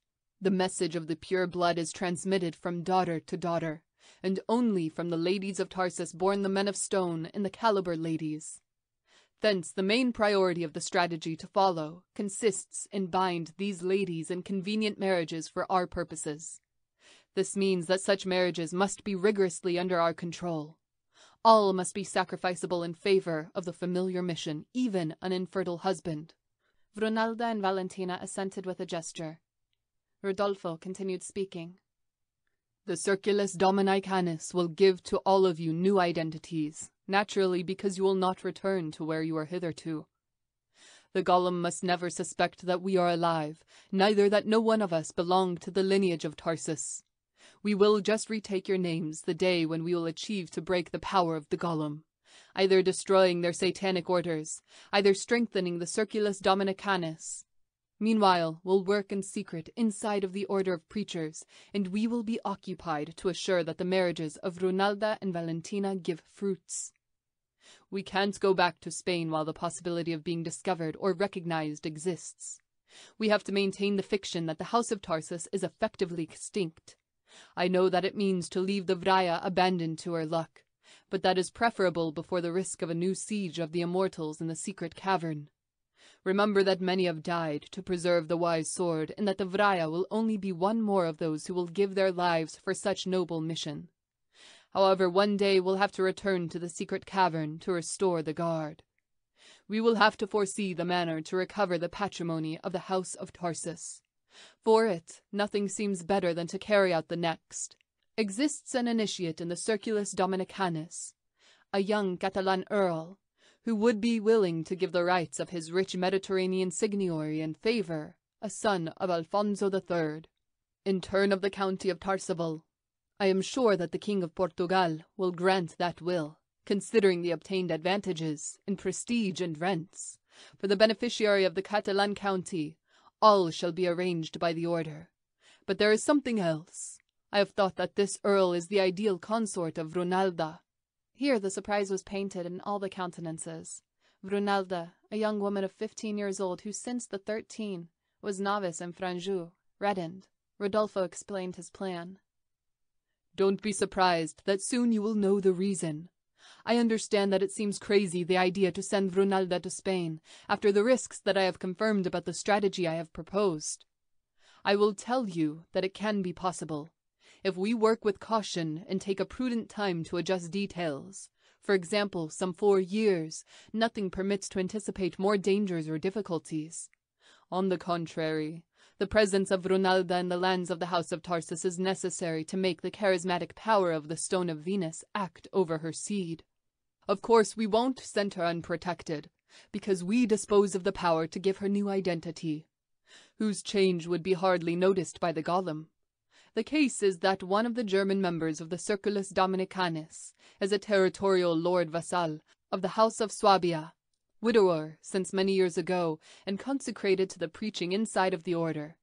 When his wife died, this noble trusted to us his little daughter, of nine years old, as novice of the monastery of Fanjeaux, who died three years later, more or less for the date when entered Brunalda. I have spoken with him, and he has agreed to swear that she is his legitimate offspring, and to die rather than betray such oath. He will take Brunalda with him to his castle in Austria, and he will present her as his daughter. That he has abandoned the religious life for have been promised to a Catalan earl. For four years he will integrate her into the German customs, and he will provide her all of the information about his recent family. I hope that after that time, Brunalda be able to pass as a German lady, and to respond all the interrogations of the lineage. For now here we have already substituted the graves and adulterated the death certificates of the monastery. Being that who died and was buried three years ago would be in that moment Brunalda de Palencia. What do you think about this plan? In regard to Valentina, I will tell you that I have not decided anything and that we will have to search her husband who collects the requested conditions by us but anyway, must disappear definitely as member of the House of Tharsis. Therefore I announce you also that Valentina de Palencia, Dominican nun of the convent Fanjeaux, for the legal effects died that night in which the pestilence swept the House of Tharsis. Her death is written in the certificates, and has her own sepulchre of the cemetery of the order. While we prepare her future, she will be occulted in a farm that we have in San Feliz de Carman. Such property belonged to a noble of the lineage of Rajmunds, who was burnt by Simon de Montfort during the days of his advances to Tolosa. The unique alive heriter, confessed heretic, was obeyed to pass his lifetime in one of enclosed monasteries of the Order of Preachers. After his death, the rights passed to the order that have now decided to sell them to a Roman knight, willing to live in these regions and owner of much gold to pay. This knight, Arnaldo Tiber, is no one else than our recently arrived from Bologna, here present. His mission will be then to carry out the production of the farm and rebuild the castle that is now in ruins. Also he shall marry with a chosen lady amongst the families of the Domini Canis. Valentina will have to pass as his sister or niece until the situation be solved. Momentarily will be housed there a man of stone who comes from Toledo, and he will help in everything to supposed Roman knight. You must have present that you will be a vassal to the Count of Tolosa, and therefore of the King of France. But as the order of preachers will reserve the religious rights of the donation, your sword will be really at the service of the Pope and the Church. And I suggest you to accommodate in the castle, as chiefs of the garrison or mayor, to the widower knight that has accompanied you from Spain. I have no doubts that he is someone legit, all occurred just how Rodolfo had planned, with one exception that didn't disturb the objective, as will be seen immediately. The King of Portugal gave place to the request of the Catalan knight, strongly supported by the order of the preachers, and he granted him the county of Tarsavool. This was happening one year after the extinction of the House of Tharsis by the pestilence, and for that time the golem had meticulously inspected the village of Tertius and the seigneurial residence. They would leave convinced that there were no lords of Tharsis alive, notwithstanding that would extend the quest through all of Spain and then the rest of Europe. But these indignations would give negative results, or positive according to the point of view, due to in all the sites where the members of the condemned lineage dwelled. They realized that the pass of the pestilence didn't leave survivors. The new Count of Tarsavool repopulated the village of Tertius with 500 families of Barcelona and settled down a garrison in the seigneurial residence of 300 Catalan soldiers where was located the chapel at the feet of the mountain range, Calendaria. He ordered to build a small fortress composed by tower and wall. Thence that place would be always under the surveillance of the sentinels of the county. Not existing noyals or vrayas to guard the secret cavern, the best would be to maintain surveillance on the mountain range to keep away the curious or possible suspects. Three years later, the Count of Tarseville traveled to Austria, and he married with Brunalda, transformed now in a German lady. The signorial residence, remodeled and fortified by the Catalans, received then such shy lady, who never stopped learning the language of Alfonso X, and preferred to pass the hours praying in the church of the grotto, that to enjoy the courtly customs. The family resulted prolific in sons and daughters, that the continuity of the lineage of Tharsis was until certain point assured. Otherwise, the county enjoyed the relative calm during the next years, especially due to the care that the Earl manifested to not be involved in the struggle of interests that the monarchs of Portugal and Castile sustained. When the King Sancho IV reincorporated the region of Huelva, and he grants his seigniory with effects for the life, to Don Juan Mate de Luna, and the Earl of Tarseville pass without problems to the crown of Castile, that confirms his rights in the arms of the Catalan Count. The same respect will show for Ferdinand IV and the successive owners and lords of the country of Huelva. In sum, the family that was growing in Spain and the ancient dominions of the House of Tharsis would enormously surpass the aspirations proposed by Rodolfo and the lords of the dog, although they would converse until the fourteenth century the secret of their lineage. But not all occurred as Rodolfo expected. There was one exception.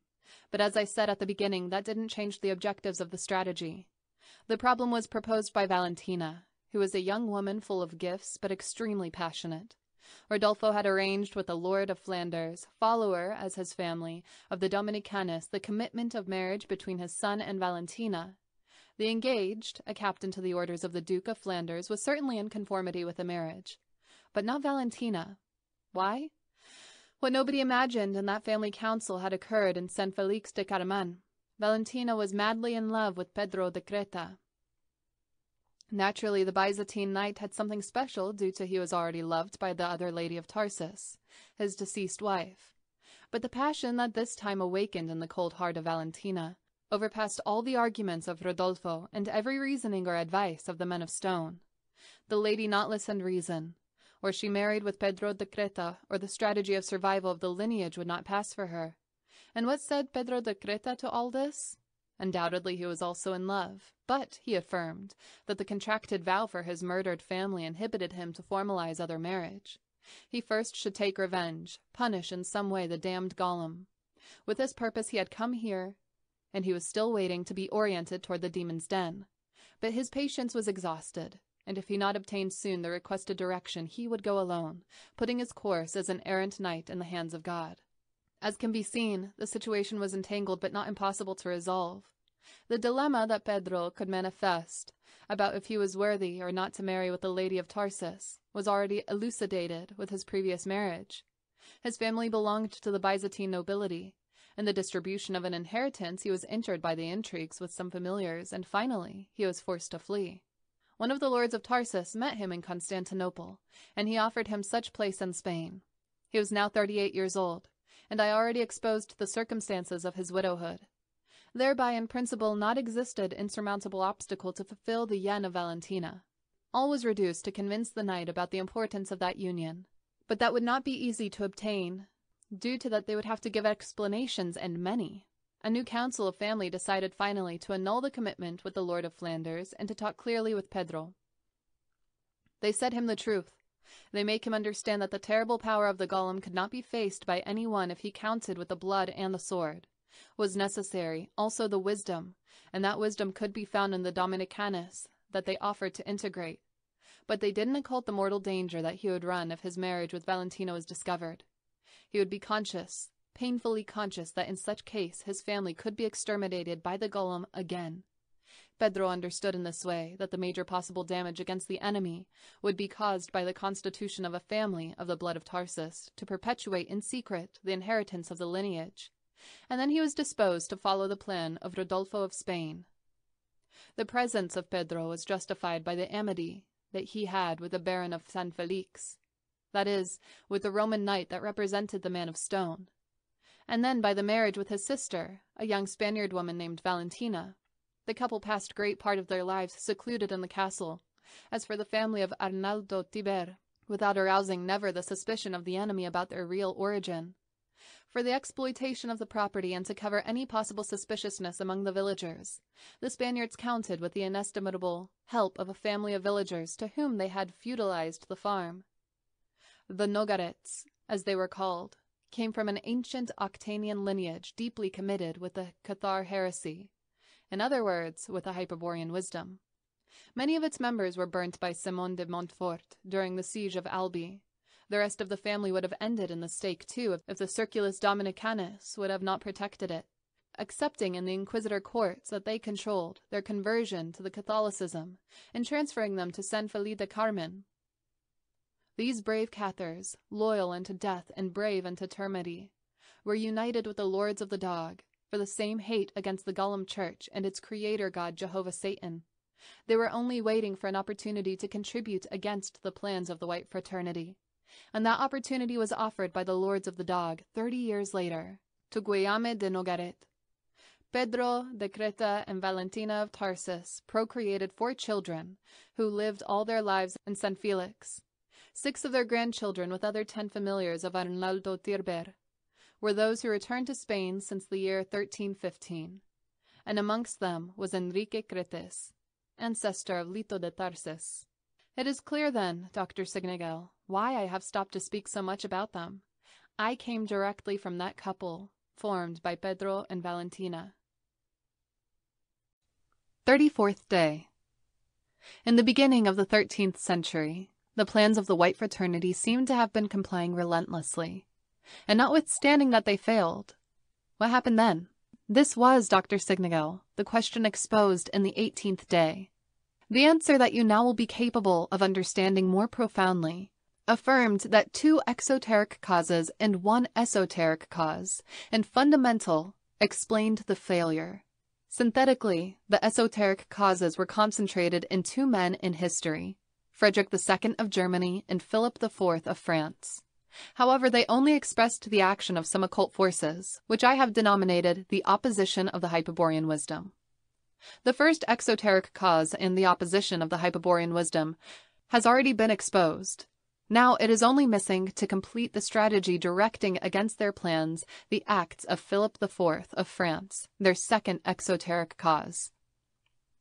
In 1223, Philip II Augustus died, a king anesthetized by the golem, who remained indifferent during the crusade against the Cathars, and permitted the consolidation of the Order of the Temple in France. He would be succeeded by Louis VIII, the Lion, a monarch physically and spiritually weak, who would participate in 1226 in the Second Crusade against the Cathars and would die the same year. Thenceforth and until 1279 governs Louis IX, the Saint, who leaves settled the issue of the Languedoc when he incorporated all the territories in the crown of France by the marriage, obliged, of the unique daughter of the Earl of Tolosa, with his brother Alphonse of Poitiers. Then, the Guelph king of Aragon, James I, would confirm to Louis IX the territorial Occitanian conquests conceding, in the Treaty of Corbeil of 1257, the rights of Aragon over Carcassonne, Rhodes, Lussac, Béziers, Albi, Narbonne, Nimes, Toulouse, etc., betraying with it the cause of which his father, Peter II, died in the Battle of Muret fighting against Simon de Montfort. He would also give his daughter Isabel as wife of Philip III, son of Louis IX. James I was such a child that Peter II had given as hostage to Simon de Montfort for his education. Once Peter II died, a delegation of noble Catalans managed before Innocent III the return of the child, to which the Golem Pope agreed with the condition that he would have to be educated by the Templar of Spain, that is, in the Monzon fortress, the same place where Bera and Berchia assassinated Lupo of Tharsis, Lamia and Rabas. James I was six years old when he was put in the hands of the Templars, who would dedicate for many years brainwashing and to convert him in an instrument of the Synarchy policy. It mustn't surprise you, then, that his unsupportive conduct with the cause of his father's death, neither the criticism poured in his book of memories about the acts of his father, very opposed to the Guelph policy of James I, would be, instead, the behavior of his son, Peter III the Great, who would play entirely against the papal theocracy. Thence, When Louis IX, the saint, died in 1270, his son occupied the throne, Philip III, taking Isabel of Aragon as queen, sister of Peter III. In that age took place the events that I have mentioned yesterday. That's to say, the Catalan earl reconstructs the county of Tarsavool, and Valentina falls in love with Pedro de Creta. Philip III would govern until 1285, date in which would be succeeded by Philip IV the executor arm of the Domini Canis. But what happens meanwhile in the summit of the Golem power, in other words, the papacy? To answer it would be necessary to go back to the death of Frederick II, when he was fighting in a successive war against Innocent IV, a war that threatened to end forever with the papal privileges. In these circumstances, the Golem poisoned him in 1250. But the emperor had already caused irreparable damage in the European political unity and he was leaving in Italy a Ghibellian party, strongly consolidated, that would not submit easily to the papal authority. It must be noted that the hate the Golem experienced against the House of Swabia was only surpassed by the one that they professed for millenniums over the House of Tharsis. To that lineage, as this, they had sworn to destroy without mercy. Innocent III and the next popes decided to despoil the Hohenstaufen of all their rights on Italy, that's to say, in Rome, Naples, and Sicily, and avoid that some member of that house could accede to the imperial throne. Frederick II was succeeded by his son Conrad IV, who was promptly excommunicated by Innocent IV. He died in 1253, leaving as heir to his unique son, the little Conradin, who had born in 1252 as regent of the child, governs Manfred of Sicily, natural son of Frederick II. Excellent general, this king continued the war undertaken by his father against the Golem papacy. He receives three excommunications of Urban IV, terrible arm of that period, but that not left dent in the powerful Sacrian army that he formed. Manfred wins in every part a threat to conclude purifier work of Frederick II. And for disgrace of Urban IV, he married his daughter Constance with the King Peter III of Aragon. It is in that moment when the Golems decide to realize an ambitious maneuver which would be initially successful, but that would finally produce the ruin of their plans.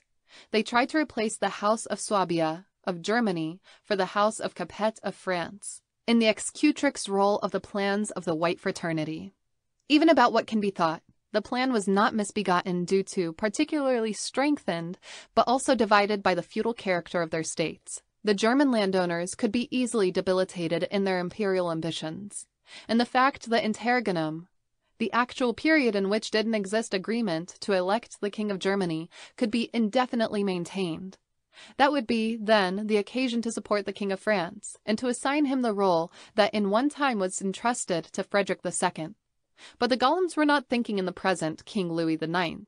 Strong personality and difficult to manage. But his successor, Philip III, the most weak and able to be influenced by the clerics of his court, Urban IV offers the throne of Sicily to Louis IX, but the King of France not accepts because he considers legitimate the rights of the House of Swabia, who accepts his brother Charles of Anjou, the knight, hero of the Crusades, wants to be king as his brothers and accepts to become the executioner of the House of Swabia. With his intervention in the matters of Italy, the Golems achieved to compromise France in their theoretic policy and to restore the power of the papacy according to the conception of Gregory VII and Innocent III. Then shall come, they suppose, the world government and the synarchy of the chosen people.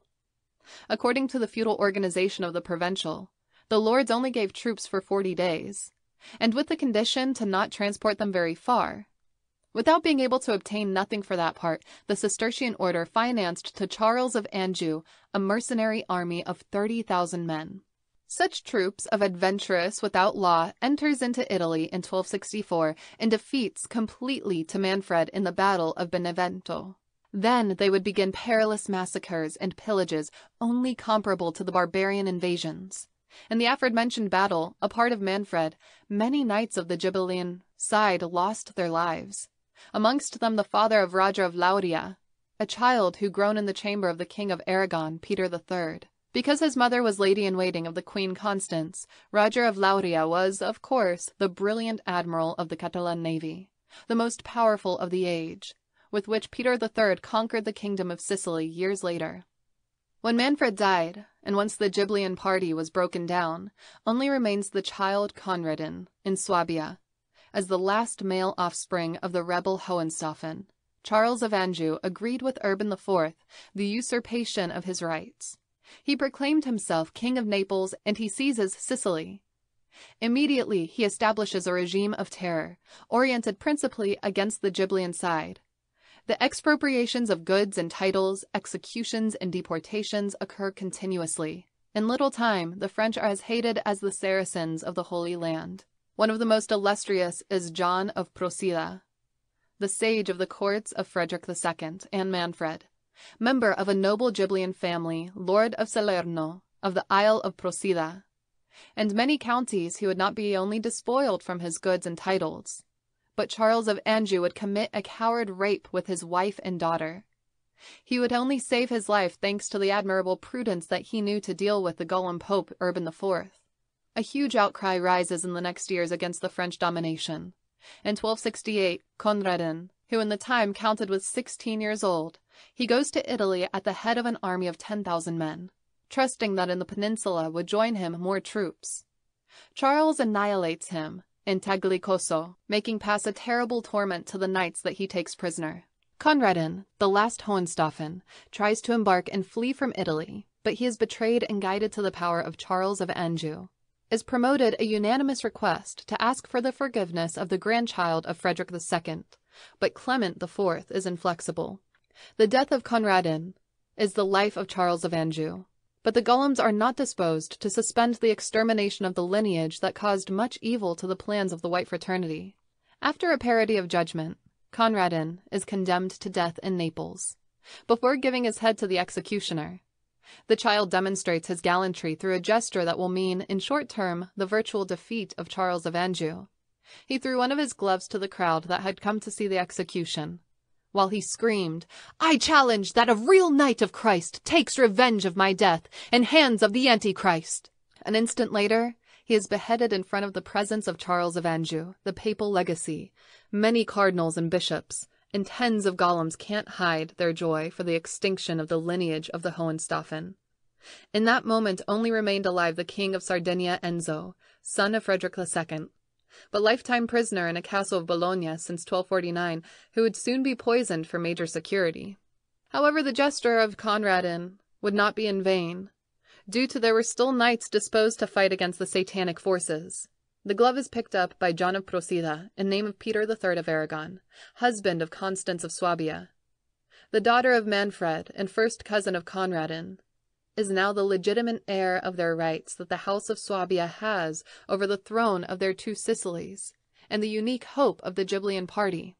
It must be seen in the deployed action by John of Procida thence, another aspect of the opposition of the Hyperborean wisdom to the plans of the White Fraternity i.e., the esoteric cause of the failure of those plans. In fact, that great Hyperborean initiate took refuge in Aragon, with other illustrious persecuted by Charles of Anjou and the Golems, and then incorporating the Aragonese nobility. The king gave them many seigneuries in Valencia, from where he took contact with the Circulus Domini Canis, and he integrated to their strategy. To him, more than anyone, corresponds the merit of having persuaded Peter III about the justice of the Ghibelline cause. For years, this Lord of the Dog advises the King of Aragon about the matters of Italy and plans the manner to conquer it. He was helped with enthusiastic animus by Constance, who wants to avenge his father Manfred and the destruction of her family Roger of Lauria, Conrad Lancia, and other Sicilian knights not initiated. In 1278, Peter III feels sufficiently strong to carry out his Sicilian project. He sends then John of Procida in a secret mission to Italy and the Middle East. The Sicilian knight travels wearing the Dominican robe. He meets with the main representatives of the Ghibelline party of Italy and Sicily, who promise to help King Aragon, and in 1279 he reaches Constantinople to pact with the Emperor Michael Palaeologos, who is about to be attacked by a fleet by Charles of Anjou. However, a fact that Charles of Anjou not suspected was that, in such age not existed more powerful fleet than the Catalan navy of King Aragon. The Byzantine contributes with 30,000 ounces of gold to maintain the campaign, and John started the return, after passing through the Isle of Sicily. There he obtained the compromise of the noble Alessimo de Lutini, and others to prepare an uprising against the French. All these arrangements obeyed to the strategy of Peter III, who wanted to prevent a direct struggle between France and Aragon, and prefers that the change emerges a local plot against Charles of Anjou. In 1281, everything is ready for the revolt, when a maneuver of the Golems obliged to suspend the movements. Charles of Anjou forced in Viterbo the election of Simon de Bru, a French cardinal highly clarified about the plans of the White Fraternity, which professed a ferocious hate for the House of Swabia and the Ghibelline cause. He takes the name of Martin IV, and he immediately begins a terrible prosecution of the Ghibellians in all of Italy. Evidently, the Golems suspected that something was contrived against Charles, and they tried to stop it. Martin IV is a typical exponent of the Golem mentality, which is improperly called Guelph, of the fanatic class of George VII and Innocent III. Possess all the cruelty of Arnaudic Almeric, for his instance in the murders, rapes, and lootings that occurred steadily, subjecting the Sicilians to a regime of unsupportable terror. Finally, Rome will end rebelling. But in 1282, the state of things ends in Sicily. During the Easter celebration, the 30th of March, a French soldier tries to abuse a young Sicilian woman in Palermo, and at the cry, Death to all the French, explodes the general insurrection. The French are exterminated in Palermo, Trapani, Corleone, Syracuse, and Agrigento. In one day died 8,000, and rest must flee hastily from the island. In a single month, it wasn't possible to find any French alive in Sicily. Were these popular reactions the famous Sicilian Vespers, which occurred haphazardly due in those days to Peter III, having sailed from Barcelona with his powerful navy, and he was in Africa near to Sicily? His projects, largely elaborated, were carried out with great precision. In June, he saw many Sicilian ships. They were ambassadors of Palermo, who came to offer the crown of Sicily to King Aragon and the Queen Constance.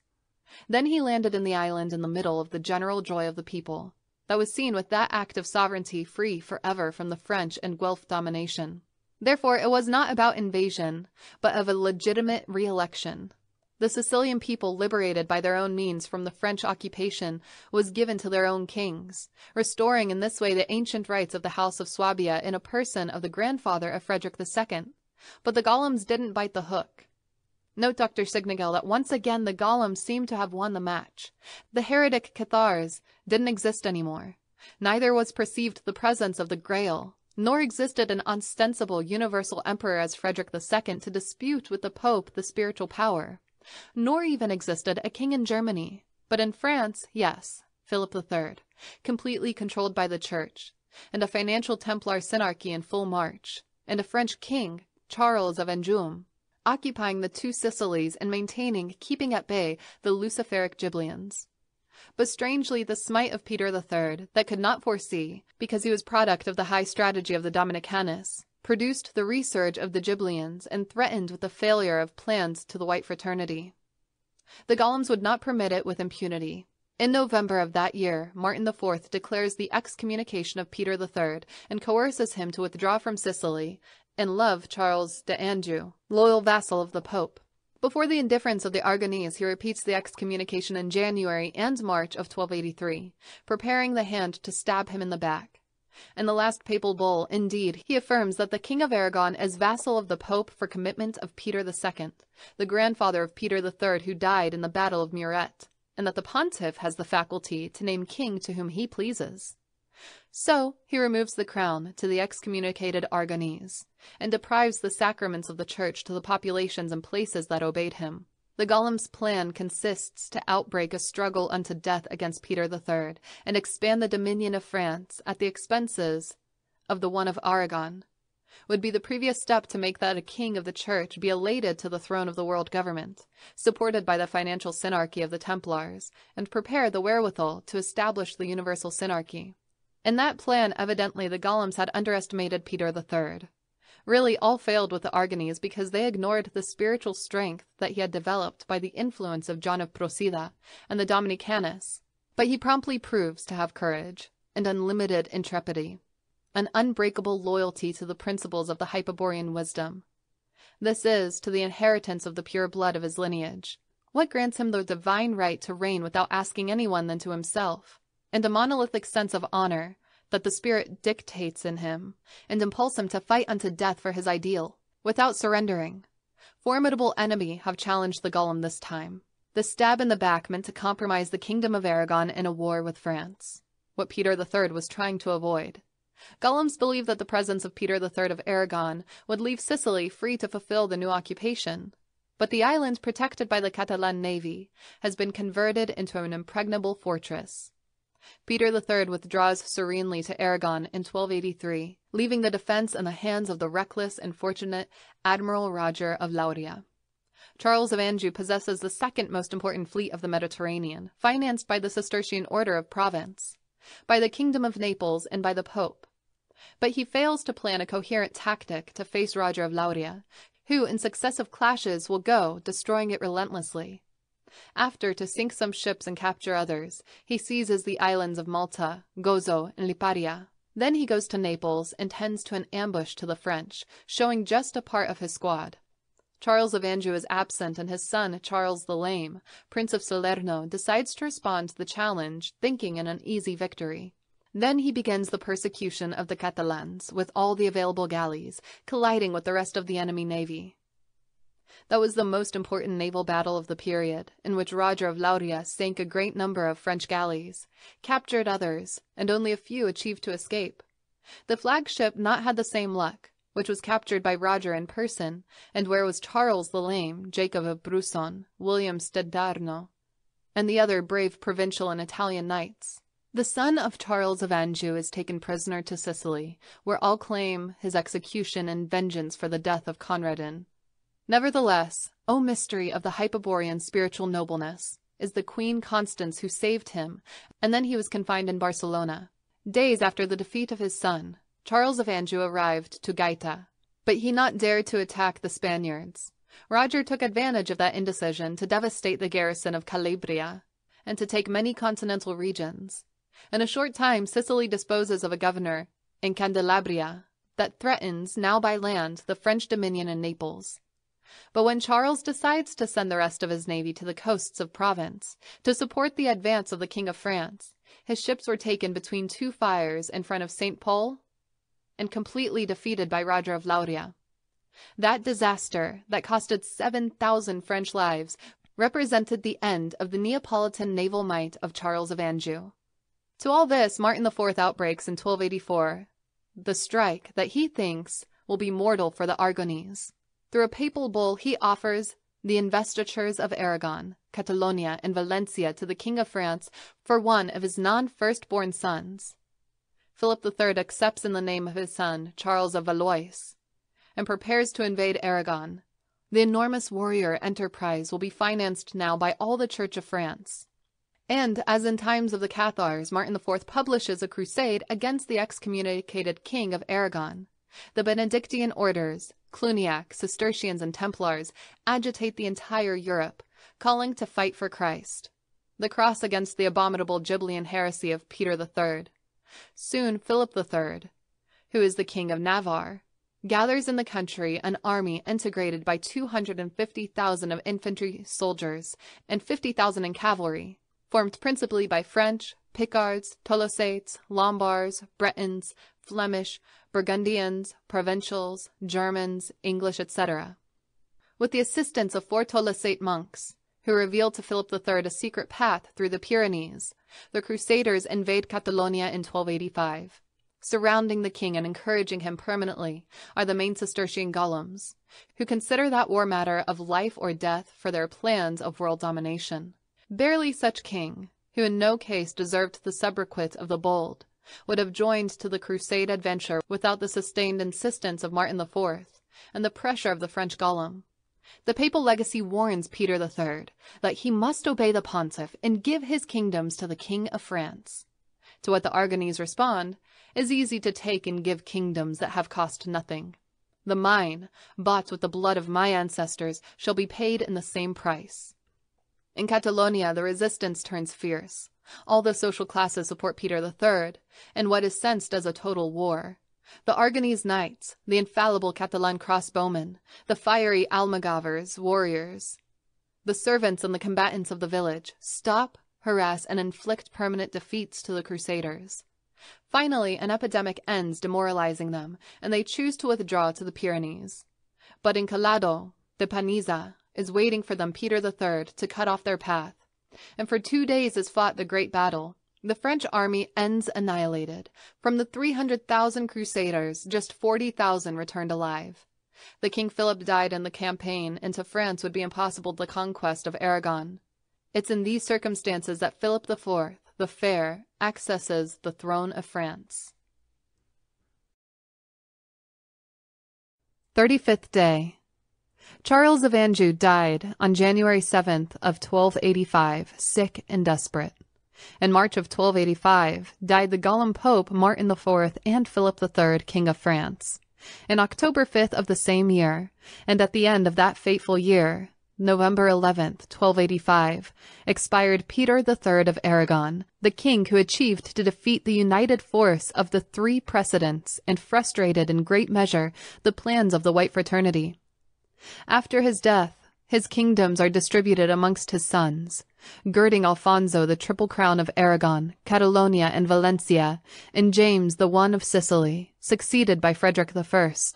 But John of Procida and the Lords of the Dog continued advising to the kings of Aragon. Hence, with the death of Philip III, the Golems suppose that their plans are momentarily delayed. But only momentarily delayed or their plans are definitely frustrated, without being able to warn it at time. As will be seen immediately, only when it was too late, the Golem will realize that something very strange has happened to the successor of Philip III. In fact, such king, whose education was entrusted to the most erudite monks of France, this is, to the Dominicans, had become a Hyperborean initiate, a potential enemy of the plans of the White Fraternity. How did such heresy occur? Who initiated him in the Hyperborean wisdom? The answer, the unique possible answer, would be the incredible possibility that inside the church, in one order of preachers, would have existed a conspiracy of followers of the Pact of Blood, a joint of initiates in the Hyperborean wisdom of the White Atlanteans. They not suspected, of course, from the Lords of Tharsis, to whom they considered definitely extinct, and they failed to discover opportunity to the guilt of the disaster. The hit would be extremely shocking as to assimilate it with the necessary rapidity. And that inevitable perplexity, that paralyzing surprise caused by the high strategy of the Lords of Tharsis and the Circulus Domini Canis would signalize the beginning of the end of the enemy strategy. Thenceforth, after Philip IV performed his brilliant mission, the Golems and the White Fraternity would have to wait until the 20th century before they dispose other historical opportunity to establish the world government and the synarchy of the chosen people. As I said, the Golems would not achieve to counteract the consequences of the new situation. They had maneuvered for many years to strengthen in Europe the House of France, and from its bosom would emerge a king hostile to the papal hegemony. They had yielded the field of the academic teaching to the Dominican monks, and the result that amongst them were infiltrated the enemies of God the One. And what was worse, to such order of preachers was entrusted the tribunal of the Holy Office, in charge to inquire about the faith, until then, the Inquisition permitted them to eliminate, of neutralize oppositions under the threat of the accusation of heresy. And this they assumed clearly. The major heretics were them. Thence they should work with caution. If it not, as the jujutsu, the own force of the attackers could be returned against them. Unable to submit him under the papal authority, the Golems would try, vainly, to eliminate Philip IV failure that was caused by the security enclosed that the Domini Canis tended around the king. When they finally poisoned him in 1314, Philip IV had reigned 29 years and accomplished with honor the entrusted mission. And before the greatness of his work, nothing count the calumnies of a defeated Golem church and a chosen people who lost their historic opportunity, even if they were repeated without fundament for 700 years. But during the 29 years of his reign, Neither would dispose of an equivalent political personality to replace or oppose him. The King of England, Edward I, even if he intervened in the European matters, he only did it indirectly in times of Philip the Fair, especially through his allies, the Earl of Flanders and the Duke of Guyenne. His ruthlessness was against the Scots, maintained him occupying the British island, and in Germany, the Guelph Rudolf of Habsburg, elected in 1273 to put end to the interregnum. died in 1291 dedicated to fight against the Ghibellines and to increase the goods of his house.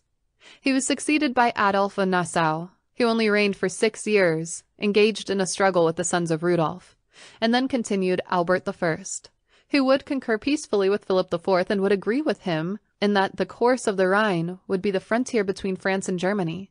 Nothing could do the Golem against this sovereigns, to face a personality as the one of Philip the Fair. And we already know what could expect the kings of Aragon and Sicily. I want to show with this Dr. Siegnagel that once the control of the King of France was lost, the strategy of the Golems was seriously compromised. For fifty years, the Circulus Domini Canis awaited their opportunity. This was presented with Philip IV, over whom they exercised great influence since his childhood due to the high number of instructors of the infant that existed amongst them. When Philip III died, his son had 17 years old, and he was initiated in the Hyperborean wisdom and secrecy. It is possible to affirm, then, that when he started to reign, he already disposed of a clear project of historical mission. And he had also people around him that would advise him and would allow him to execute his ideas. Because it is convenient to distinguish clearly between two objectives, complementary, that are established as goals in that moment. The first is the one proposed by the Circulus Domini Canis, and already explained that aimed to stop the enemy strategy and avoid the golems to fulfill the synarchy of the chosen people. The second objective sprouted from the pure blood of Philip IV, and consisted, as in the case of Frederick II, in to express on its highest grade the regal function.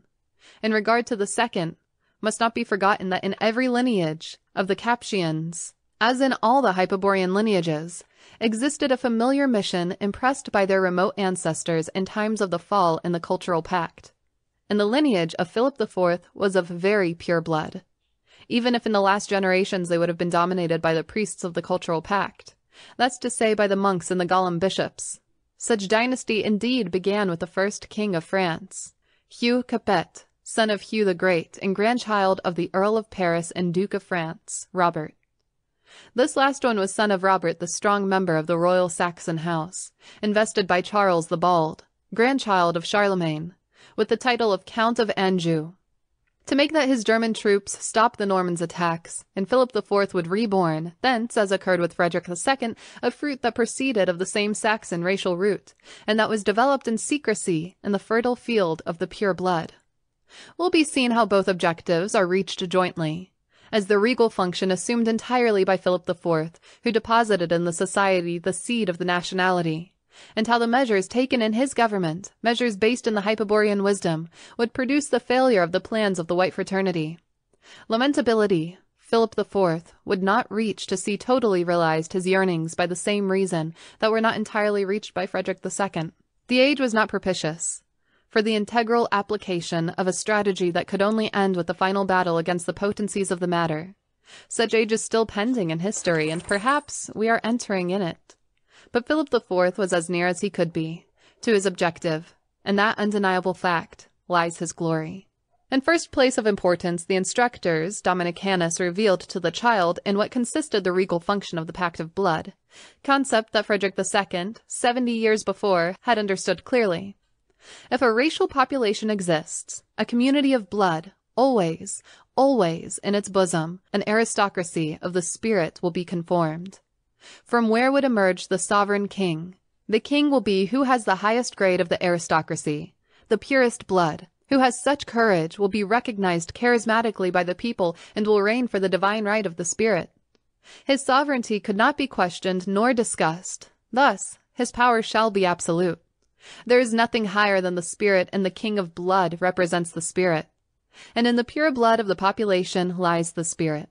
And for this reason, the king of the pure blood, who represents the spirit, is also the voice of the people, the individualized will that tends towards the spirit, in such way that nothing material can interpose between the king of the blood and the population. On the contrary, the pure blood unites them charismatically, in a contact that is out of the time and space, in that absolute instance beyond the created matter which is called the common origin of the race of the spirit. Therefore, all what is materially conformed in relation to the population must be subordinated to the king of the blood. All the wills must join or break before his will. All powers must be subordinate to his power. Even the religious power and the ones who reaches the limits of the cult must lean under the will of the spirit that the king of the blood manifests. In second place is explained to Philip IV that the fall of the populations of the Pact of Blood is suffered due to a war fatigue and the employed methods by the priests of the cultural pact to detract, deform, and corrupt the regal function. In the case of the Roman Empire, the aforementioned concepts, inherited by the Etruscians, were contemplated in the ancient Roman law and in many aspects would remain present until the period of the Christian emperors.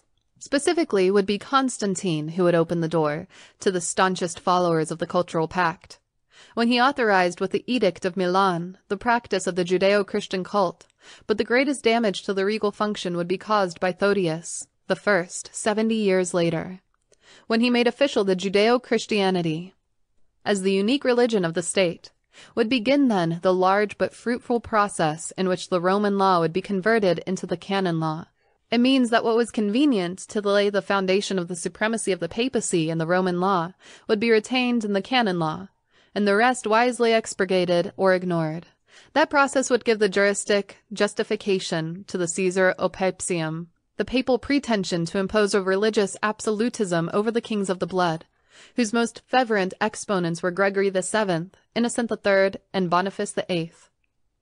Before the decadence of the empire, the Roman kings and emperors attributed themselves divine origin, and that was also in Roman law. The task of the Catholic canonists was, if it desired, very simple.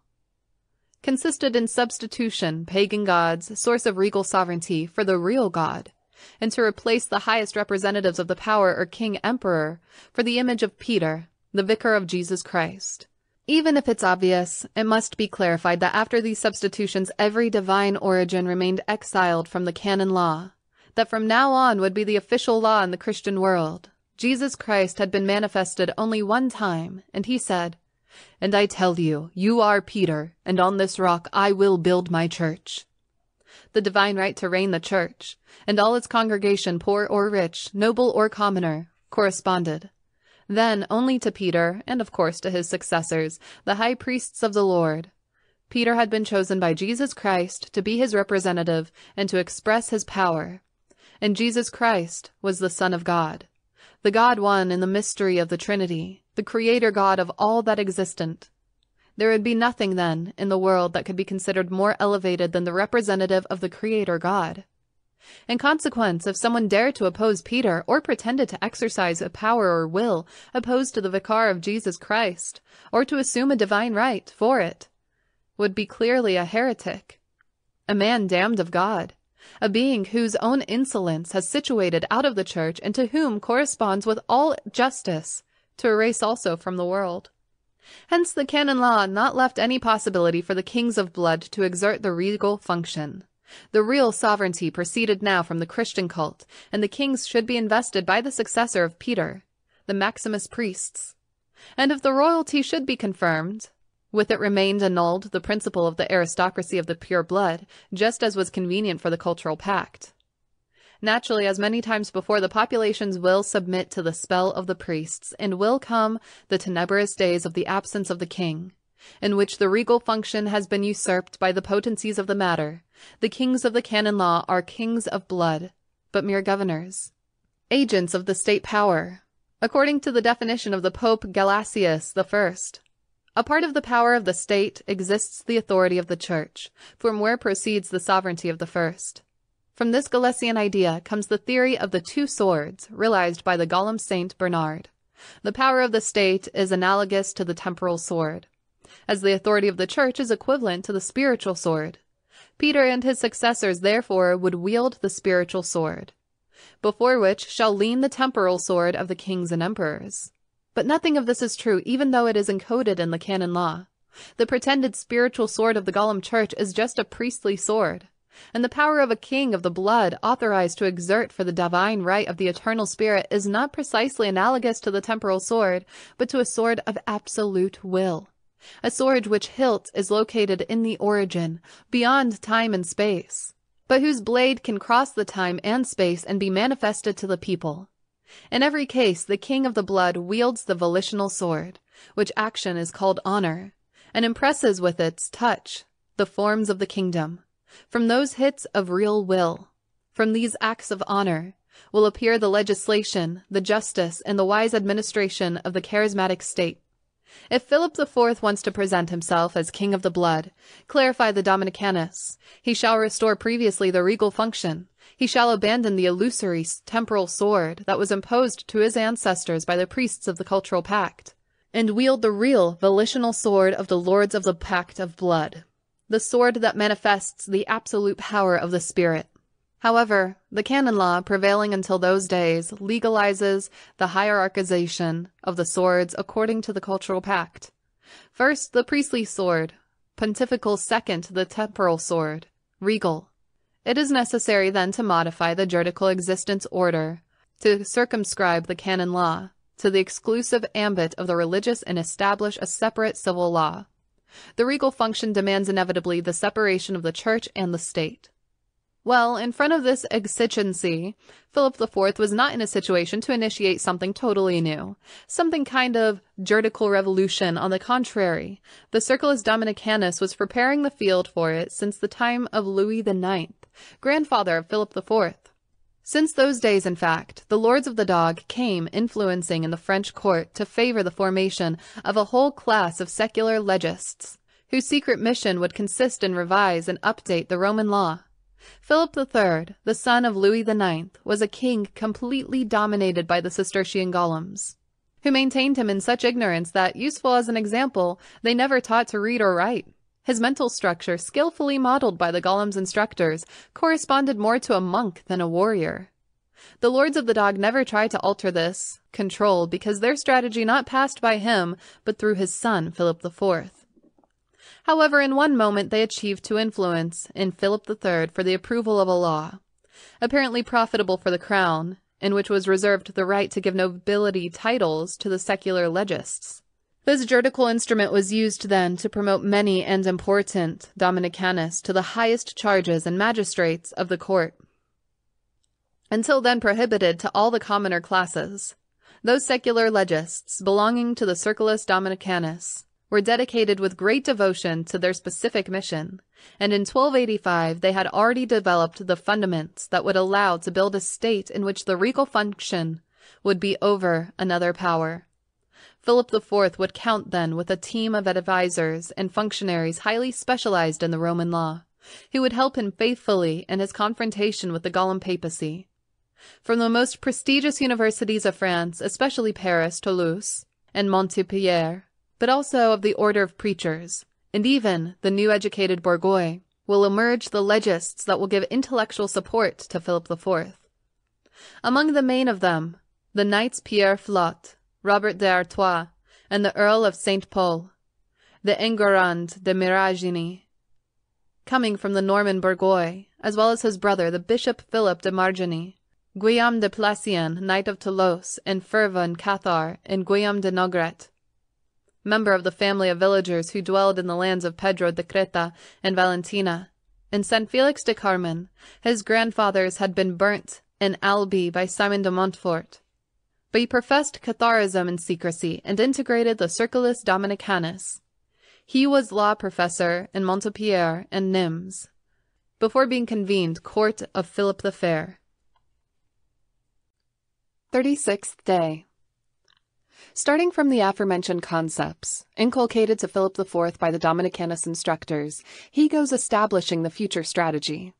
First of all, we have to restore the regal function. For it, he will attempt to separate the church from the state, and such separation will be based in the precise juridical arguments of the Roman law. But the participation of the church was manifested in the three main powers of the state. In the legislative, by the supremacy of the canon law over the civil, the judicial, by the supremacy of the ecclesiastical tribunals to judge every case independently and over the civil justice and the administrative, by the absorption of great rents coming from the kingdom, preventing the state to exert any control over them. The measures that Philip IV will adopt to change this last point will be those that will provoke the most violent reaction of the golems. When Philip IV accesses to the throne, the church was politically and economically powerful and was superimposed on the state, His father, Philip III, had implicated the kingdom in a crusade against Aragon, which had already cost a terrible defeat to the French arms. The monarchy was weak before the landowner nobles. The feudal lords, when they fell to the cultural pact, gave a superlative value to the property of the land, abandoning or forgetting the ancient strategic concept of the occupation that sustained the populations of the Pact of Blood. Therefore, in times of Philip IV, was accepted that an absurd relation existed between the nobility of a lineage and the surface of the lands of their property, in such manner that the lord who had more lands pretended to be more noble and powerful, reaching to dispute the sovereignty to the own kingdom. Before Philip Augustus, 1880 to 1223, for example, the Duke of Guyenne, the Count of Toulouse, or the Duke of Normandy possessed individually more lands than the reigning house of the Capetians. The King of England, in theory, was the vassal of the King of France, but in more than one occasion his territorial dominion converted him in a powerful rival. That was seen clearly during the reign of Henry II Plantagenet, who, a part of the King of England, was also a ruler of a great part of France, Normandy, Maine, Anjou, Touraine, Aquitaine, Auvergne, Angoumois, Marche, Perigord. Only when John Lackland committed the errors that are known, the King Philip Augustus recovered for his house the Normandy, the Anjou, the Maine, the Touraine, and the Poitou. However, Louis IX, partner of Edward I in the Crusade, would return to this English king the French feuds. Since the dismemberment of Charlemagne's empire and until Philip III, not existed nothing similar to the national consciousness in the kings of France, but an ambition of territorial dominance that aimed to support the feudal power. The nobility was then purely cultural, was founded in the titles of the property and not in the blood, as would correspond to the authentic aristocracy of the spirit. In such manner, that territorial expansions of the predecessors of Philip IV had no other objective than obtaining the power and the prestige in the feudal society. In no way these possessions would have guided to the political unity of France, to the absolute monarchy, to the rational and centralized administration, and the national consciousness. Such results were exclusive consequence of the strategy of Philip IV. But a Hyperborean strategy is not a mere set of measures, but the dynamic structure of an action finally effective. The strategy of Philip IV was based in the next concept of the Hyperborean wisdom. If a population is organized according to the pact of blood, then the regal function demands the strategic mode of life. It means that the king of the pact of blood shall guide his people, applying the strategic principles of the occupation, of the enclosure in the strategic wall supplemented with the principle of the magical cultivation, i.e., with the White Atlantean inheritance of the agriculture and the animal husbandry. To this concept that I already mentioned in the third day is necessary to return to comprehend structurally the change in the French policy after the advent of Philip the Fair. In practical terms, the strategy of Philip IV that he wanted to implement consisted in the execution of the three principles mentioned through three correspondence political facts. I will explain now in order how Philip IV understood such principles related to the regal function, and I will show how his political acts responded faithfully to the Hyperborean strategy of the Domini Canis. First, occupation of the real space. The principle admits many grades of comprehension. Obviously, in the case of the regal function, the occupation must include essentially the territory of the kingdom. But who should occupy the lands of the kingdom? The king of blood and the reigning house and the name of the racial community, i.e., of the spirit, which is a population of the pact of blood. Because the king is, according to what is said, the voice of the people, their individualized will, the king must occupy the territory of the kingdom to concentrate the popular sovereignty. The patrimonial feudal system, product of the cultural pact, was undermining against the regal function because it maintained the king separated from the people. The medieval population, indeed, they owed direct obedience to the territorial lords, and they to the king, and the king could only communicate with the people through the feudal lords.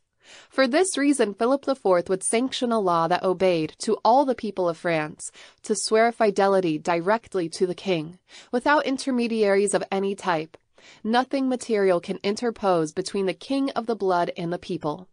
In synthesis, the occupation of the kingdom by the king is the sovereignty. Second, Apply the principle of enclosure in the real occupied space. In the most superficial grade of significance is referred also the territorial area.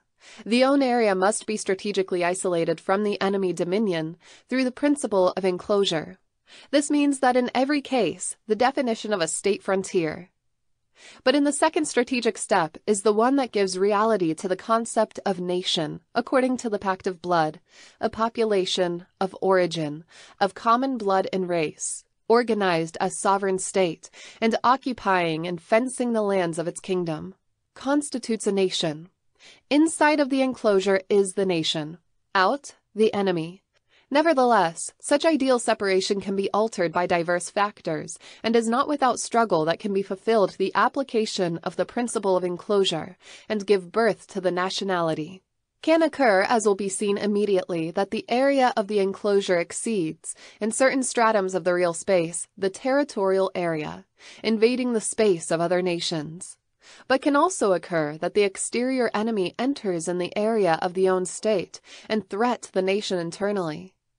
This last case is not difficult due to the cultural nature of the enemy.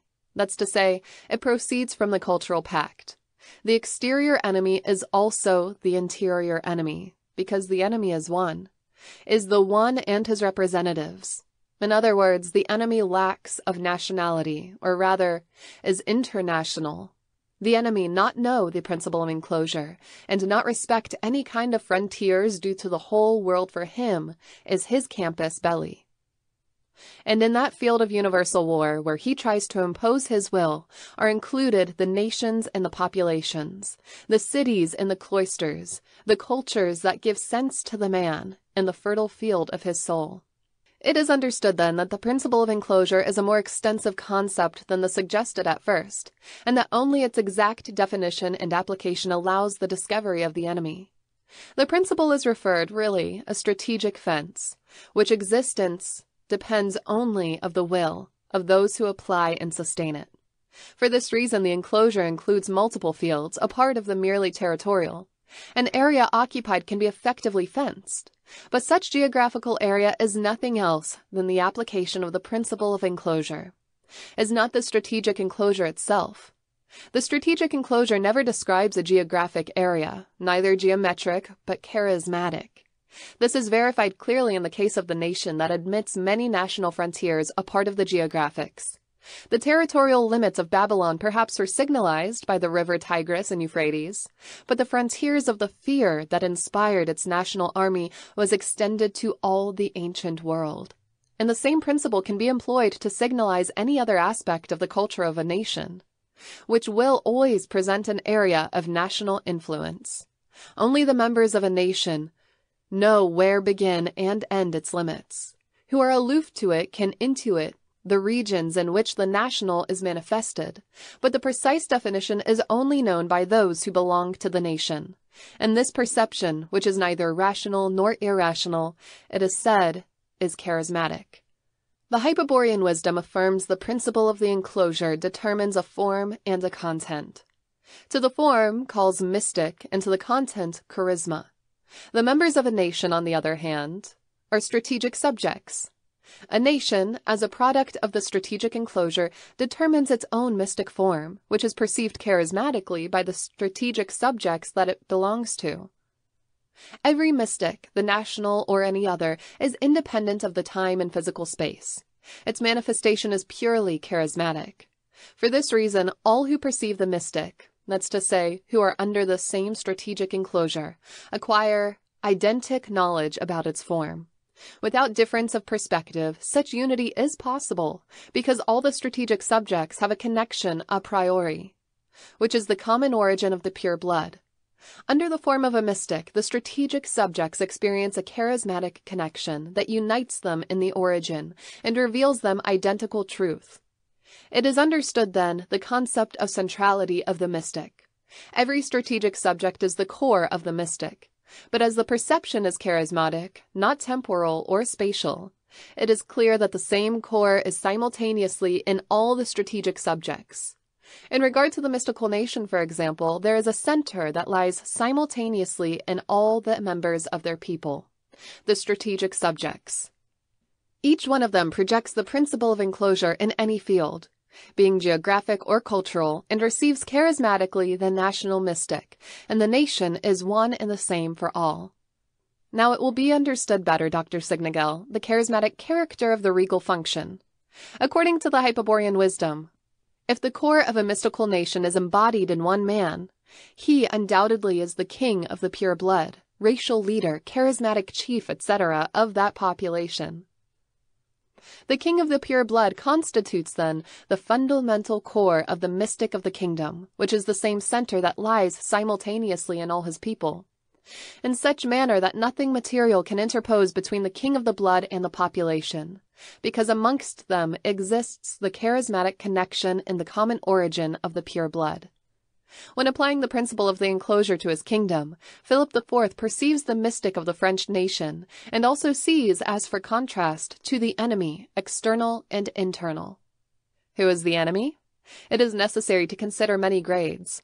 In first place, the enemy is anyone who is opposed to the establishment of the strategic enclosure, who recognize a national frontier but not accept it, who pressure against any of the national frontiers. In this case, is, for example, other nation, neighbor or not, but that exerts the unquestionable power to expand its national enclosure, based in the divine right of the spirit, to reign over populations racially inferior, and to occupy their territory. The polemic will decide the war, the means by which is determined unequivocally what nation possesses the best Hyperborean strategy. And therefore, what is population of purest blood, and who is the more spiritual king of blood? But this is a worthy enemy, because recognizes the existence of the adversary nation, although not respects the limits of the enclosure. With such enemy, it is always possible to pact an agreement of national coexistence, which doesn't mean, of course, the definitive peace. Due to it is not possible to suspend the charismatic effect of an aristocracy of the pure blood. As is in any other nation, will be appearing leaders that will try to resolve the problem. The permanent peace is not conceived in the national strategy of the populations of the Pact of Blood, but a concept absolutely different, known as national mystic, and that will be reached by both populations at the end of the war. The first objective of the national war is not, then, the mere occupation of the enemy territory, neither the imposition of a foreign culture, nor the annihilation of the faced population. All these objectives, placed in first term, obey to the strategic deviations introduced by the priests of the cultural pact. The main objective is the incorporation of the enemy nation to the own national mystic, the charismatic connection between both populations, and the coincidence with the king of the blood. And if that means the destruction of a royal family, the extinction of a voice of the people, the triumphant mystic will be manifested. For all the strategic subjects in struggle, another voice of the people of superior charismatic character that will express them all. But in second grade, it must be considered that the enemy doesn't admit even the right to exist to the mystical nations. With this enemy is not possible the conciliations of any type. Of course, that he neither requests it, because he never declares the war openly, to which they affirm the repudiate, and prefers to operate in secrecy, from inside of the strategic enclosure is proposed in this manner to corrupt and destroy the charismatic bases of the mystical state, and to cause enfeeblement and eventually disintegration of the mystical form. This enemy, that must be qualified as synarchic, has in every nation and in all the sectors of the structures of the state, with organizations of indoctrinated agents in the objectives of the cultural pact. Such satanic internationals conspire against the existence of the mystic nation and therefore against the application of the principle of the enclosure and the charismatic connection between the king and the people that puts the nation out of their control. That's to say, out of the control of the white fraternity, which encourage, feeds, and vivify the synarchic internationalisms. The plans of the white fraternity I already explained widely aims to establish the universal synarchy of the chosen people. For this reason, such internationals would coincide all in to sustain the principles of the cultural pact, directed treacherously to debilitate the Hyperborean strategic principles of the populations of the Pact of Blood, to erase ethic base to the reality of the aristocracy of the spirit, founded over the racial heritage of the symbol of the origin in the populations of pure blood. They affirmed the equality of all men before the Creator Jehovah Satan to demonstrate that the strategic enclosure and the nation defined by him was only a measly idea, elaborated by mediocre men, austere and egotistic, who would never accept the high ideal of the universalism. They employed the Christianity as instrument to equate culturally the populations and then condition them to identify a universal principle of the power with the Pope of Rome, who with no doubt wielded the priestly sword that dominated the temporal sword of the kings. The Pope was a real universal sovereign, who prevailed over the populations and nations. Before his greatness and power, the work of the kings of the blood would have to appear from the asleep man, evidently unprovided of the mystical character, and the aristocracy of the spirit and the blood would be, for the fanatic egalitarians, an artificial creation of the nobility, a product of the privileges of the feudal society. And to discredit the war as means to affirm the national mystic, they were proposing the utopia of the peace, a perpetual peace that would be obtained in every case if the humanity entered in the stage of the religious universalism. If all the secular powers, the temporal swords, kneel before the priestly sword of the Catholic high priest, then the wars would end, and the Christians would live forever in peace, far from the arms and the battlefields, and of the caprice of the lords, committed to the work and the prayer, protected by the absolute justice of the representatives of God and His law. Only one world government would have the power, and yet it might be possible that the two swords would be in the hands of an imperial pope, and the peace would bring richness to all.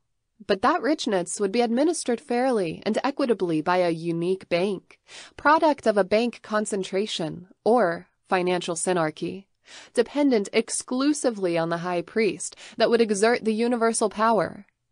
The Christian people, then, shouldn't doubt about who really represented their interests, and to whom they should concede without questioning the universal sovereignty, the occupant of the throne of St. Peter, the promoter of the Universalis Pact, the regent of the Pigeon of Israel.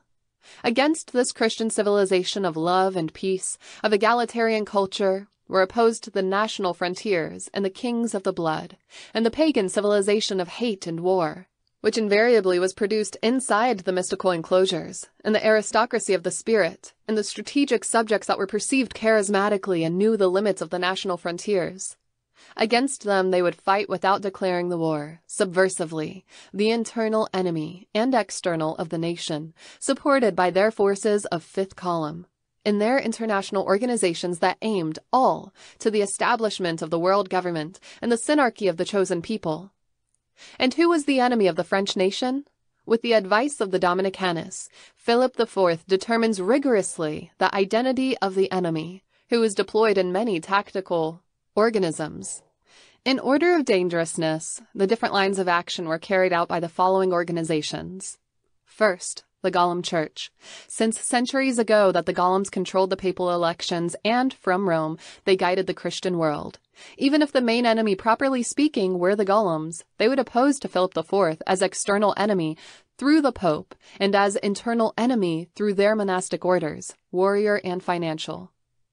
Second, the Benedictine Golem orders.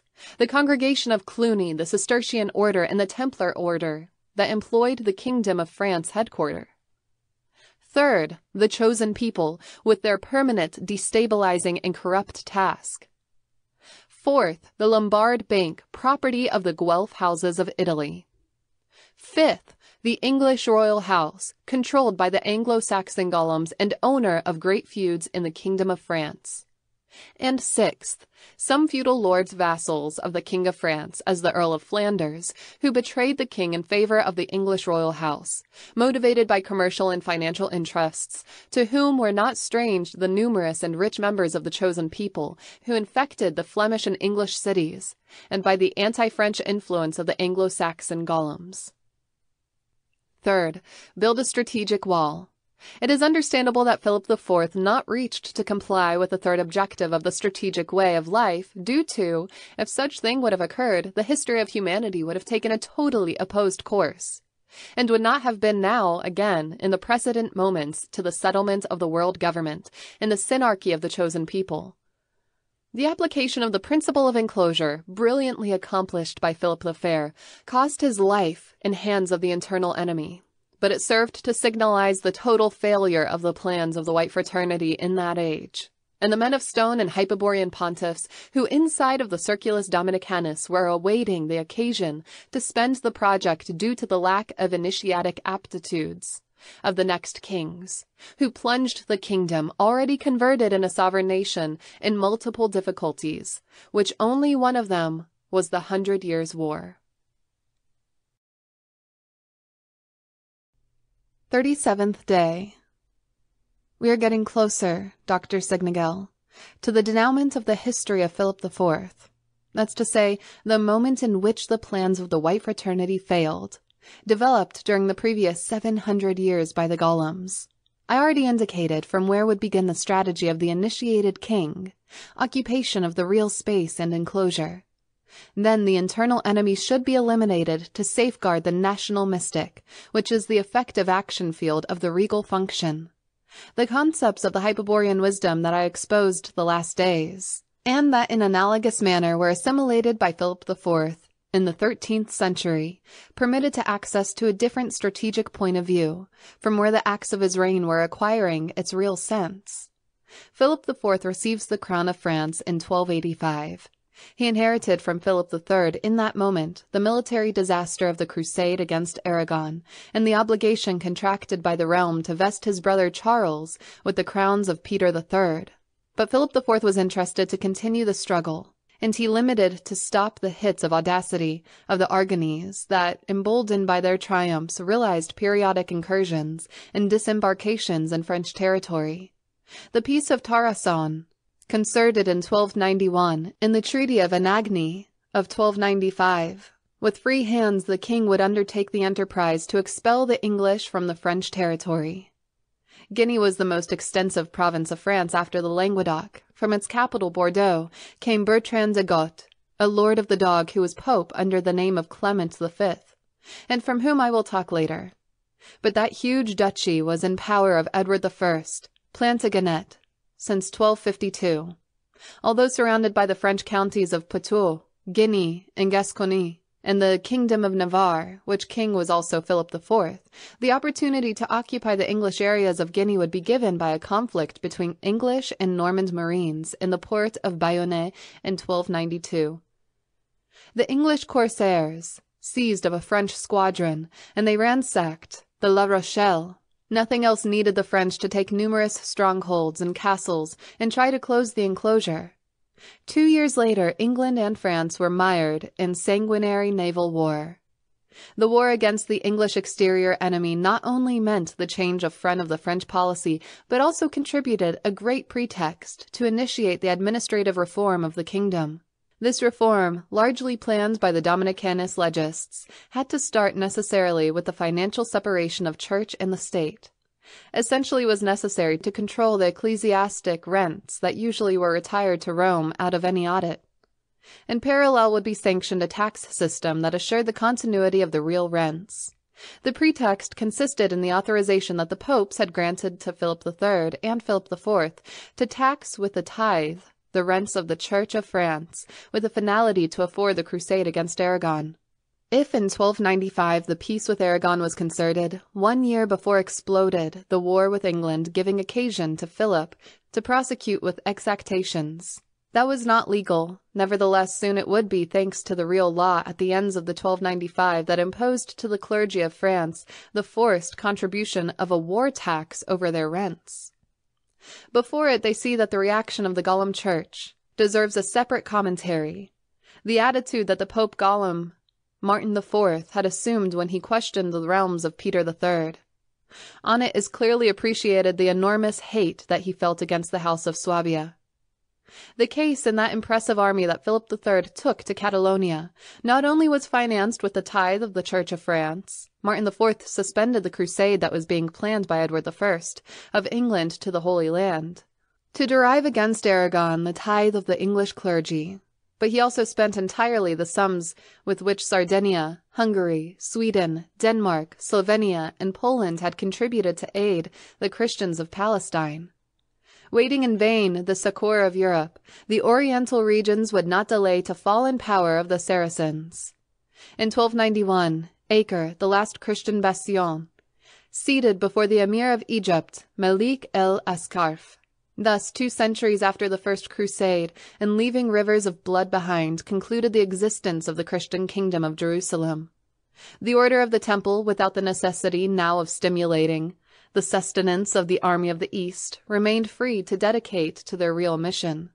To affirm them as first financial potency of Europe, to maintain a militia of knights as base for the future unique European army, and the synarchy of the chosen people.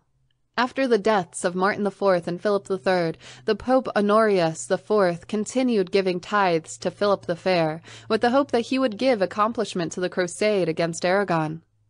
Same criterion would adopt Nicholas IV since 1288 until 1292, who was follower of the Angevins, even though he belonged to the Ghibelline family. Nonetheless, he favored to the family Colonna, naming Peter Colonna cardinal. He founded the University of Montpellier, where Guillaume de Nogaret would teach laws, and he would put the order of friars minor under the direct jurisdiction of the throne of St. Peter.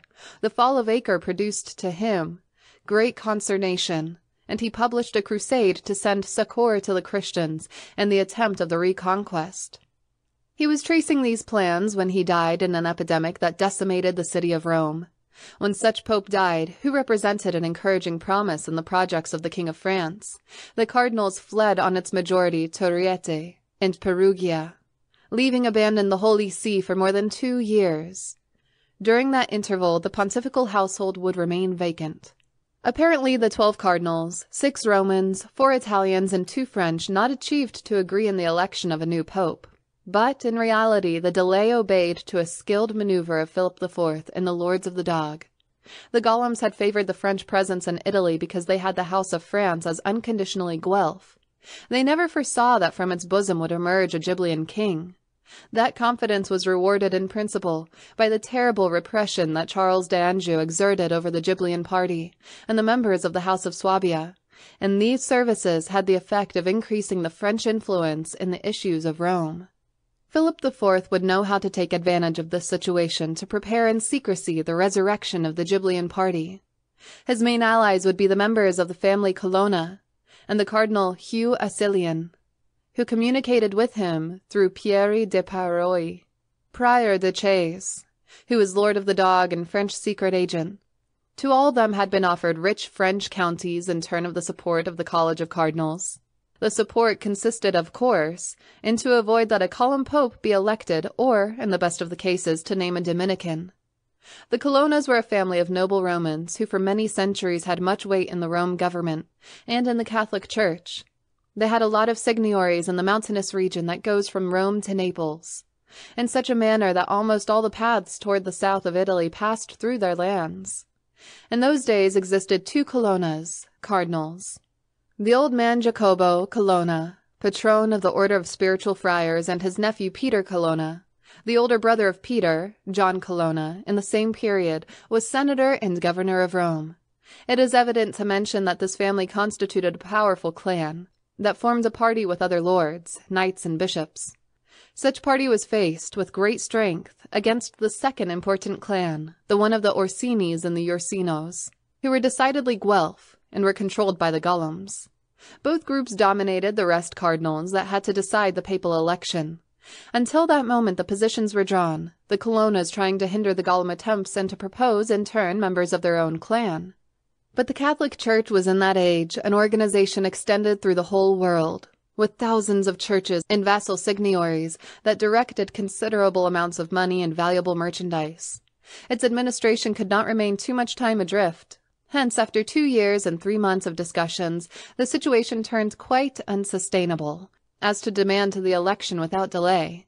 Then, once they realized that no accordance would emerge to name any of the present cardinals popes, they agreed to designate a non cardinal. Both groups thought that a straw person, a weak pope whose will could be guided in secrecy. Therefore, in July 5th of 1294, is obtained the unanimous votes, opting all for Peter de Morrone, a saint hermit of 85 years old who lived retired in the cavern of Abruzzo. The spiritual Franciscans, led by Jacobo Colonna, had retaken the ancient monastic tradition inspired by the rule of St. Francis and in the apocalyptic vision of Joachim of Fiore. Thirty years before, Peter was guide of many communities of spiritual Francians, but not satisfied yet with the extreme rigor of the order, he founded his own, which later would be remembered as the Order of the Celestines. Nevertheless, even though the Celestines monasteries were extended continuously through the region of Abruzzo and the Meridional Italy, Peter had retired to the cavern of Montagne del Morrone to devote himself to a contemplative life was in that retirement when he had news about his nomination for the charge of Pope. He doubted of the convenience to accept, but he was convinced by Charles II the Lame, son of Charles of Anjou, who, liberated from the Catalan prison, was reigning in Naples. Finally, Peter accepted the papal investiture and took the name of Celestine V. All Christianity saluted Mary the enthronement of the saint from whom was expected to put end to the regent materialism and immortality of the ecclesiastic hierarchy, and to open the church to a spiritual reform. It is understood then that for the Colonna and for Philip IV such election had taste of triumph. But Peter de Morrone lacked of every instruction, and the necessary knowledge to administrate an institution of the dimensions of the Catholic Church. His unique experience of government came from the conduction of small communities of friars. Moreover, the saint was not interested in those mundane matters, but was all related with the practical religion. The evangelization, the prayer, the salvation of the soul. Hence he delegated amongst the cardinals, and in a group of legists, bishops, the temporal issues, forming a corrupt environment and, interested that in four months plunged the church into a great economic disorder. The Golems, as is logic, were also expecting to control Peter de Morrone. They relied above all in the King of Naples, for whom Peter professed special affection. They supposed that Charles II would not support the intrigues of his cousin Philip the Fair, and he would prosecute the Guelph policy of Charles of Anjou. With the help of the king would be easy to achieve that the Pope could sanction as his own the measures proposed by them. And they also had an astounding secret. A cardinal, the Benedictine Gaetani, coming from a Ghibelline family and openly enrolled in the cause of France, was one of their own. This Golem, doctor in canon law, theologian, and expert in diplomacy, would place himself near to the saint without awakening the suspicions of the Colonna, against whom he fed in his interior mortal desires. It is convenient to stand out now the two changes introduced by Celestine V at the requests of Charles II. The numbers of cardinals increased, naming other twelve, most of them French and Italian, and he re-established the law of the conclave that obeyed to replace the vacancies members of the sacred college, and he bestowed to the spiritual Francians the authorization to work independently from the order of friars minor. Such dispositions favored the French influence in the church and the party of the Colonna. The Golems would not reach to control Celestine V, and as the months passed and fell in the account that the war between France and England not only strengthened Philip IV, but threatened with paralyzing the plans of the White Fraternity. There was no time for quibbling any more. It was urgent to eliminate the saint and put in his place a Golem Pope, a man capable to impose over such callow king who dared to challenge the potencies of the matter. Since the throne of St. Peter, which dominion they had exerted almost continuously for seven hundred years, would present to Philip IV an opposition as was never seen since the days of Henry IV, Frederick I, and Frederick II. However, they didn't dare to kill Celestine for the repercussions that this fact could have over the people of Italy, which was impressed by the spiritual virtues of the Pope. In this way appeared the idea to convince the saint that his pontificate was not appropriate for the church which required a pope occupied to carry out other important issues apart of the religious, as to be administrative, legislative, juristic, and diplomatic. The prolocutor of this idea, and who offered the legal counseling to fulfill the renounce, was the Benedictine cardinal Gaetani. Such pressures produced doubts in Celestine, but the advices of those who wanted him to remain in his place could be more, due to the church required the sanctity of his presence. Approximately after five months of his reign, Benedictine Gaetani reaches to the course appeal to buy his valet and to place him from the superior floor. A voice bearer tube on the back of the Christ of the altar, and a chapel to which Celestine occurred daily to pray. The voice that emerged from Jesus said, Celestine, release from your sword the feud of the papacy, do to its heaviest that your forces. In the beginning, the saint took the advice as from heaven but later he was warned about the humbug. However, the Christmas party was drawing nigh, and Celestine was deposed to retire to a lonely monastery in the Abruzzo to pray in solitude, as was his custom all of his life. By counsel of the King of Naples, he decided to assign three cardinals, authorized with great powers to make them act in his name during the four weeks of absence. Was in those weeks when a Golem cardinal accused the Pope of an illegal action. The Church, said him, that he could not have four husbands. The papal dignity was not delegable up to that point. So the saint decided to renounce, more disgusted by the intrigues that were around him than for the brandishing of arguments. But to renounce from the papal investiture is not the same to abdicate from the royal investiture. And the canon law in force until then, the possibility was not contemplated and had never presented a case since St. Peter named his successor to St. Linus in the first century. On the contrary, the canon law affirmed that the investiture was lifetime, due to its acceptance had the character of a matrimonial bond between the Pope and the Church, which was dogmatically indissoluble. To save this insurmountable difficulty, the canonist cardinals, Benacci and Gaetani, appealed to puerile, logical reasoning. The canon law rules and formalizes the behavior of the popes, but above all, the canon law is the pope himself, the vicarius of Jesus Christ.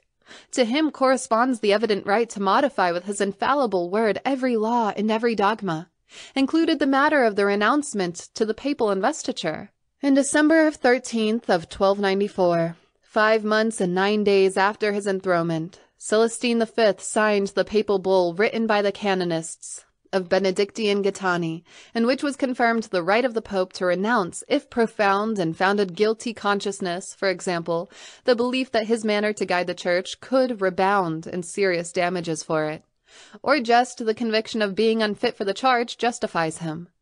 Thereupon he took off the tiara, the sandals of St. Peter and the ring, and he renounced to his high charge. In December 29th of 1294, the conclave elected the Benedictine Cardinal Gaetani, natural from the Anagni, and member of the royal families that had given to the Church the Popes Alexander VI, Innocent IV, and Gregory IX. He took the name of Boniface VIII. Peter de Morrone, who apart of saint had fame of prophet, before his departure made him the following admonition. You have risen as a fox, you will reign as a lion, and you will die as a dog. About the legality of his attitude, the bitterest polemics aroused amongst the canonists that remained for centuries, due to the older, wider spread opinions sustained that the papal investiture could not be renounced by any decretal this opinion, shared by many theologians and canonists of Italy and France, who also sustained by the people, which continued considering Celestine V as legitimate pope. Fearing a schism, the golems decided to eliminate Peter the Morrone. Boniface VIII arrested him in a cave of, of the Mount of Sant'Angelo de Puglia, where he had retired, and confines him in the fortress of Fumone in Campania in May of 1296 where he would be murdered and his body buried five meters underground. 38th Day The famous investiture controversy, sustained between Gregory VII and Henry IV, between the priestly sword and the volitional sword, would be renewed now by Boniface VIII and Philip IV. But where the first had triumphed before, now would be imposed the second, with all the weight that can release the absolute truth over the essential lie. Times had changed, and it was not about a struggle between the priest of the cult and the king of the blood anymore, in which the first was ahead because it dominated the culture through the religion and the organized church, while the second lacked from the necessary strategic orientation to enforce the charismatic power of the pure blood. With Philip IV, the Golems were before an initiated king, who opposed them in terms of strategies, i.e., in the context of an essential war, the priest of the cult and the cultural pact against the king of the blood and the pact of blood, the synarchic culture against the strategic manner of life, the Golem Pope Boniface VIII and the theocratic concept of the world government against the king of the pure blood Philip IV and the concept of the mystical nation, the plans of the white fraternity against the Hyperborean wisdom, Yes, Dr. Siegnagel, this time the complaint was proposed in the plane of two total strategies, and its resolution would imply the total defeat of one of the adversaries. i.e., the impossibility to comply with their strategic objectives.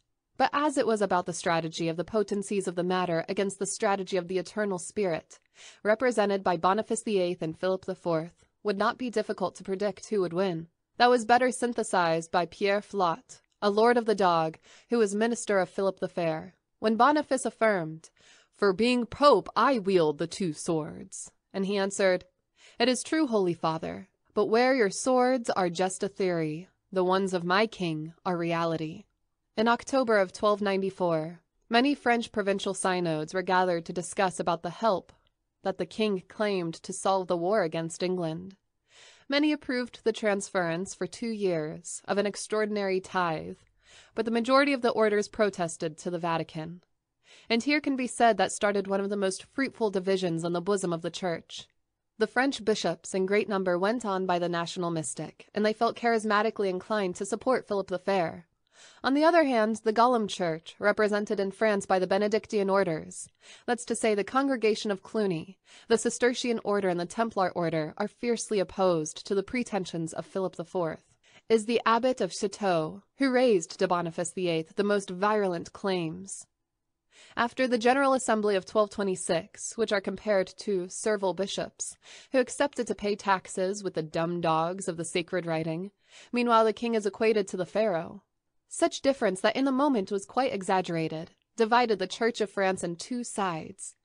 In the side of the king were aligned the nationalist bishops, some of the lords of the dog, although the majority were composed by simple patriots who feared privately a confrontation with the Holy See. Philip IV would not neglect them, assuring in every case the real protection against any reprisal that their behavior could produce. Also, the University of Paris, the most prestigious school of canon law of Europe, was divided.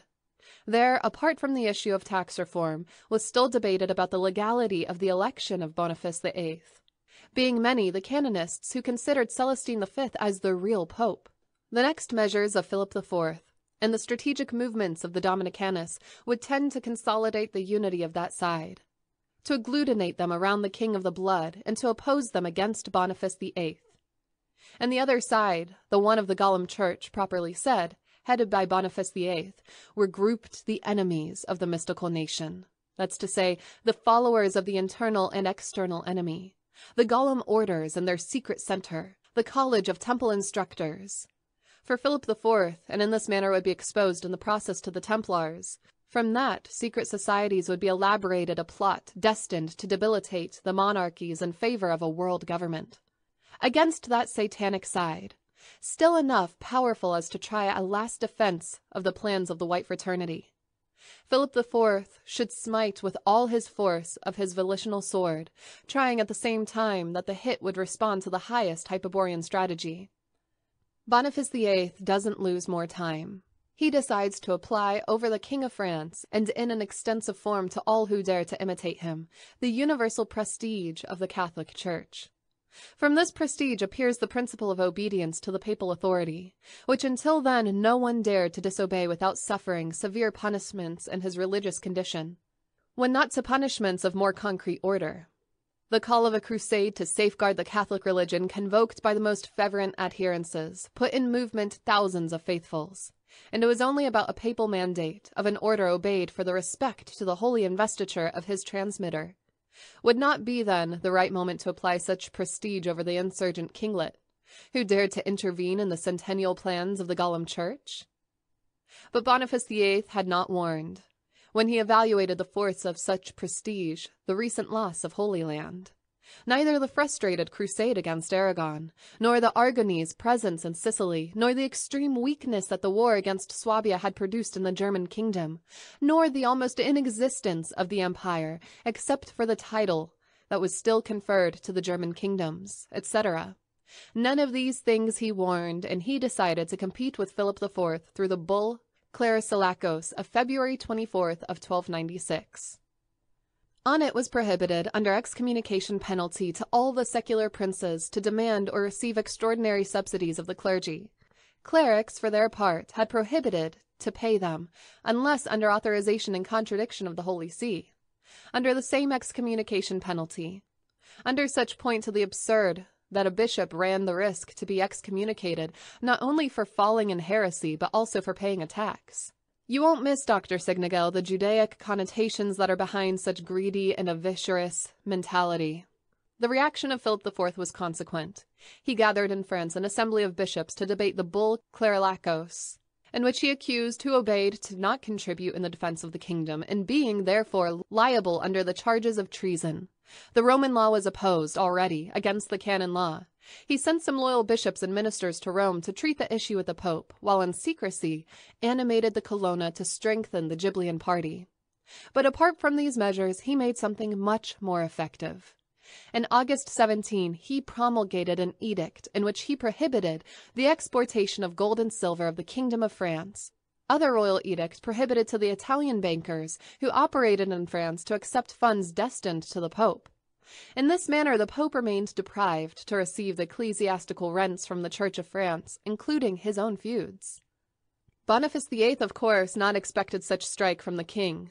Philip IV had exposed the new situation to the people through sides, libels, and assemblies convoked to the effect, and he had skilfully exposed it in such a way that the Church of Rome appeared as indifferent before the necessity of the French nation, as interested only egotistically on its rents, while the nation had to mobilize all its resources to face an exterior war, was pretended to make the accept passively, under excommunication penalty, that the clergy directed important rents to Rome, these arguments justified before the people and the estates the royal edict, and predisposed to everyone against the papal bull, unanimously was requested to Philip IV to disobey the Clericis laicos, which content, according to the secular legists, was manifestly perverse, due to obey the king to miss the laws of his kingdom. To Boniface VIII, whose love for the gold was hand in hand with his fanaticism for the Golem cause, the deprivation for such rents meant little less than a physical mutilation, especially when he had news that the English king Edward I was imitating the measures of Philip concerning to the exaction of the ecclesiastics' tithes, and now was preparing to disobey also the Clericis laicos, and to commandeer the totality of the rents of the church. The pain of Boniface VIII will be better understood if we observe the amounts of that in question. Italy contributed with 500,000 guilders of gold and papal tithes, England with 600,000, and France, that was retaining a part destined to the crusade against Aragon, 200,000. It was about a guilder that for nothing in the world could be renounced. For what needed Boniface VIII such quantities? In part to finance the war with which he wanted to break the Ghibelline fence that had been developing in Italy where was still missing the Sicilian issue, and in part to enrich himself and his family.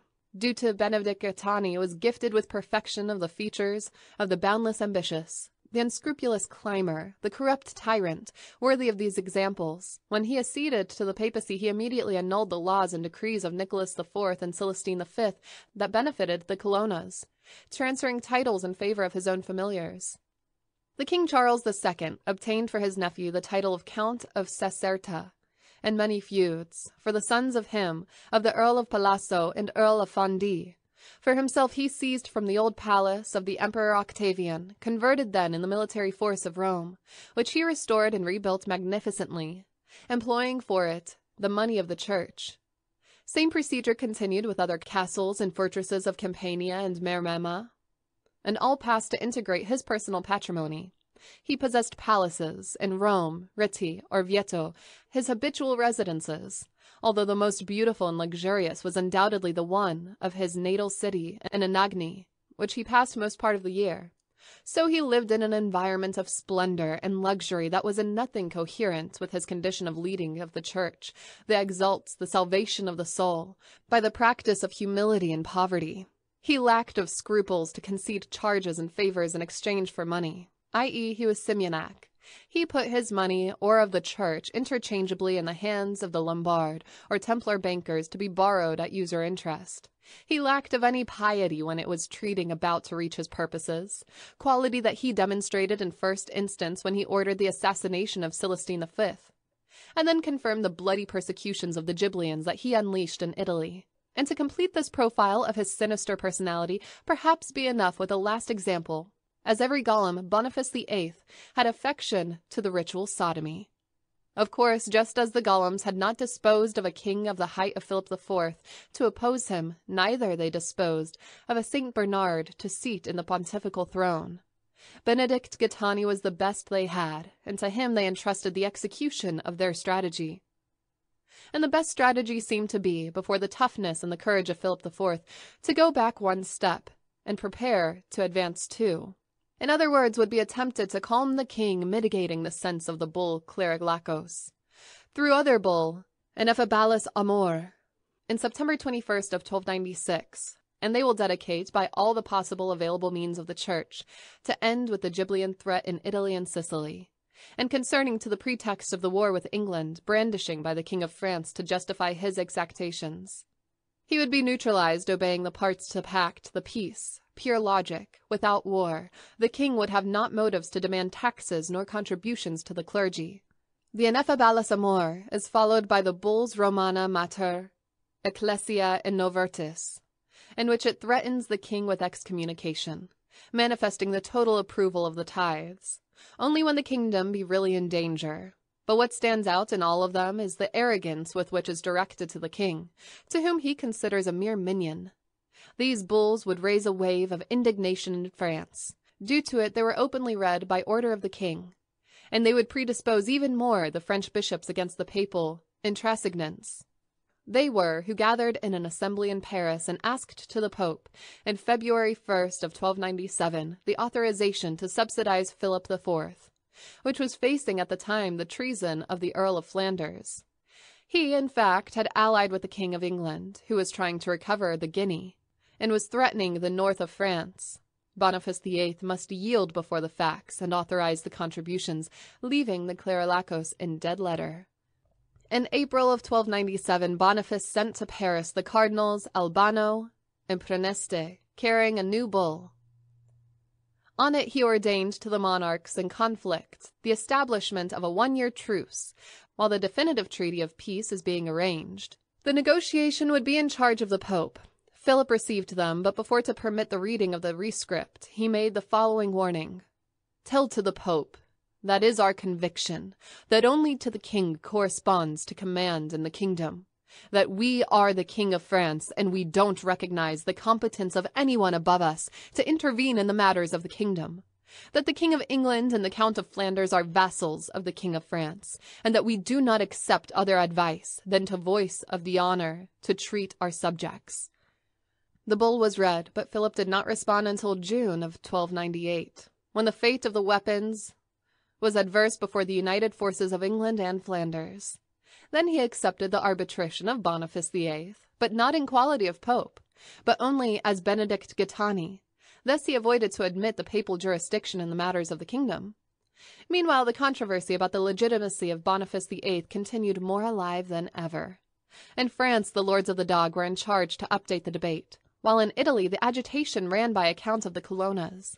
The preference for Boniface VIII or Pope Celestine V had been transformed, their in synonym of Guelphs or Ghibellians.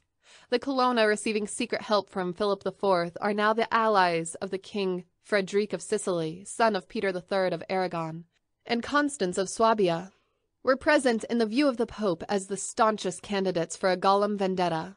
They just needed a chance and this one appeared when the anger of Esteban Colonna took him to assault a papal caravan that was carrying the pontifical treasure from Anagni to Rome. Esteban Sciarra Colonna had not acted with the intention to rob, but with the certainty of rescuing the goods of the church which were in power of a usurper. For this reason he carried the treasure at the light of day to his castle of Palestrina.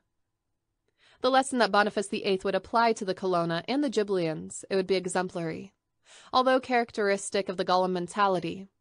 First, he presented the act of Sciarra Colonna to the people of Rome as an indescribable crime, for which he blamed his entire lineage. The Cardinal Pedro is the chief of the Ghibellians, and both he and the Cardinal Jacob were guilty for the two years' retardation of the papal election in Perugia. Now another member of that family dares to revolt against the authority of the Pope the highest of the universe, and dares to steal this treasure. That accursed lineage must be banished from the church. The proclamation of the illegality of Boniface VIII by the Colonnas was in vain. Their contributions and the accusations about the doubts that the University of Paris sustained about the resignation of the Pope Celestine V, or the request of information of a general council of the Church to utter on the case. In less than a month, with the approval of the Sacred College, the cardinals Jacobo and Peter were excommunicated and deposed, as well as Juan Colonna and his sons, Agapito, Jacobo, and Esteban Sciarra in addition of taking them away from the church and Christianity, and the bull is ordained to confiscate their goods, properties, and titles. Naturally, the Colonnas resisted, and Boniface replied, publishing a crusade. All who take part of it will get the same dispenses that if had gone to Holy Land. With the pass of the Crusaders, the Ghibellians' massacres are renewed in all of Italy. The castle of Sciarra, in Palestrina, is taken and by order of Boniface reduced to rubble the ground plowed and covered with salt. Sciarra and the rest of the Colonnas must flee to France completely ruined. Then was the turn of the spiritual Francians. According to another bull, the Holy Office found their doctrines heretical and ordained the dissolution of the order.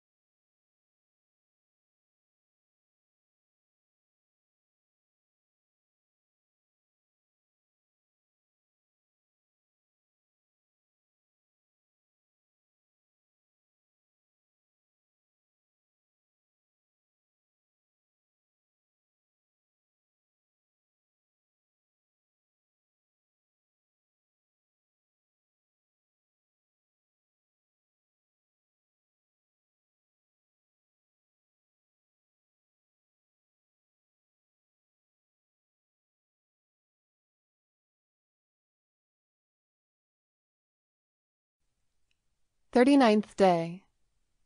Only in 1299 Philip the Fair would finish the war with England. The truce agreed by Benedict Gaetani had been developed morosely, and the warring nations were unable to yield in their intentions to restart the struggle. Finally, through the Treaty of Montreuil, the same ended due to the own conditions of the time. Edward I, King of England, would marry with Margaret, sister of Philip IV, while Edward II, son of English, would engage with Isabella, a four-year-old girl who was the only daughter of the French. Isabella would inherit the Duchy of Guyenne, but the English would not tread French territory by the moment. The next year, Philip occupies the county of Flanders with his troops and closes the strategic enclosure. In the year 1300, Philip the Fair completed the first two steps of the strategic way of life of the regal function. He realized the principle of the occupation on the territory of the kingdom and applied the principles of enclosure. And the fields were prepared for the rational exploitation of the agriculture and animal husbandry.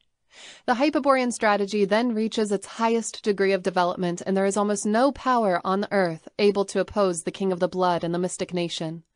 Has sounded the hour of the charismatic state, in which the king and the people are a single voice and a single will, the arrest of the Bishop of Pamiers, which will outbreak the last reaction of Boniface VIII, will clearly show the real existence of the charismatic state. Bernard de Saisset, Bishop of Pamiers, was in reality a Golem spy. They entrusted him the mission to investigate the existence of a secret society in the Languedoc, where allegedly belonged counselors of Philip the Fair. After a patient work, he reached to a stunning conclusion.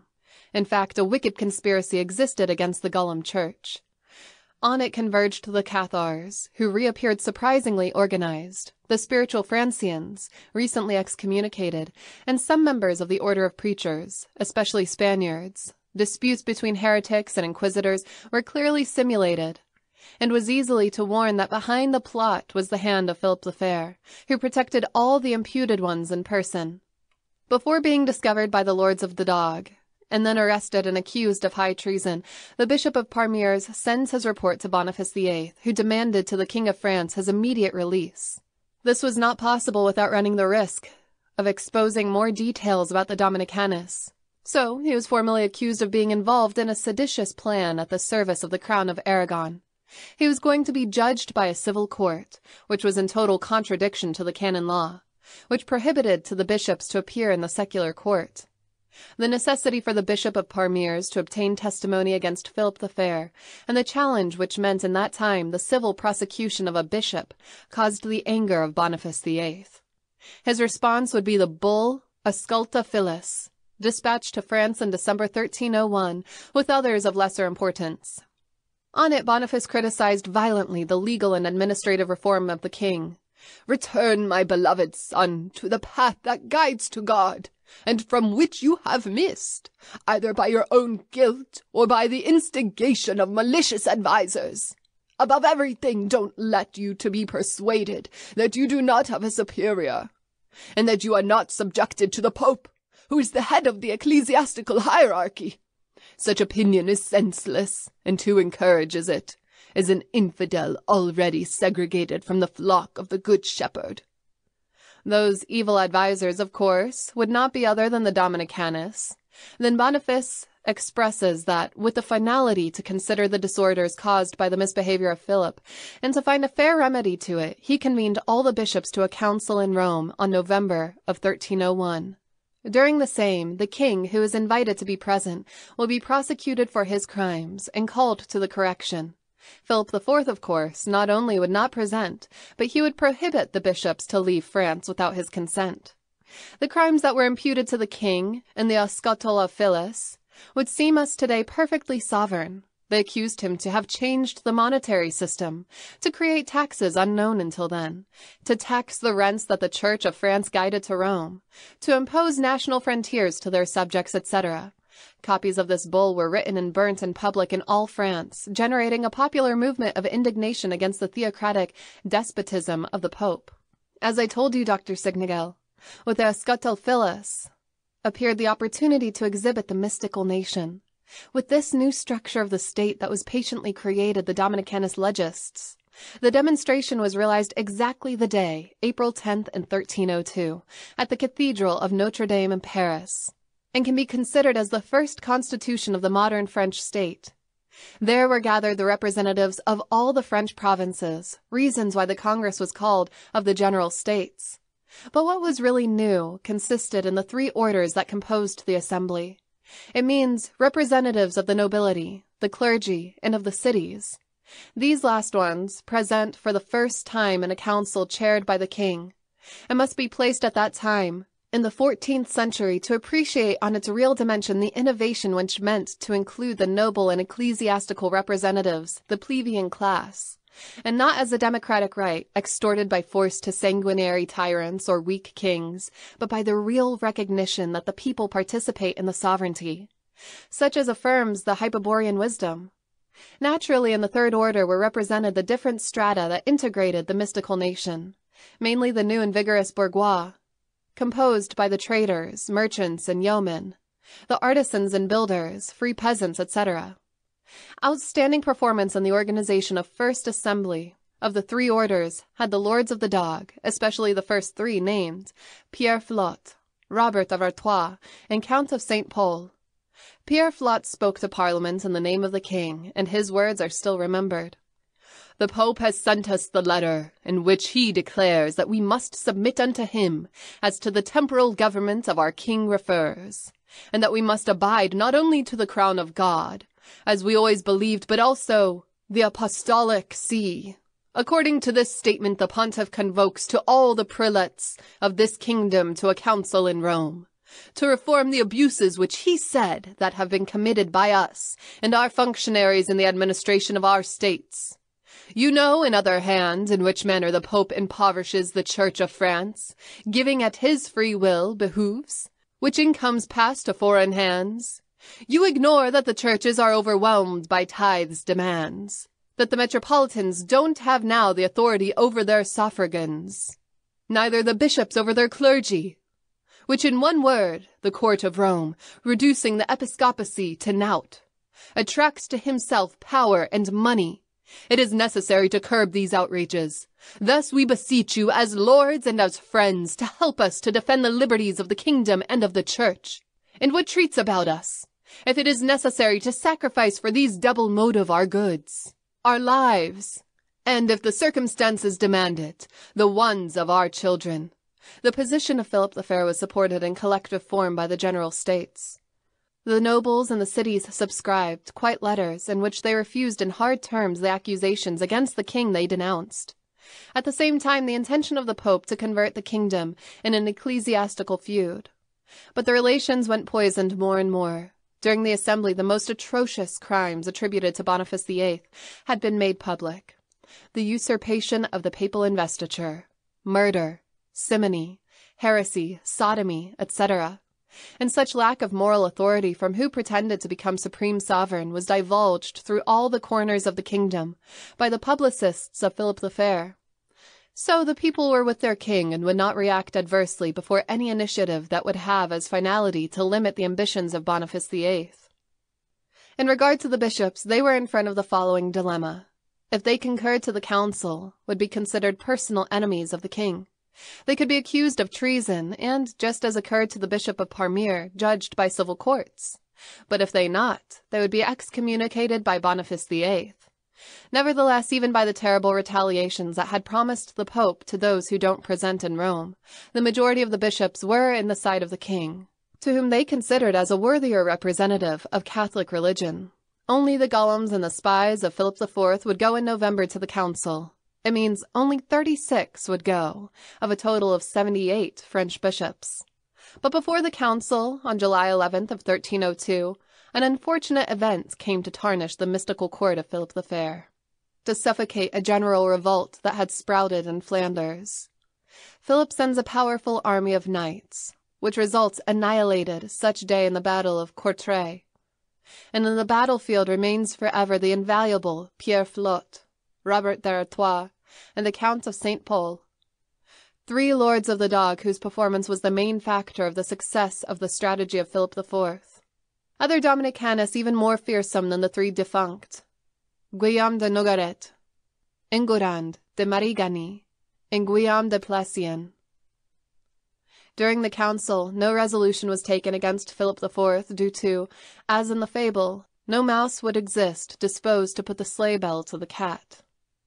Nevertheless, the fury of Boniface has no limits when he knew that in France had been confiscated the goods of the present bishops, and a judgment of high treason has been promoted to them. Thus, November 18th, he published the bull Unam Sanctam, which would be considered as the most complete juridical exposition ever realized in favor of the papal and priestly absolutism. Incapable to take other more effective measures against Philip the Fair, the Golems tried to initiate a juridical polemic about the matter of the spiritual power and the temporal power. For this reason, Boniface insists once again with the analogy of the two swords.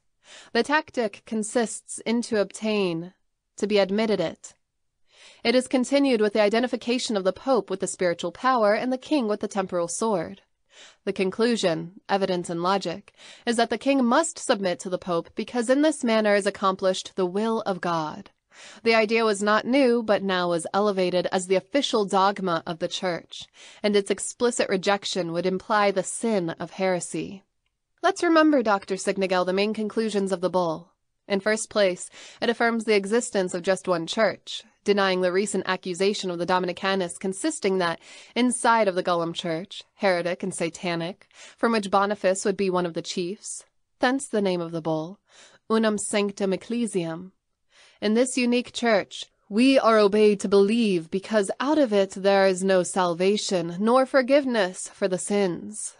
And this unique church is analogous to the organic body, in which the head represents Jesus Christ, and also the Pope, the vicarius of Jesus Christ, therefore, is the lonely and unique church. There is just one body, only one head, and not two heads as the monster has. It means Jesus Christ and the vicarius of Jesus Christ, Peter, and the successors of Peter, are the head of the church. For these reasons, the temporal and spiritual swords are subjected to the power of the church. The second must be used for the church, and the first by the church the first by the priest, the second by the hands of the kings and knights, but to the will and conformity to the priest.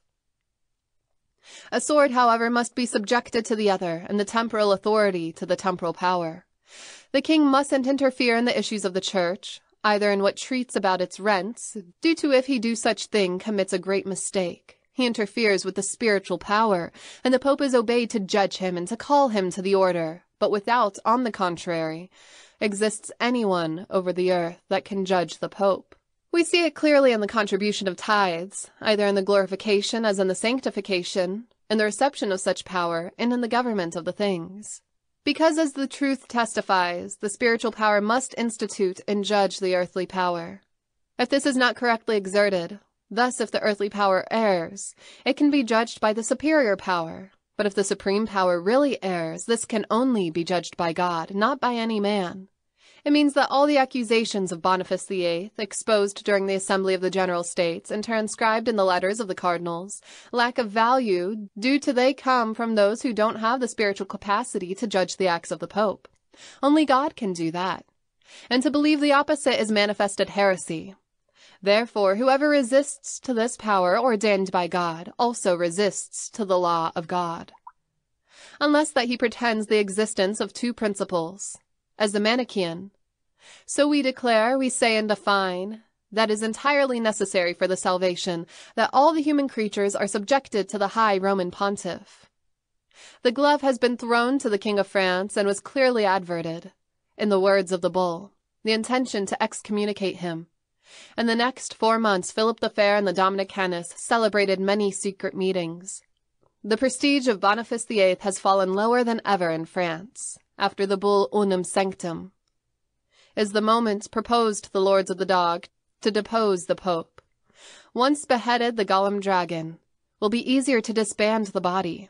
However, the argument of the illegitimacy of his investiture doesn't have the unanimous support of the University of Paris. Necessary request to substantiate the claim or imposition of a new papal election gains strength instead. The idea to present an accusation of heresy the heresy according to the canon law is casual of Domitian. of the Pope and is supported with historical antecedents. Of course, that to prove such accusation and to derive from it the substitution of the Pope was necessary the scheme of a general council. Philip IV is then disposed to force the recall to a council to judge the heretic behavior of the Pope. He entrusts to enforce there the number of his national bishops. The Lords of the Dog will accompany him, orchestrating a campaign of denunciations of heresy against Boniface VIII as a manner to morally influence over the bishops and also over the nobles in the cities. Guillaume of Nogaret and Guillaume of Plassien offered to officiate as accusers, being the first, elected to perform a secret mission in Italy. What would not avoid to initiate the campaign of accusations, begging in public to the king to defend the Christians from the evil of Boniface VIII, and the second to accuse openly to the pope. On March 12th of 1303, Guillaume of Nogaret, before the council of ministers of the king, reads and signs a manifest, which is immediately copied and published in the whole kingdom. It says, The glorious Prince of the Apostles, the blessed Peter, talking in the name of the Spirit, said us that, as in past times, as in coming times, would emerge false prophets that will besmirch the path of the truth, and those who, in their greed and through misleading words, will traffic with us, following the example of that Balaam, who satisfied with the prize of the iniquity, to impose the punishments and to utter his threats.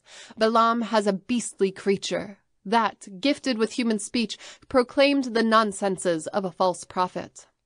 These things which were announced by the Father and the Patriarch of the Church, we see now with our own eyes realized letter by letter. In rigor to the truth, there is seated in the chair of blessed Peter the master of lies, who notwithstanding of being maleficent, in every possible form, is called beneficent, Boniface. He didn't enter through the door in the flock of our Lord as shepherd and cottager, but as raider and thief. Even being alive, the real husband of the church, Celestine V, has dared to injure the wife by means of illegitimate embraces. The real husband has no participation in this divorce. In fact, according to what the human laws say, nothing more opposed to the acquiescence than the error. Can't marry who, while the worthy husband lives, has besmirched the marriage with the adultery. Thus, as all what perpetuates against God is an injure which is committed against everyone, and which such great crime concerns, the testimony of the first who comes must be received, even being the one of the wife, although being of a shameful woman. I, therefore, as the beast that through the power of God was gifted with the voice of a real human, to make him reprove the nonsense of the false prophet, who reached to curse the blessed people, I direct unto you my supplication, the most excellent of the princes, our Lord Philip, by the grace of God, King of France, who after the example of the angel that showed the naked sword to comply with the justice, you must oppose to this other and most fatal Balaam, and prevent the consummation of the damage that he is preparing against the people. The damage consisted in the excommunication of Philip IV and the liberation of all the French Christians to comply with the vow of fidelity, with which the kingdom would remain in question, and could be rightfully conquered for whom the Pope authorizes. Such the plans that Boniface VIII was preparing, and that the spies of Philip IV informed periodically. On the other hand, as an effect of the Manifest of Nogaret, no official measure was taken, but promptly the people started to refer to the Pope as Maleficent VIII what explained by the Gascons enjoin France of the same fate that in Spain have the Andalusians. Fortieth Day On June 13th of 1303 was celebrated an assembly of the General States in Louvre, chaired by the king. On it were renewed the complaints against Boniface VIII, and was formally proposed the necessity to convoke a council to condemn him and to name a new pope. The nobles, the cities, and the nationalist bishops accept. Guillaume de Plassien requests to be the accuser of Boniface in the future council. He is accepted too and reads a declaration where he exposes his arguments. I, Guillaume de Plassien, knight, anticipate and affirm that Boniface, who now occupies the Holy See, will be found a perfect heretic, according to the heresies, prodigious facts, and wicked doctrines as the following.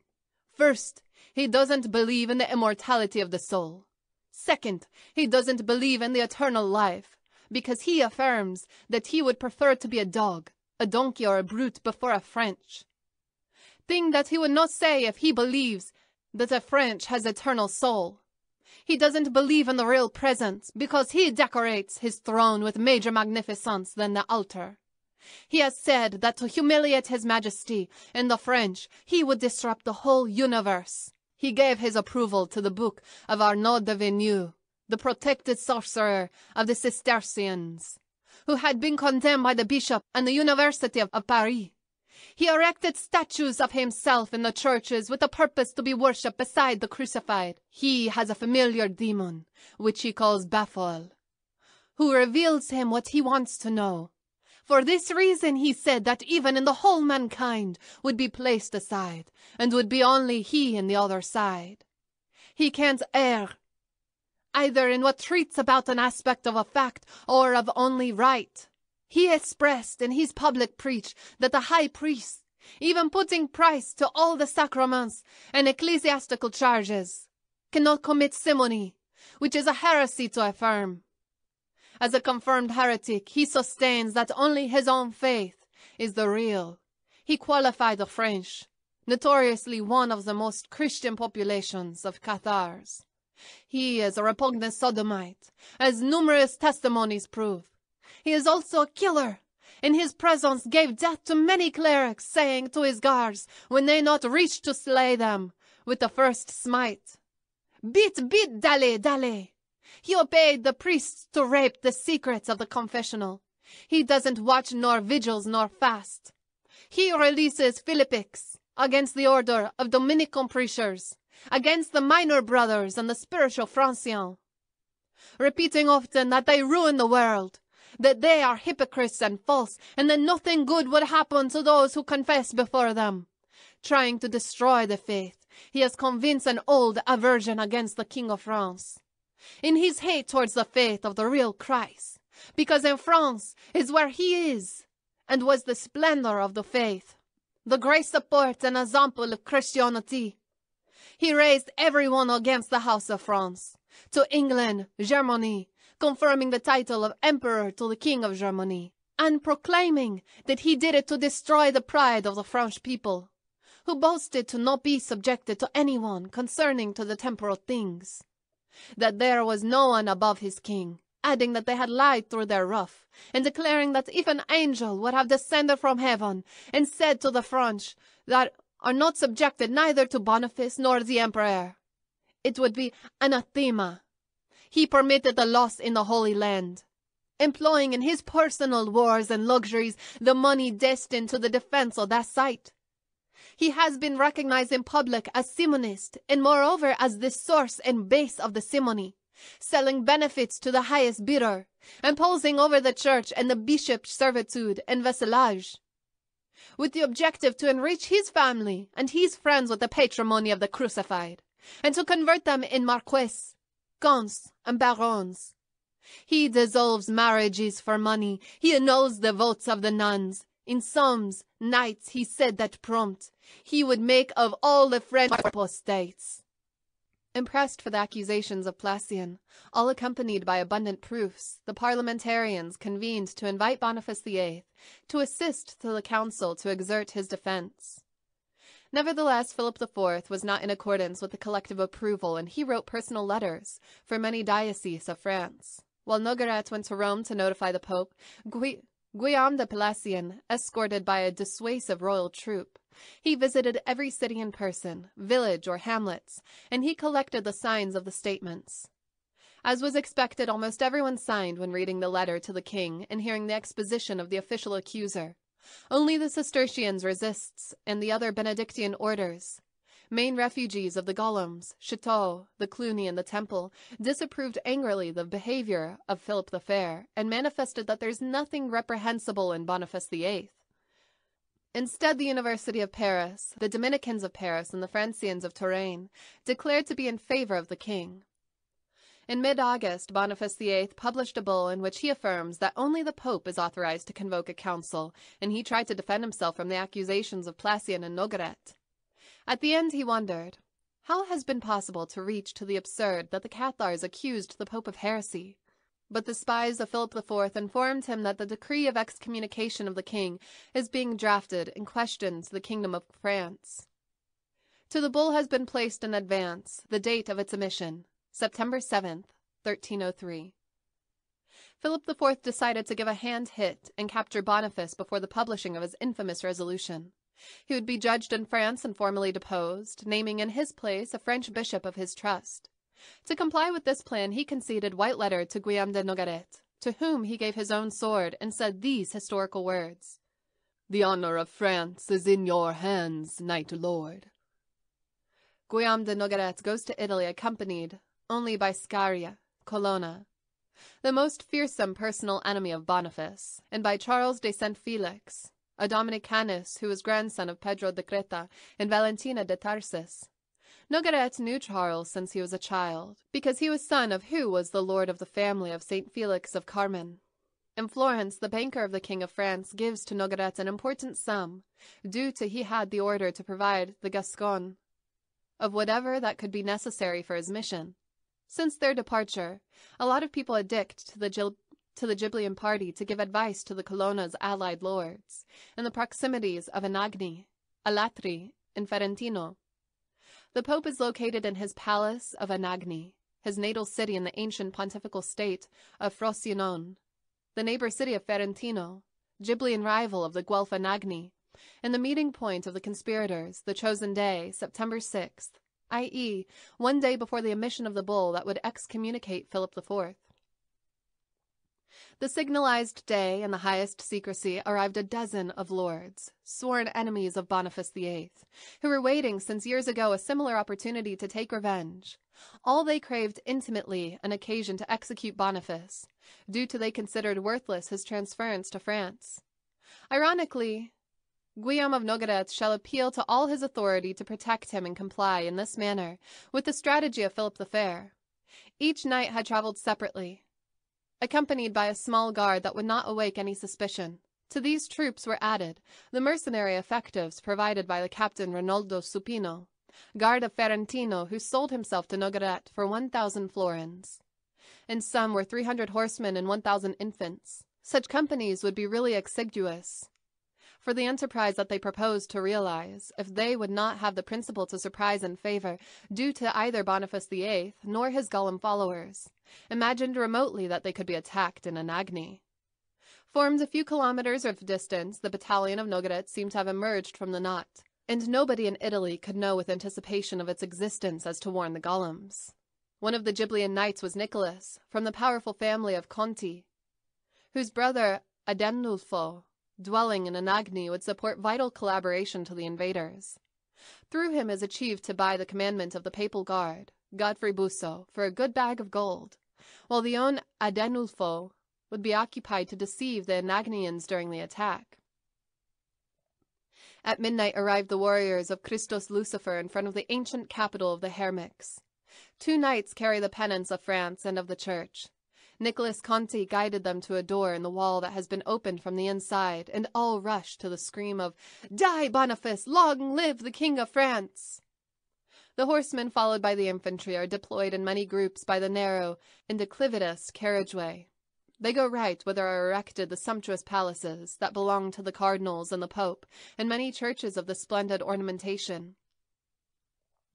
The commandment of the papal guard joins, with a part of his own, to the intruder forces and the siege to the palace of Boniface VIII begins, who scarcely disposes of a few men to resist. For one time the history has inverted, the argument is the same, the personages similar, as the fight of the spirit against the potencies of the matter, the king of the blood against the Golem priests, of the representatives of the pact of blood against the ones of the cultural pact. But this time the king of blood, is who triumphs over the Golem priests, over the exterminators of the pure blood, over the crusade proclaimers against the Hyperborean wisdom. Inside of the sumptuous residence, the pride of Boniface collapses. See him there, trembling and crying as a woman, the Golem demon who pretended to prevail over the charisma of the King of the Blood. Perhaps he is not crying because of the tragedy, but for the future punishment that his Lord will impose him, the supreme priest Melchizedek, and the masters of the White Fraternity. The dwellers of the Anagni, to all this, arouse with the surprise that their city is been occupied by troops of the King of France. Someone makes the bell tolls, calling the reunion, and all the families run towards the town square of the market. The news are overwhelming. Sciarra Colonna has come to with a battalion provided by the King of France, and will surely he will kill the Pope. Godfrey Busso has passed to the enemy side, and the city has remained unprotected. Rapidly, in the midst of a great confusion, the named chief to Adenulfo, Conti, he accompanied with some neighborhoods, previously elected amongst the followers of the Colonnas and the Contis, leaves to parley with the raiders. He talks with Reinaldo Supino, and returns immediately. He assures with vehemence that would be impossible to resist the French, who have already looted the palaces of the cardinals. Only rests the possibility to join them and to share the booty. Desperate, the Guelphs begin the pillage, stealing beside the Ghibellians the cardinal and papal palace. Their artworks of incalculable value would disappear.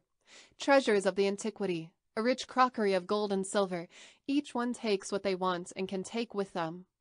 Some of them discover the warehouses and charge to satisfy the exquisite palates of the cardinals and to calm their indistinguishable thirst, and promptly the bottles pass from hand to hand. During the day, few would be Anagnians who would not have stolen or get drunk. No one dares to walk through the streets, and the city remains under the total control of the scarcely men of Nogaret. While the nocturnal pillage took place and the population was being entertained in that barbarous task, the feverous warrior activity emerged in the surroundings of the palace of Boniface, who, conscious that he was reduced guard, could not resist for a long time, tried to arrange an agreement with the besiegers. His legacy received the conditions to surrender without capitulation, to lift the excommunication of Philip the Fair, to rehabilitate the Colonnas, and to concur as prisoner to France to be judged in the council. When Boniface receives the terms, he refused to accept, and he remained plunged in desperation. He just dressed with the Golem papal investiture and awaited his enemies, seated in the throne. Amongst sobs of bitterness, he prayed fervently to the Creator God to realize the miracle of his salvation and of the plans of the White Fraternity. Could be possible, he wondered aloud, that the lords of the war could triumph over him, who was a representative of the creator of the universe? If he, in whom he had been committed to stop the temporal kings, failed, what new misadventures would supervene later for the Golem orders, that for many centuries developed the plans of the White Fraternity? After each one of these questions he convulsed, and was evident that he would not delay to lose the reason. With the exception of two bishops, one Spaniard and the other Italian, everyone escaped from his side as they can. Some of them were captured and killed by the men of Sciarra Colonna, while others remained as hostages because they surrendered voluntarily. Amongst them, his new nephew. Such news ended to depress Boniface. Finally, a window yielded, and Guillaume de Nogaret and Charles de Saint Felix entered, followed by a dozen of soldiers of Ferentino, who stayed to a prudent distance to not be recognized by the Pope. Nogaret and Charles get nearer to the throne, wearing to the papal tiara, replica of the Egyptian crown of the swarthy Atlantean priests. With the white robes of the Levitic priests of Israel, in which is embroidered the four-leaf clover of the Golem priests, stylized as Celtic crosses. In his right hand sustained the cross symbol of the spiritual incarceration. And in the left the keys of St. Peter, symbol of the Kalachakra key, with which the traitor gods of the spirit consummated the original treason. There was seated, with his eyes burning, with hate and fear, one of the wickedest men on the earth. Cathar! Son of Cathar! exclaimed Defiant when he recognized Nogaret. Your lord, King of France, could not do anything against the law of Jehovah God. I am knight of the King of France, replied the Gascon and I assure you, detestable priest, that my lords only know and respect the law of the honor, which is the law of the Holy Spirit, of the will of the real God. Only your God Jehovah, who is a demon called Satan, to whom you obey slavishly, can oppose to that law. Damn Golem! Now is Charles of St. Felix, or Charles of Tarsus Volter, or Charles of Tarsival who spoke. I assure you that the King of France will only end with you and the diabolic orders that aid you. You will never govern the world while initiates as him or Frederick the Second. But you have for sure still that we, the eternal warriors of Christus Lucifer, will end some day with the chiefs of your chiefs. with the occult hierarchy of supreme priests that maintain the uncreated spirit chained into the slavery of the created matter. Boniface paled and shuddered when hearing the men of stone. Something as a halo of essential hostility emerged from such night with an impressive intensity. What was the death of the warm life before the other death that was intuited through his presence? What was the loss of life, of the ephemeral joys and riches, of the power in this world, or the punishment of the supreme priest in the other world, which produced much fear in him until then? Before the abyss of the eternal death in which the eyes of ice of the French knight sank him. Heretics! He screamed out of control, and the moment when a door fell, shattered, and entered in full steam a multitude chaired by Sciarra Colonna. Respect for who? By disposition of the unique God must govern over the world. Sciarra, such mortal enemy of Boniface, reached to hear his last words and gave him a violent slap with the iron glove, pouring out blood from his cheek. Nogaret had to contain him to avoid to avoid him to traverse the Pope right there with the sword. The people and the soldiers, meanwhile, were taking every valuable object they had at hand. With the palace taken, Boniface prisoner, and the city under control, the situation was not, nevertheless, promising. One thing was to enter in secrecy in Italy and prepare a surprise attack, and another leave the place taking the prisoner the Pope. Neither the Anagni they could have remained much time if the dwellers would have discovered how small was the number of occupant troops. In the port of Ostia was waiting for them a ship of the Annibalds family, allies of the Colonnas, but to reach there, they would need an important reinforcement. The brothers of Sciarra were in charge to concur with 5,000 men, but they delayed, and the day of September 7th elapsed in tense calm, while the Anagnians were awakening from their surprise. The next day, all continued as before, but rumors of that they had been victims of the treason of and a hit of a few aggressors started to circulate among the dwellers. The hostility started to be felt in the form of many provocations to the soldiers of Nogaret, and promptly they realized that they would have to leave Anagni as soon as possible. Guillaume of Nogaret, Charles of St. Felix, and Sciarra Colonna were deliberating about the convenience of killing Boniface or taking the risk of carrying him with them when they learn that Godfrey Busso has passed again to the side of the Pope and has cut them the pass to the entrance of the palace immediately restarted the battle, bloody this time, and the three envoys of Philip IV are obeyed to fleeing, leaving Boniface in the hands of the Guelphs. Days later they were in France, being approved by the great king all what happened in Anagni.